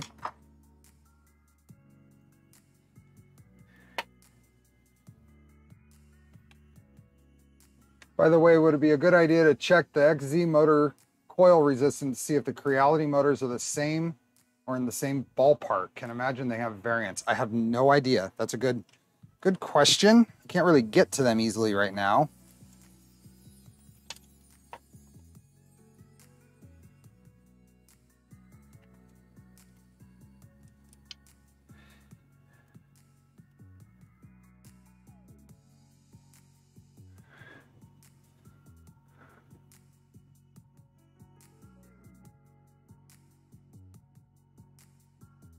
See. I think we are right in line. I think we're good.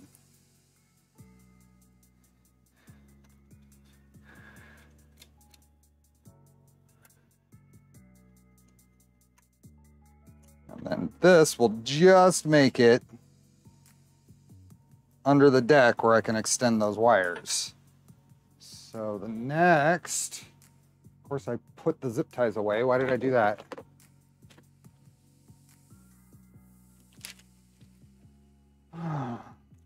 About six millimeters from the deck. That looks about right. Oh, well, that's a problem. Okay. Um, and that's a problem that's probably solved by me lowering this a little bit more. I think it's a little high. So I'm catching on the bed screw here. And I may need to swap those out at that point. See you, Colin. I'm gonna move this down a couple of millimeters. He said about six millimeters from the deck, so let's actually go to that. Um, and because the cable chain, when it loops around, is hitting the um, is hitting the the bed screw. So let's see if we avoid that with this different after lowering this.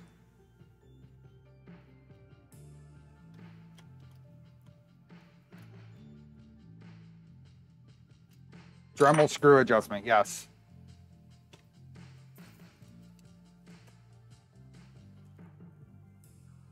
Mm. Let's try something like that.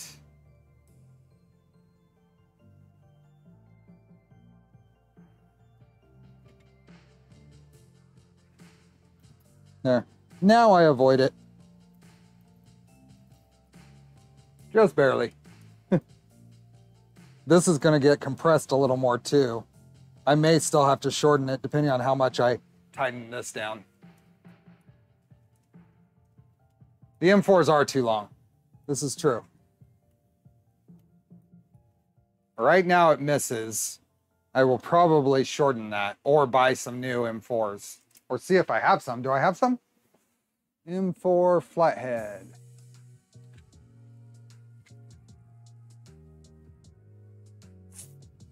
I do not see any. I do not. It's okay. I can swap that. I can move that around. Right now it misses. That's what, that's really all we need is for it to miss.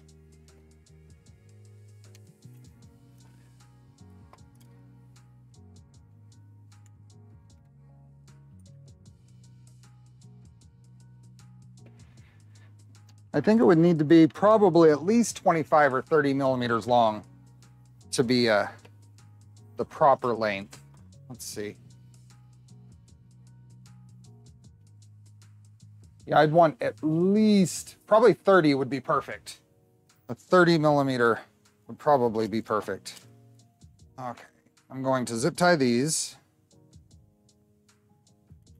Start by running a zip tie through here. And then we're gonna get all of these tight and then loose, tight, loose, tight, right about there. Right in the middle of the travel.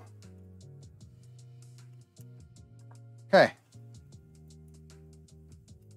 And then just enough room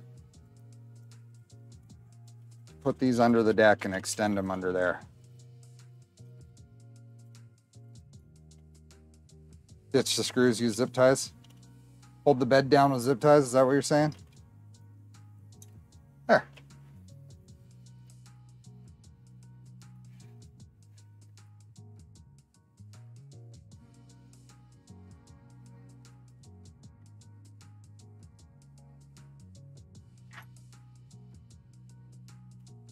I have some more of this 16 gauge, same wire. It'll be fine.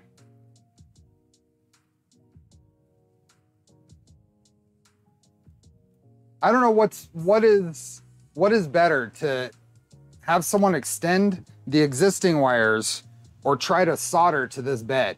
Has anybody tried to solder to these beds?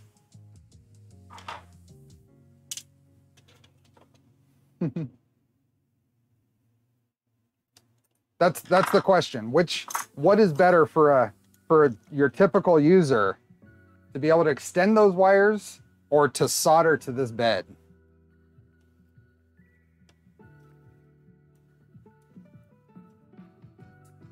I know I can generate a solder joint at either side, extending them or here that I'm comfortable with.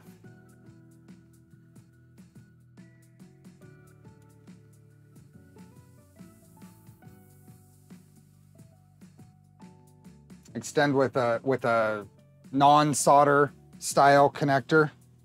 Are Wagos 10 amp?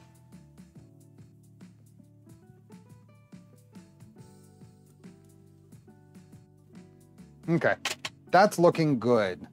Let's put, let's put Stealth Burner on here. I've got lots of wiring to do with this, but actually,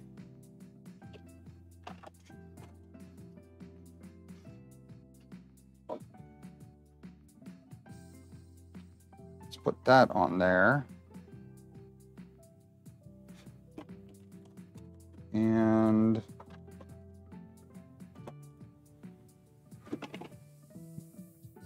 soldering the bed was terrible with my old soldering iron. Yeah, you just have to right have to have the right equipment. I can do it very fine with this soldering iron, but I use I use one of these tips lots of heat into it quickly.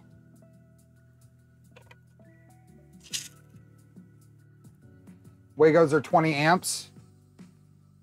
Maybe we, um, okay.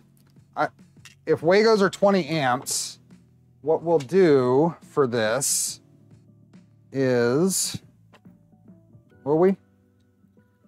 Yeah, we'll mount a couple of Wagos under here and take these wires that are just barely long enough to do it and connect them in there. I've got I've got some Wagos. We'll do that in the next stream. Two Wagos into there, and then we'll extend the um, the sensor, the thermistor wires.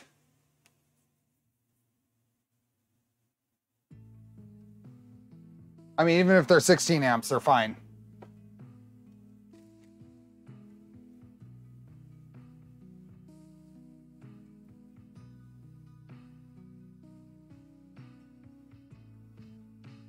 Wago 221s. That's what I have, right?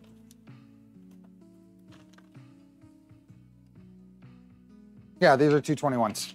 I have a bunch of two pin. Just need two two pin Wagos. I'll print out a mount to to put bolt into the underside, and we'll we'll do that. I think my build decisions need to be somewhat based on what most people are going to be able to do, which means avoiding desoldering from this bed and a, a, and a proper way to extend those wires is a good idea.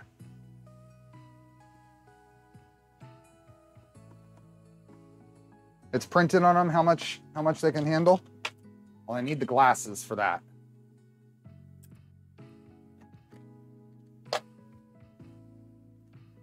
Twenty amp. Yep. They say 20 amp. Okay. That is the plan. I gotta put heat sets in this little thing.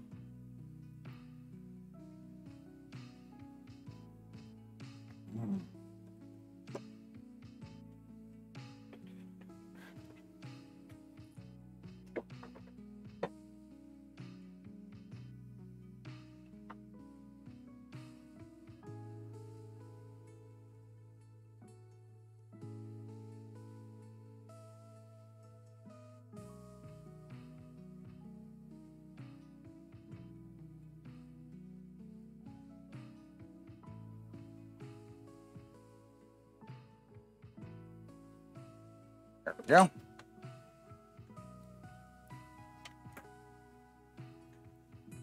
Do those wires survive chains though? I've got them running in the middle of the chain. I have them um, properly secured on each end. I think they will be okay. They are silicone insulated. They are high uh, high strand count. It looks like looking at the um, the ends of them that do happen to be um, soldered. So we'll strip back some of the insulation there. The bed is 220 or 240 volts. So yeah, about 10 amps. And they are real Wagos. Well, as real as I can assume.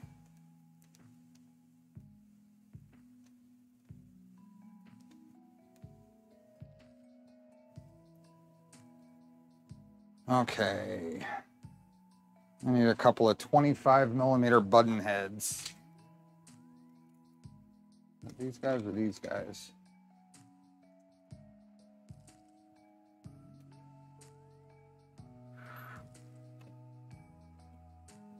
Now this is always fun on a Switchwire because trying to get the this this guy back in there.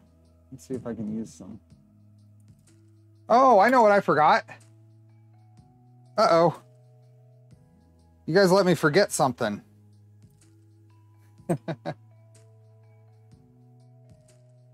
you let me forget something.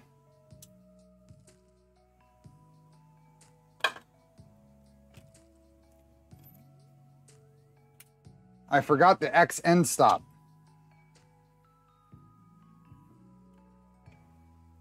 Forgot to put the X end stop here.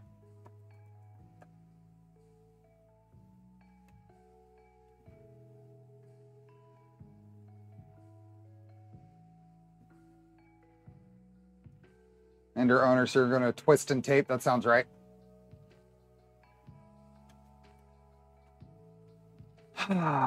okay, we have to take the X carriage apart because I forgot the X end stop.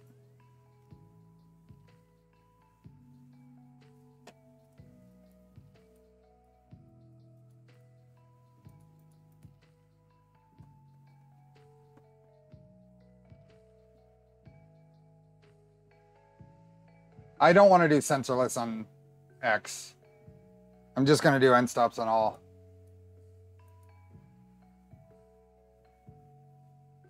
Hey, thanks for being here, QDP2D. So I, I'm sorry, but I forget. I, I completely forget your name. So my apologies. I'm terrible with names. I need to I need to I need to say it a few times before I remember. But thank you for being here.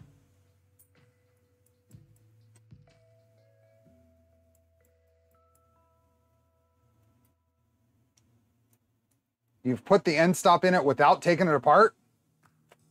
Can I get a screwdriver in there? Oh, I probably can. Let's let's do this.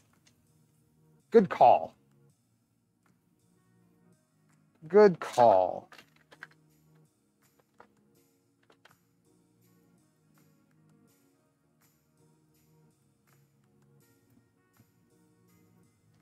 Um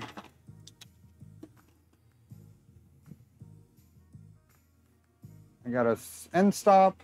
Need some wires. Twist and tape. It's 2022. I've twist and tape. Where is my PTFE wire? Where did I put that? Oh. oh over here.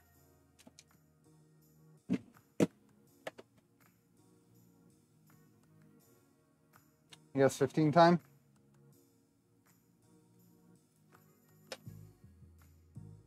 Oh, what color do I want? Probably just black. There's some black wire. Oh, what did I use that for?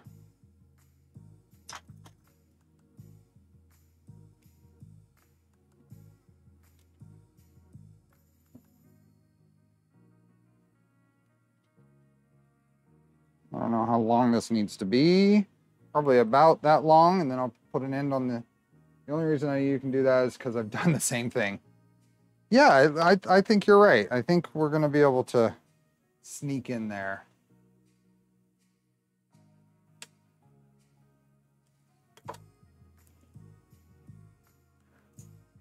Um, Derek, I think it can, but don't, uh, that's another thing. Don't quote me on it.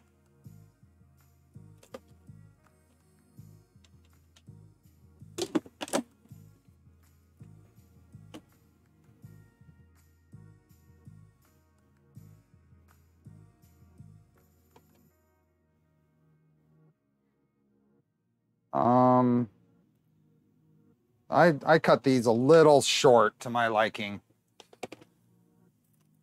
I'm going to cut a couple new ones. Let's go, if I cut it that long, let's go this long. And I may be way long now, but I don't want to.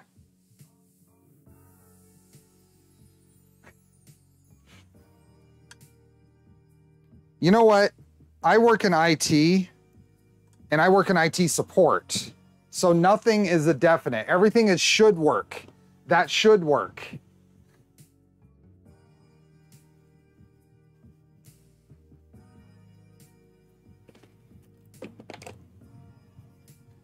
It should.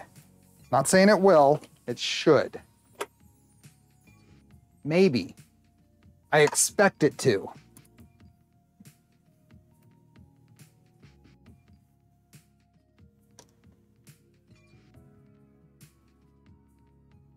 More soldering, and I put most of my soldering stuff away.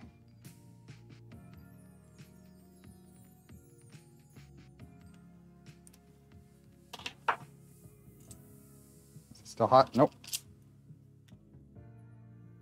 Oh, it's warm. It's warm, not hot.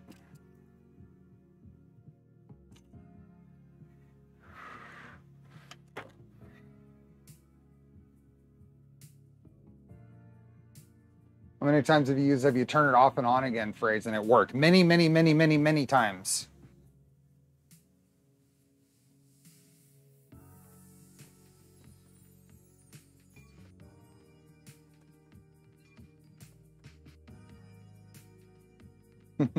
Never guarantee. Let's see if we can do this. Um, shoot. My camera position, you're going to see it bounce around because it's just blocking that bottom drawer where I hold my, where I put my soldering stuff.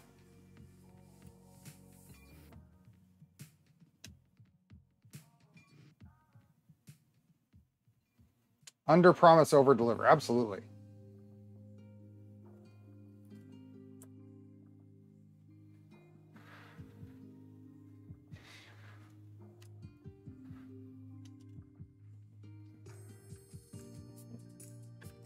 Tin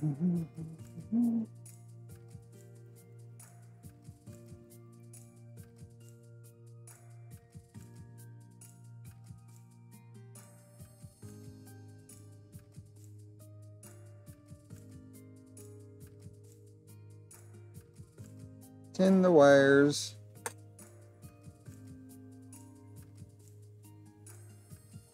Tin the switch.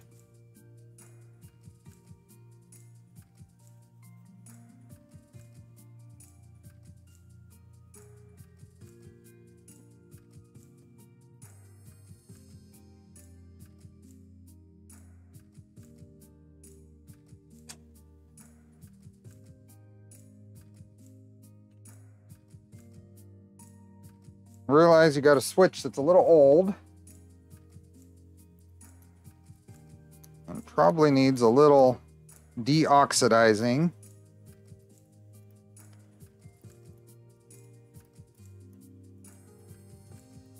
Because that solder was not sticking well.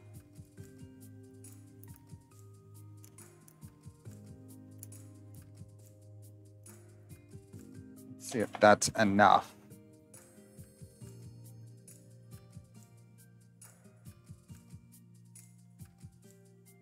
Much better. There we go.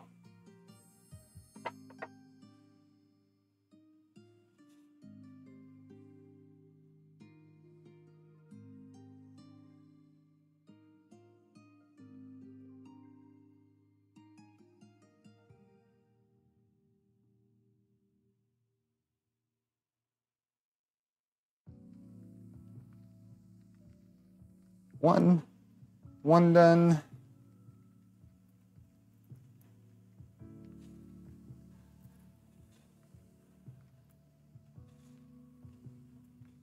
I know this isn't the greatest view, but I'm just kind of bending the wires into general area that I want to go.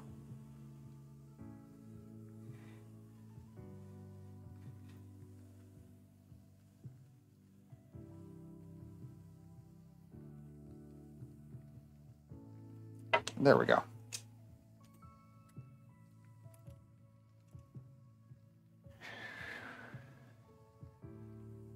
Then I'm gonna bend these up and then twist. Twist them just to, only to control them as they go through the carriage and stuff.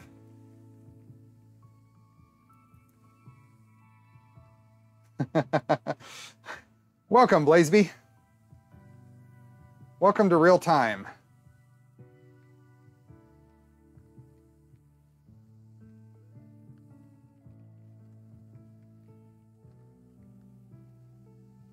Oops.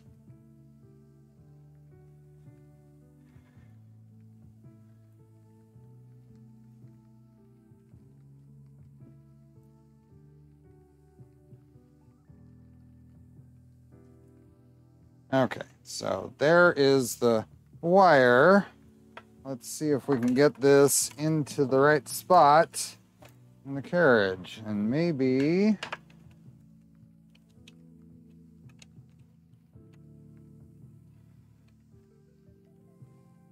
Yeah, that's probably good.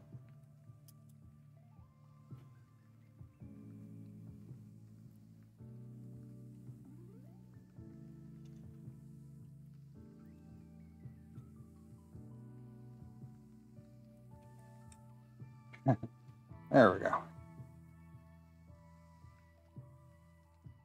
Now I need to find my my correct screws. These will work. The M2 by 10 self tappers.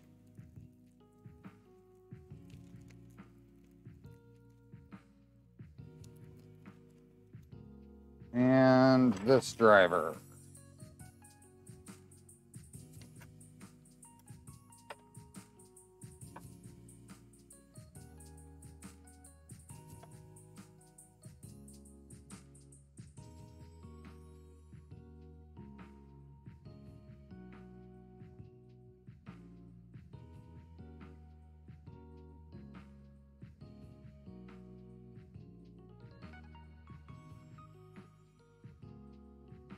There we go.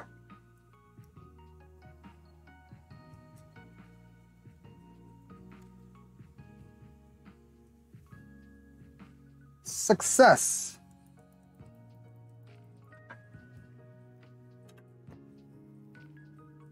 Yay.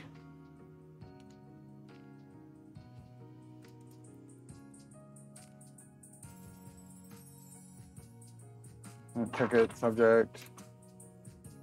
Oh, we started the IT, the IT talk.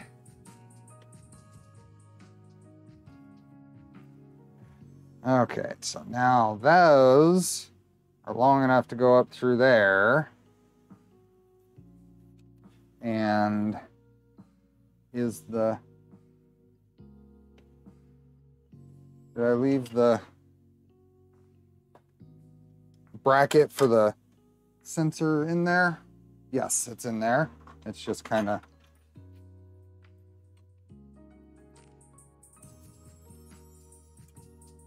kind of in the weird spot.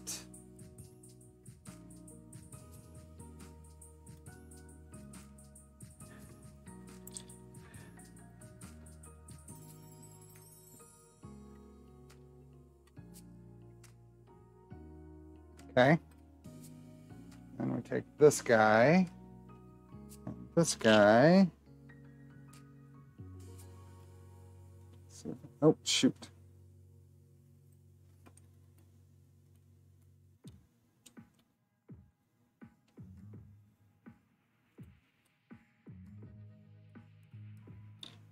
Uh, this is this is finicky.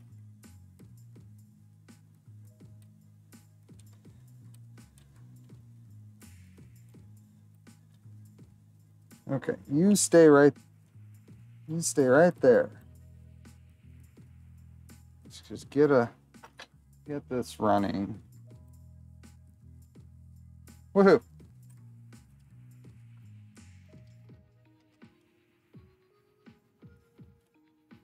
There we go. That's on. What am I missing in chat? I can't read chat with the wrong glasses on. But one of us had IT business at a nearly broken dam. Oh, wait. Yeah. so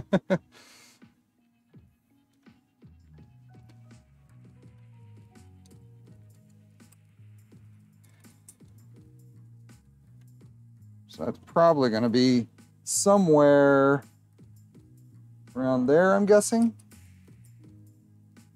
Height-wise. Put those through there. Those stick out, that sticks out. And then clockwork two.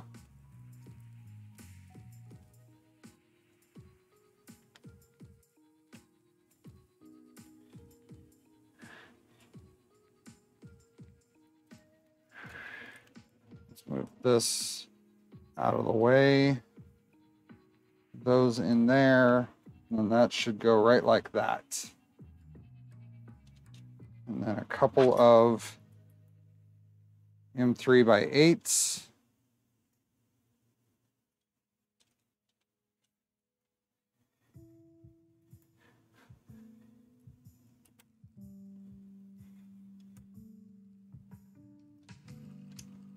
Okay.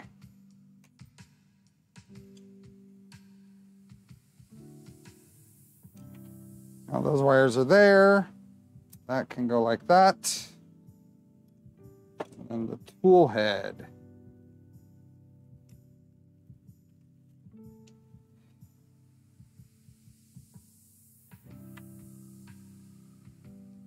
That goes right there. but the um, the sensor is not is not low enough. So I need to lower the sensor a bit. It's not below the. So let's pull that out. That's a problem. wonder if there's enough room for a one of the little PTFE call it things on there. Did I get one? Did I get one with the with the hot end?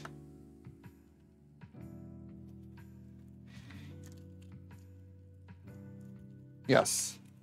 Let's find out.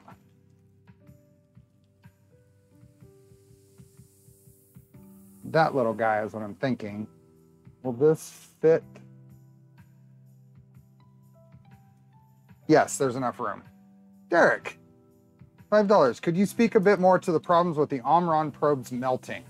Or were they knockoffs? So the question is, are we talking about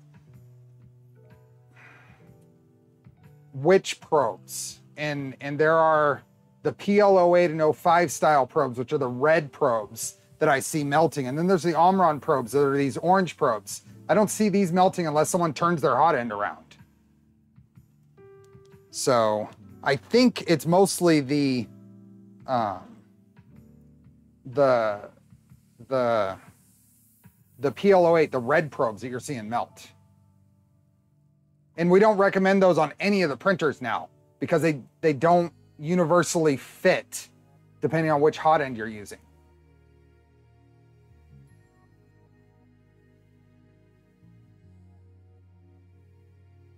Yeah, so the only time I've seen these have problems is if you reverse the, the hot end on like a Dragon or something and it's basically pushing against the plastic. Um, the Raptor hot end came with a PTFE little call it thing that we need to use. So I just put that in and um, it came with it that we need to use and I just put it in and the PTFE is not pushing in. Um, there we go. Little extra force needed. There we go. and I don't think, oh, it's got a little call it clip. So we want to make sure that goes in there. Little call it clip.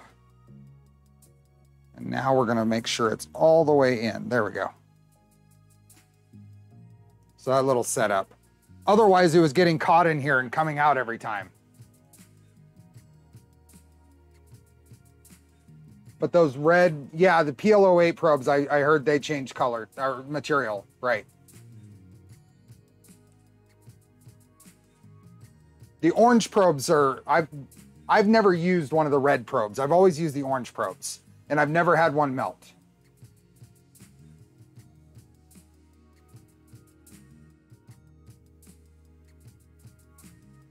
Okay, we need to lower this a, a few millimeters. I'm gonna lower that to about there and see how that seems to line up with the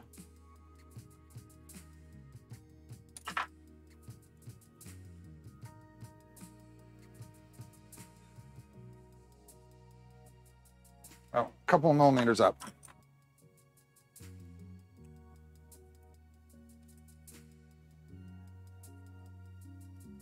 Try that.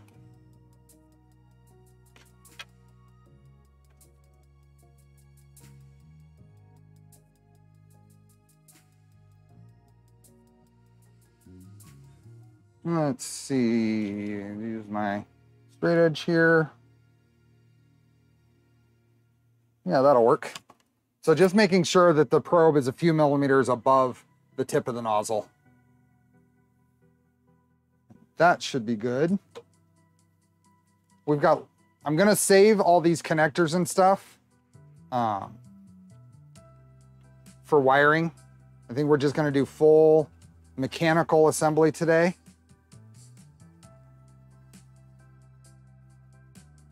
And then wiring and printing. So let's put a couple of screws in that just because it's gonna look really cool when we're done.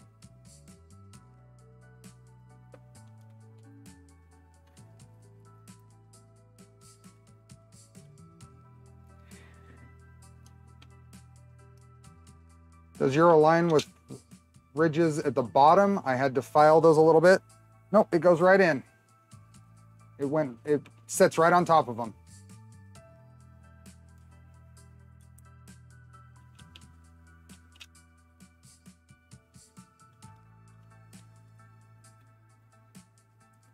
At this point, this is gonna look pretty cool.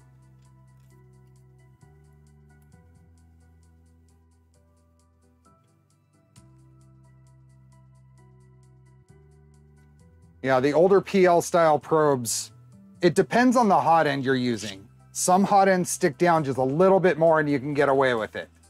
But the general recommendation is to not use them.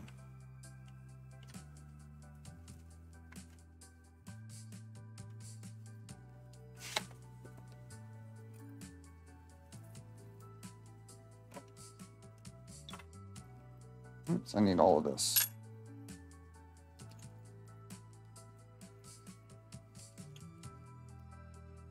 Doo -doo -doo. That's looking good. Yeah, and it gets all the way, all the way down there. Plenty of room. We took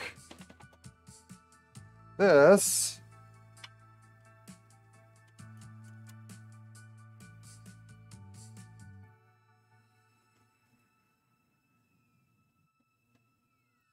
Sweet.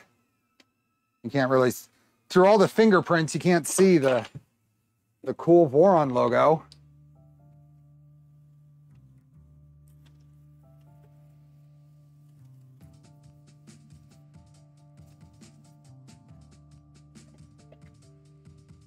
And then probably the reflection is keeping it away too. Where is it? There it is. yeah, that looks good. I like it. Okay. Next.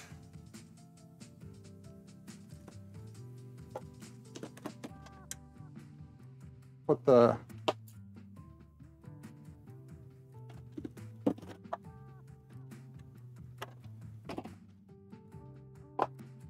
I'm gonna need a lot of this stuff for wire length uh, things, so.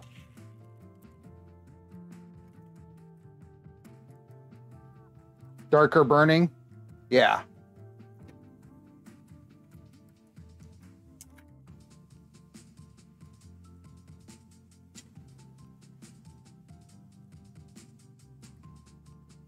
Okay, heat sets. Display housing.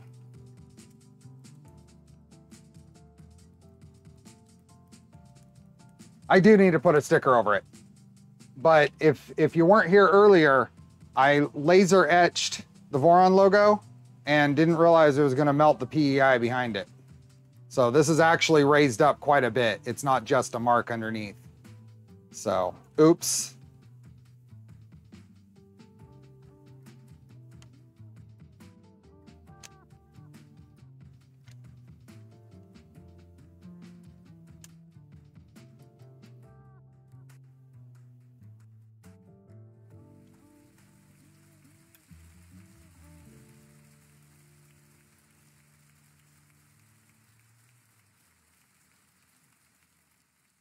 Oh, shoot.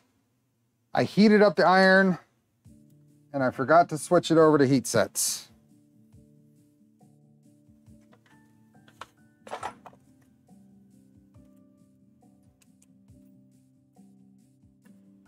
Stay there, stay there, stay there.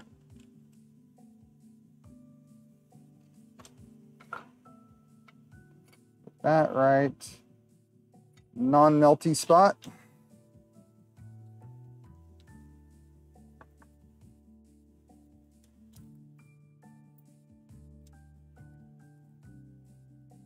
all fixed. Now I'll turn it back on.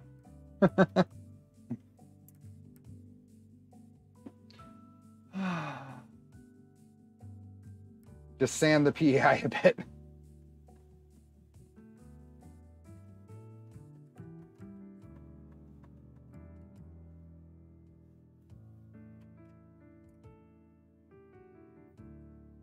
Is there any place where I can get a bare spring steel bed? Yeah, there's a few places. Um, um, Wham Bam will sell bare spring steel. Um, uh, what is it? BuildTak. Build Tech will sell them. I don't know who else. There's, I'm sure there's others, but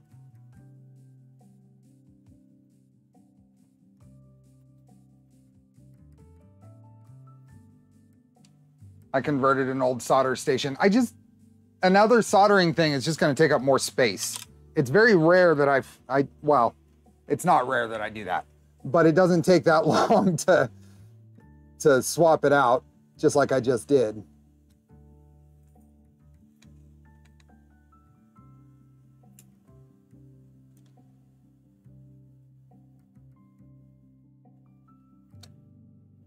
Okay, those two in. And then is there anything that goes on here? That goes like that. Okay. Subtle design, I hear, I think they announced that they're not going to be doing that for too much longer, right?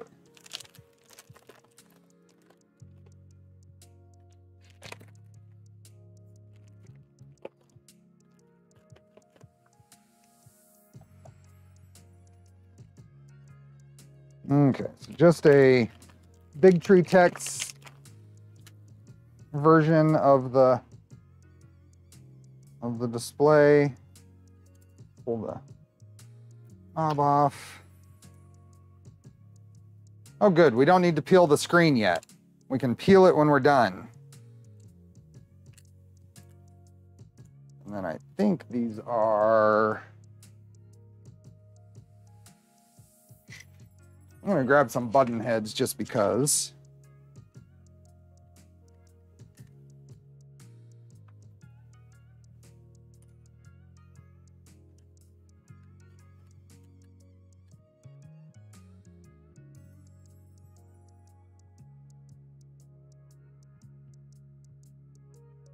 Yeah, button heads. Hey, KB3D still around or back. Getting plated spring steel is near impossible right now. Oh, okay.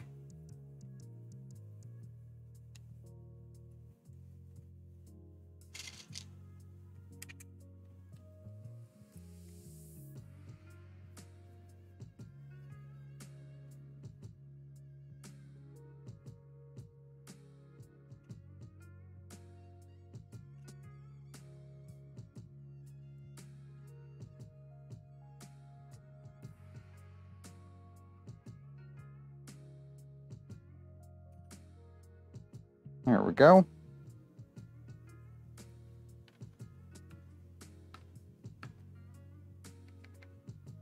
Now, what size are these fasteners going to need to be?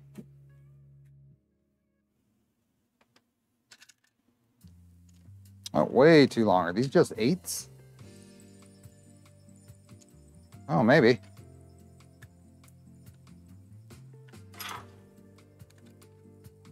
Yeah, just eights.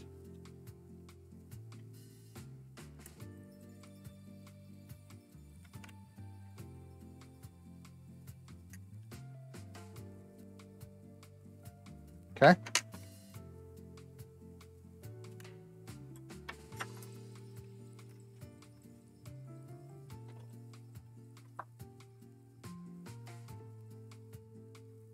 Okay, now.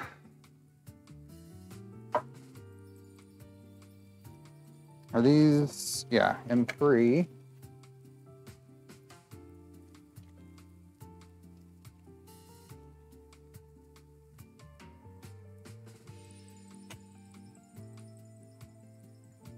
Go this way. I think these just go in here. And then more M3 by eights.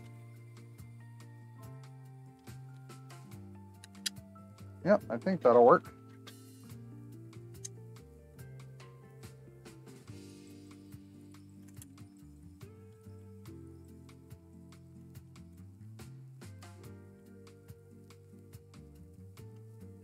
Think I want to push that back against there. Let's see what that looks like.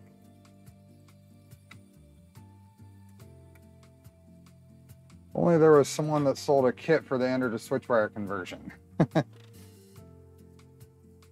Neat. That works. We'll do the peel when we turn it on, when it works.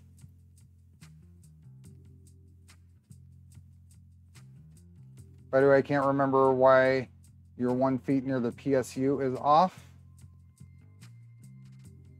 And one feet near the PSU.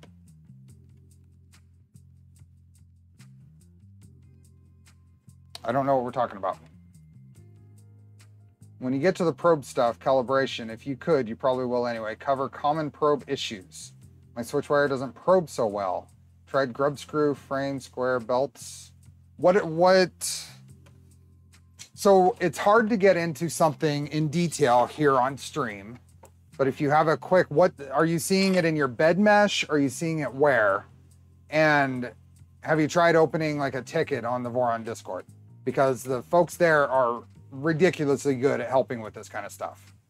I don't mind quick stuff in stream. It's just really hard to follow um, in chat. CNC Maker. This is Sparta3D Sparkle Sky Blue.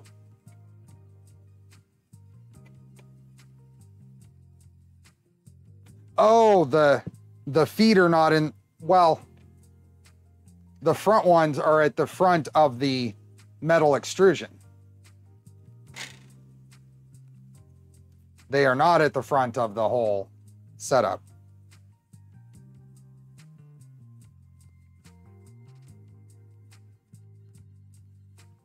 Does that screen case come with GitHub files? It it does.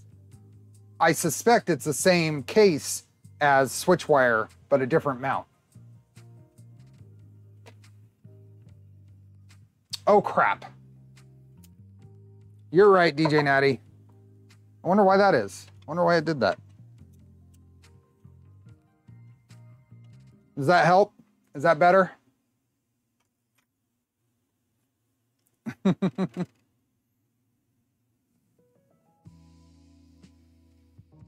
Homing is almost always at a different height. Need to print with a raft and fix it in print? I'm not sure. Uh, on here, I'm not sure. There's plenty of things we could try. Try try a try a Discord ticket. I think you'll like it.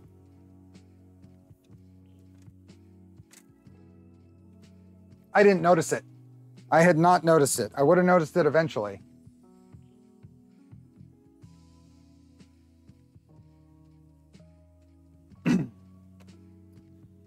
Okay. Screen's on.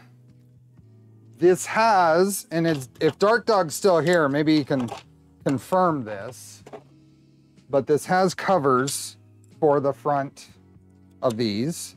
And I think I just VHB these into place, which is fine. makes it nice and clean, but that's kind of a, a view of what it'll look like.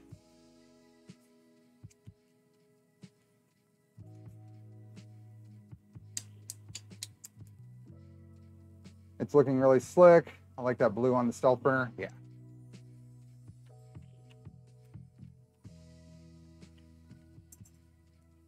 Okay, so those can come off. Hi, Charlie. see if I can get a... Charlie is very rarely on top of one of the printers, but he's decided to be on top of one of the printers. You know, it's funny. That's the that's the printer he was on last time. And that's only the second time I've caught him on top of a printer. Double-sided tape, that's fine. What's the total cost of this one? This build, I think your main cost is gonna be in the rails.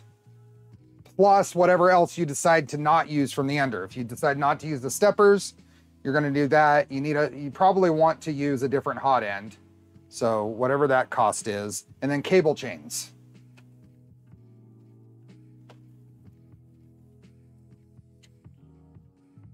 Um, let's turn this over and put the controller in place.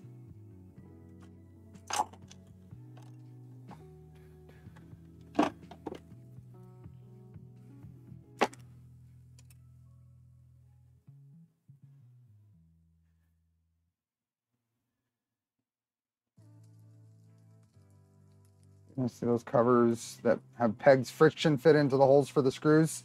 It's so tough to get something that reliably friction fits though. Okay, I am using an SKR Mini E3 V3 for this build, and it did come with the duck. So we will put that right back here to watch over the build.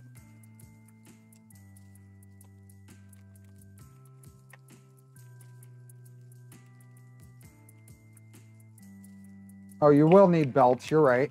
Yeah.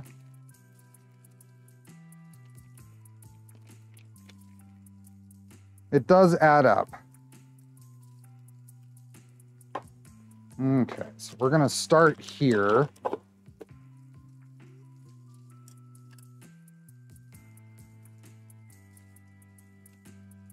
That on there and some button head screws.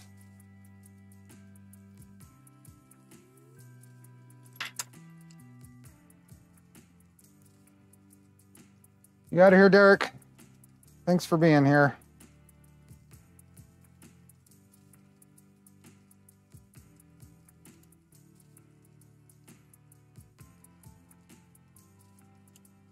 Why is that? Is that going in?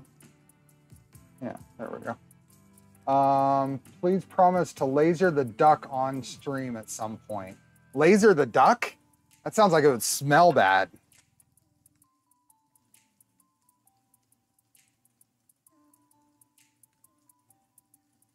I hope I got one that's not bad. The controller? I hope so too.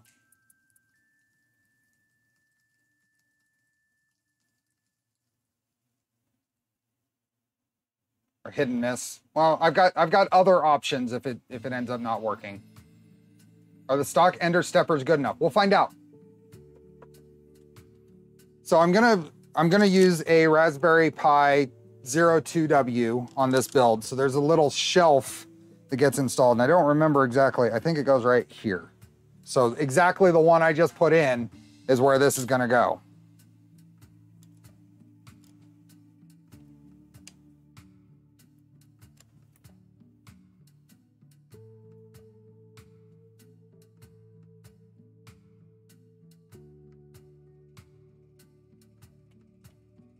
I have a pile of those duckies on my on the shelf behind me.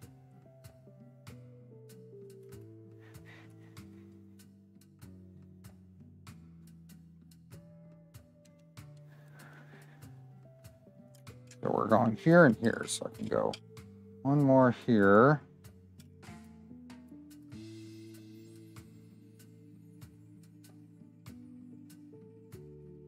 He tends to replace them all. That's fine.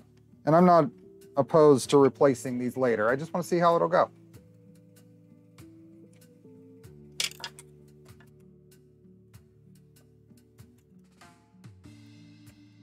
So what size screw do I need for this?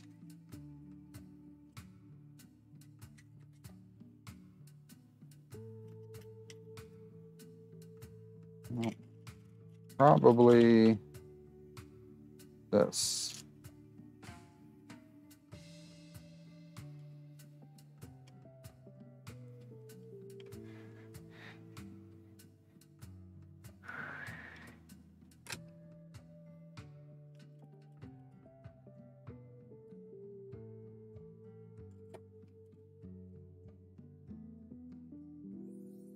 Charlie wants out.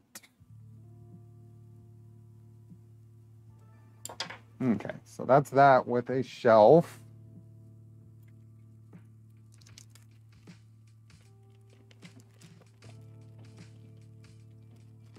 I'm I'm kind of putting things in place.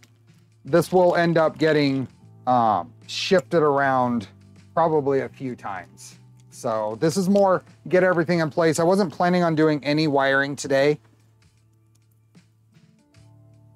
I just want to place things, kind of map it out, and then we'll probably call it here in, within the next half an hour or so.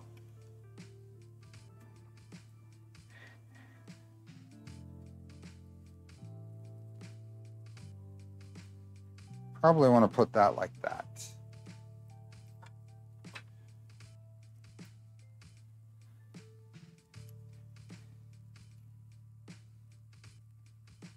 Someone sold their duckies for profit? Oh, with other stuff. How could you betray them like that? Your ABS panel is cut with an MPCNC. I just got a sheet of clear acrylic from a business, Corona Shield. How do you recommend cutting a sheet of acrylic? I have no idea. Honestly. Um, I have cut acrylic with my MPCNC and I ended up adjusting it on the fly for speeds and um, the RPM of the spindle. It's been so long, I don't remember what I did.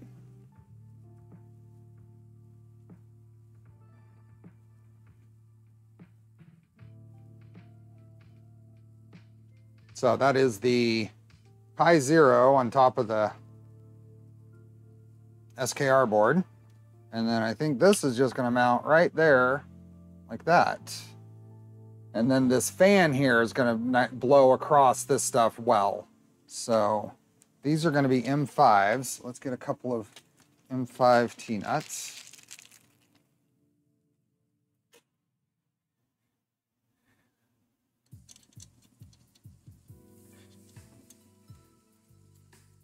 You know what? I keep using these. I keep using these nice um, Misumi and LDO extrusion compatible T-nuts. Let me grab some of the stuff that doesn't work so well. Let's try some of these and see if they work better in here. Oops, wrong ones. I need M5.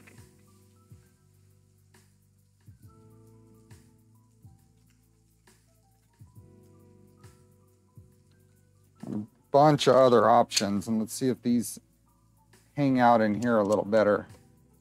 No. Not really.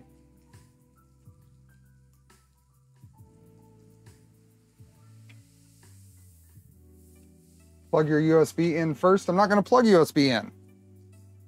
I'm not going to plug USB in at all.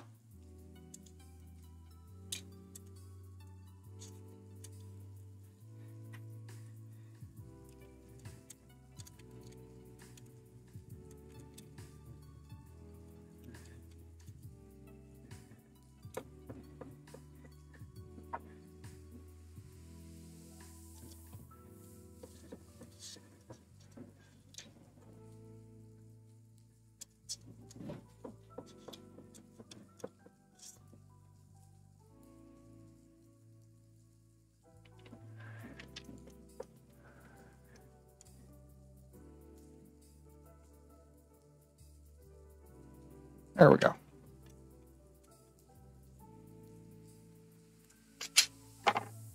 I'm going to power it and I'm going to do UART. I'm going to do all that good stuff.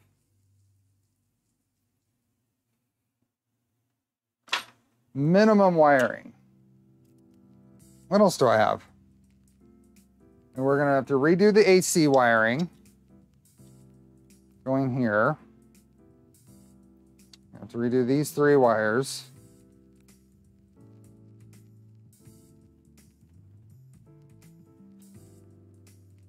They're not long enough.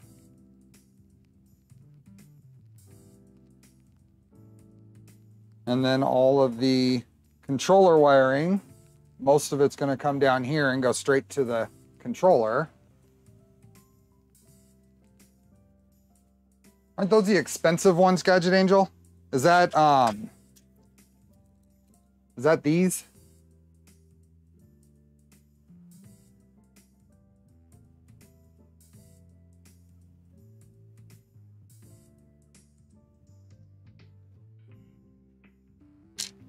I only have a few of those. you can put them into Wagos. I think I'm just gonna do crimp new wires for these. I don't want to use, I'd rather avoid that. I'm already to use Wagos for the bed. I'm just to crimp new wires to go into here.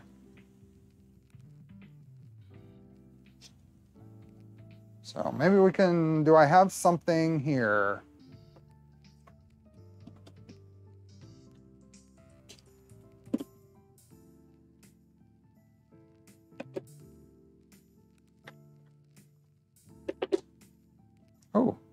I have a, a harness that's already almost the right length. From a previous project. So it'll be, it will be already set up for the power supply side. So that'll be set up there. And then I just have to cut it to length to plug in there. Yeah, so we're gonna do this. So let's go ahead and plug this in on this side and see where we wanna go.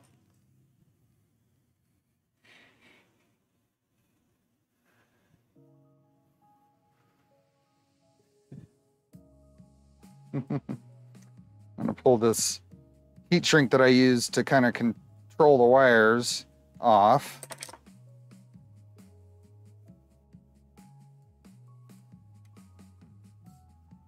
Um, so would E3 Pro to Switchwire conversion get a serial? Yes.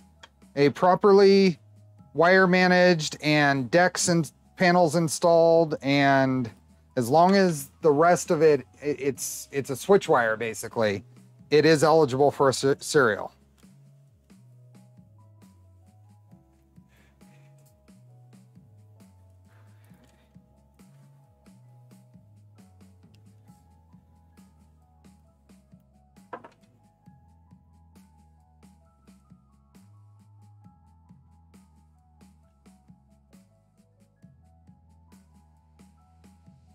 Ground.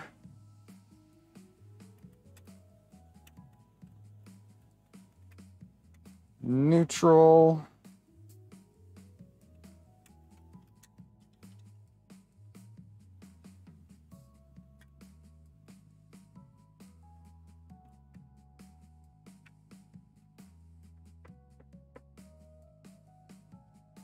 and hot or live.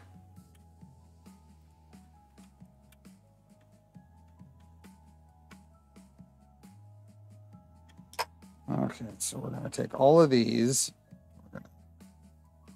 take them through here, and then we're going to bring them back to the side of the frame, and then into here. So that's about how long I want them.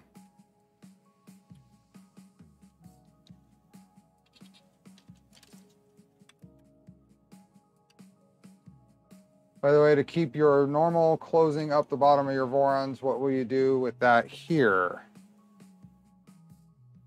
That is a great question. Does the, does the build normally have a bottom panel?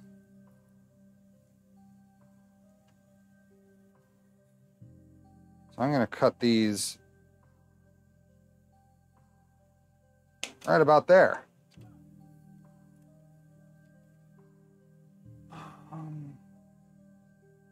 Caesar. Does the build normally have a bottom panel? Dark Dog, does it have a bottom panel? Let's find out. No. Is there room for a bottom panel? Not really. We don't do a bottom panel on V0 either. So no, I won't be doing a bottom panel.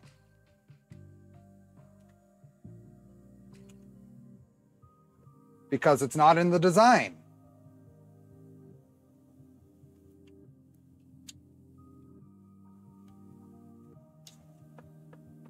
Okay, where did I put?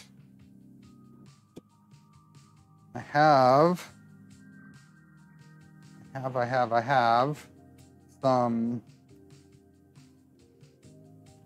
new pieces for this.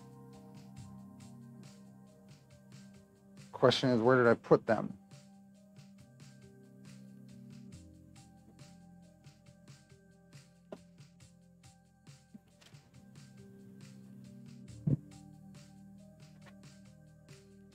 Not there.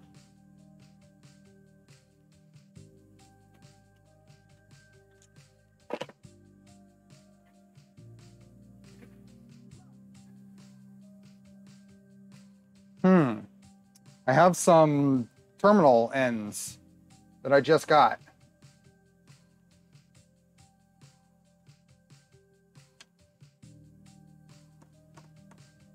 The stock Switchwire does have a bottom panel.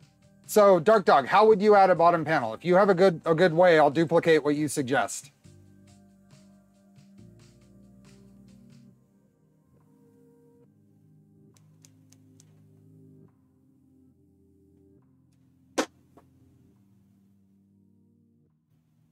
Timing out here. See you, Bill. Thanks for being here. We're close to wrapping this up. I'd like to do the AC wiring now that I've started it, but could make side skirts. Wondering how long it will take someone to make those. Oh, little side skirts go along here and then on our bottom panel. That's not a bad idea. That would that would clean this up. That would clean up the side quite a bit.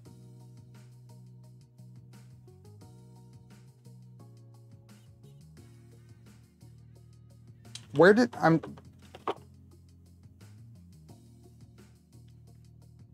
Oh, maybe they're right here. Aha. I have the same style uh, crimped ends as, as what came off of here. Come on, it's just a rectangular area. They mentioned. I, I think that's a great idea. Someone mentioned, someone mentioned doing a, a short skirt to bolt along the bottom here. It'd be super short. And then that would take the place of these little feet, and then the feet could bolt. Um, no, the feet would probably have to still go in those same spots, but a little short, like 15 millimeter tall skirt with maybe maybe a line of hexes along there or something. And then the feet can go under that. It's just a rectangular area, may need a couple cutouts, but nothing too complex. Exactly, exactly. A couple cut cutouts for some some visual interest.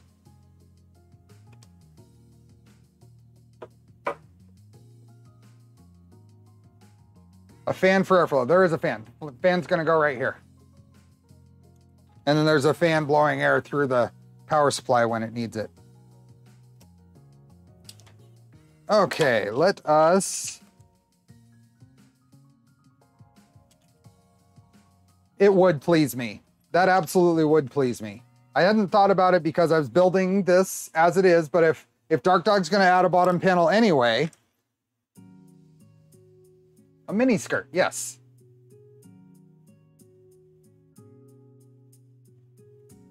Definitely want to keep the feet solid to the 40-40. Yeah, it'll be as, as solid as these are, as these spacers that are on here.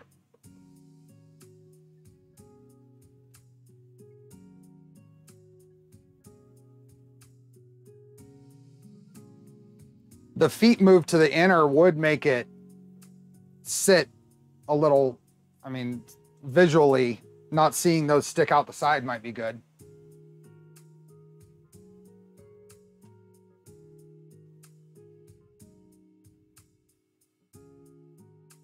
Would V0 side skirts fit? I think they're too tall. The, the, the basic idea would probably work though. Okay. I need, let's take one of these that I off and let's,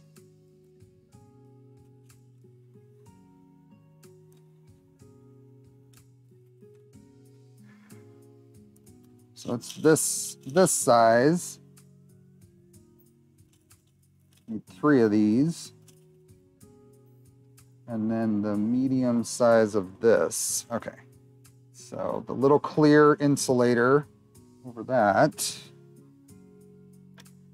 And then a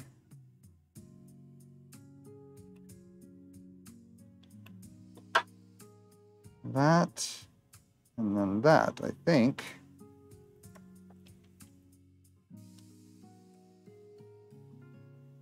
Get to use the, the larger side of my crimpers here.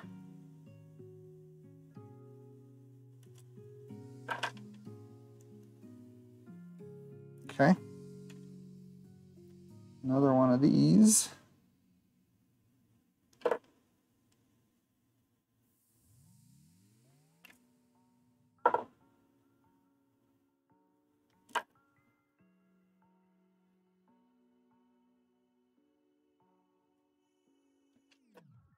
Add over that, and one more.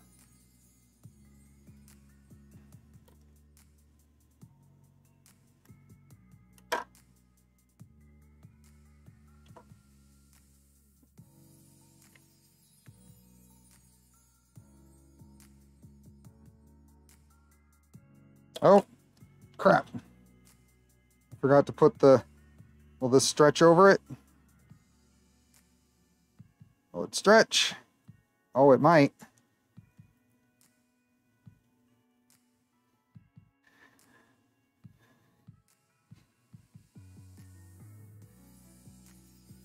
Um,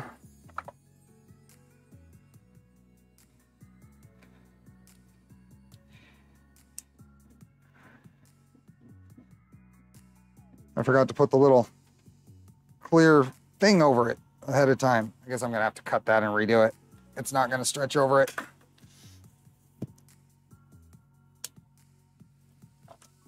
It'll be a little short.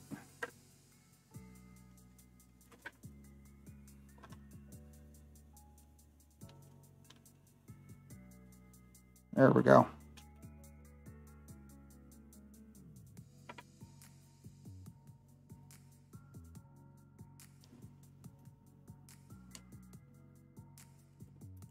There we go.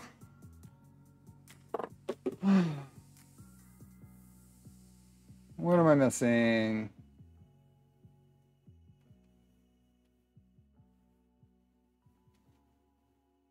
What did your 3D say? Even if it attached to the skirt, you want the feet? Yeah, for sure. Make spaces a part of the side skirt. Foot screws would go all the way to the 40-40. Yep. I think that'll work. Could go to amp feet instead. That's true, but this I have these. Part of the off off of my shelf.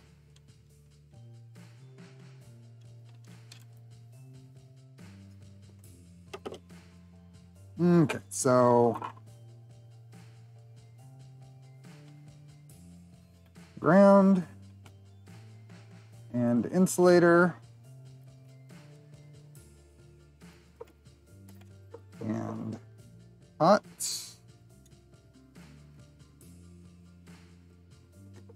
And insulator.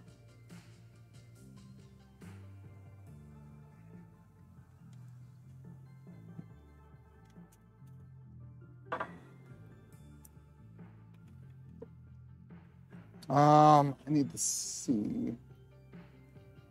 I think I've got, I'm, I'm not confident on the wire colors on this that it came with. Um,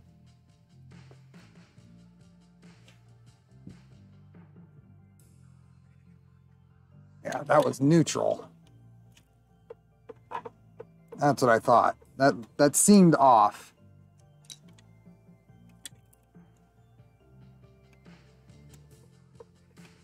Neutral.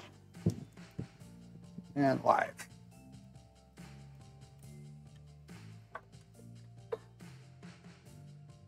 Oh, geez. Go.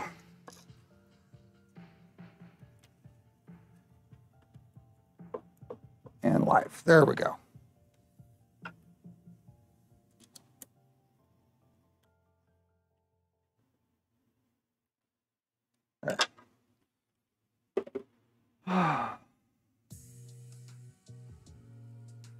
Uh, to do electrical tape. What? What about electrical tape? I just Googled, looks like there were micro skirts in the 70s. Oh, I'm starting to lose my voice, I think. I think this is a good time. Was this the debut of the red LED flashlight. Oh no, I've used this. I'm sure I've used this before. These Coast, it's a rechargeable flashlight. It's really handy. Just a little pen light. I use it for inspecting prints.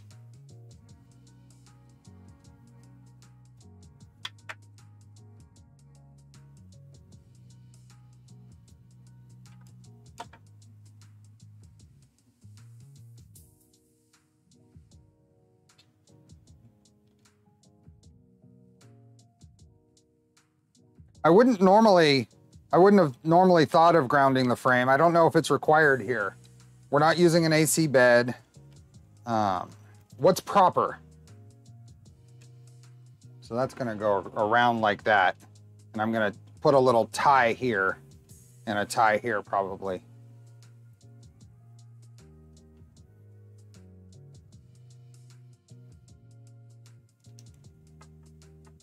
Hmm.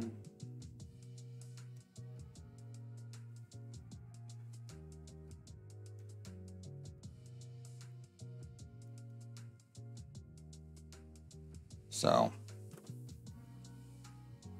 I think that is going to be it for the build today. We can keep talking as long as anybody wants to. Yeah, when in doubt, ground it out. I'm just curious, what is the, what is the, is it actually needed? I mean, we could do, when in doubt, a lot of things, but is it actually needed for this?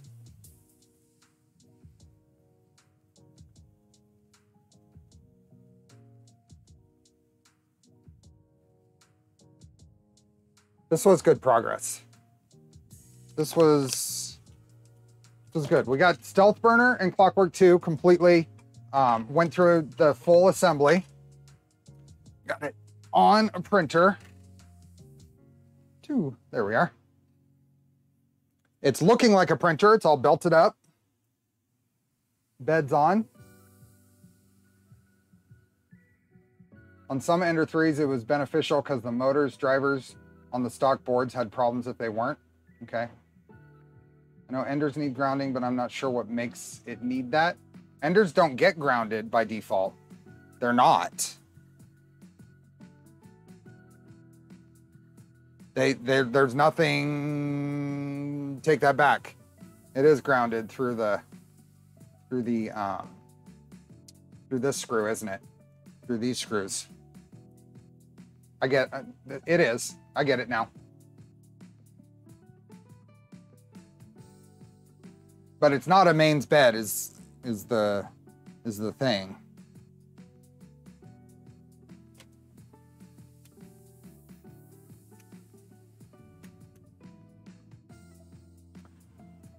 The gantry stays in place because of the keyback.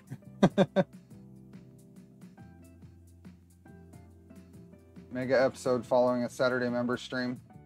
Oh, what have we been going? Five and a half hours? That's what we did last time, right? Does this conversion replace the bed? No, it's using the Ender, the same Ender 3 bed and, and Y carriage. Now, what kind of is a bummer here, you really need to pull the, pull the bed forward to put the sheet back on. I guess that's not a bummer. It's not a big deal. What is a bummer is I, I don't have a very strong magnet on this, so I might replace it before I give it to my friend. That is not holding on there very well.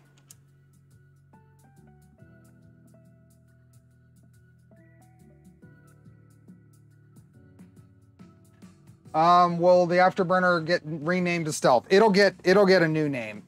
Yes. To be clear, I want them to wear with oh yeah. Still talking about that.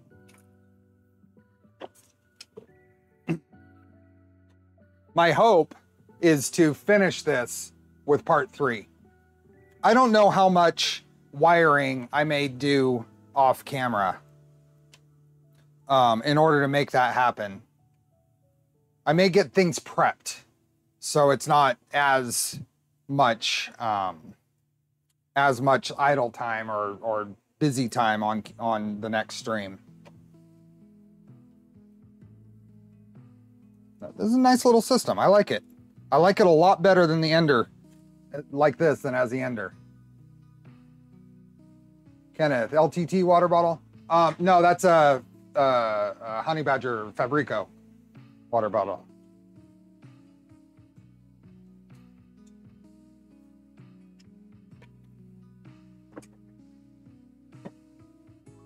He gave it to me at MRRF.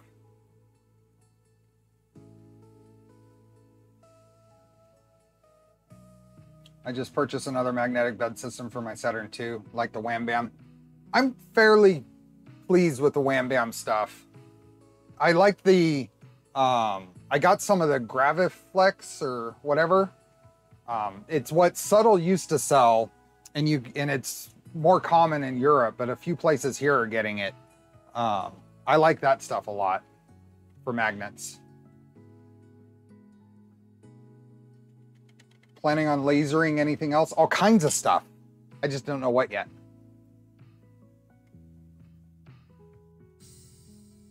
Does this come as a kit? Not that I'm aware of. Not that I'm aware of. But this is, this moves smooth. I'm happy. What do we got? All the way up here and then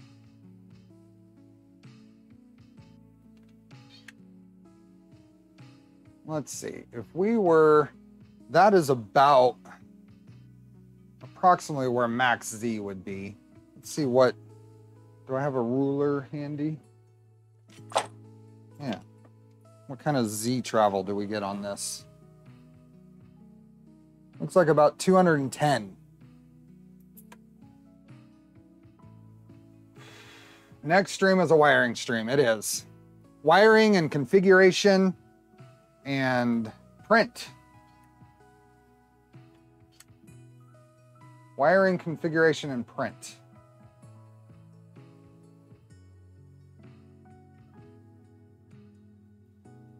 Cast aluminum bed for a Switchwire. I don't, too much weight. Too much weight. Monkey Butler Labs, did the missing printer ever get found from MRRF fiasco? Yes, but we don't have it back yet. So we don't like to invoke Mr. Murphy. Graviflex is German, yeah. It's nice stuff though, and some places here, like I, I'm pretty sure it's a stuff that's subtle or very similar stuff. It smells the same. It has a unique smell. Yes, this is Corex Z. Uh, Freak, the, I don't know if, let's see, is there, there the GitHub might have some information on that.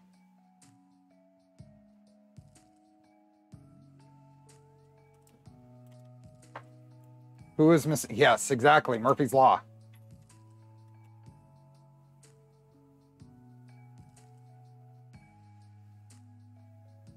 That's that's funny, DJ Natty. I kind of like the smell of the of the Graviflex.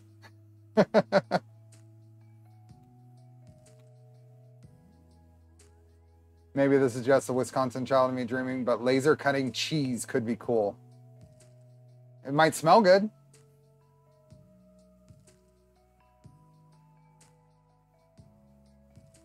Last month member stream Infusion where you showed how you avoid losing selection of multiple chamfers, etc. I think I discovered another way. Oh, there's lots of ways to do stuff. The, yeah, the if you play around with the select filters, I don't like to play around with those. I don't like to switch them back and forth.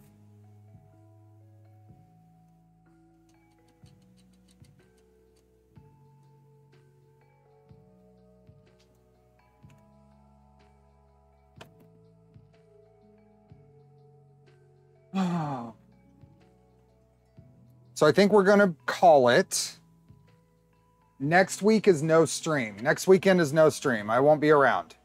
Um, so we will continue this the first weekend in August. I think that is the the 7th. So the next stream will be August 7th. The plan is to finish this project on the 7th and then start the theoretically starting the Salad Fork on the 14th. So um, yeah. This is cool. We haven't tensioned the belt yet. We will later. But, and I need to get little, I need to print a couple of things for this. So we'll get it, we'll get it ready for the next stream. And that little bit extra time, I'll probably be able to get like at least lengths of wires done, maybe a little bit of crimping. I'll make sure that we at least get a sampling of what is needed for running, uh, for wiring this up, even if it's not covering every little detail. So.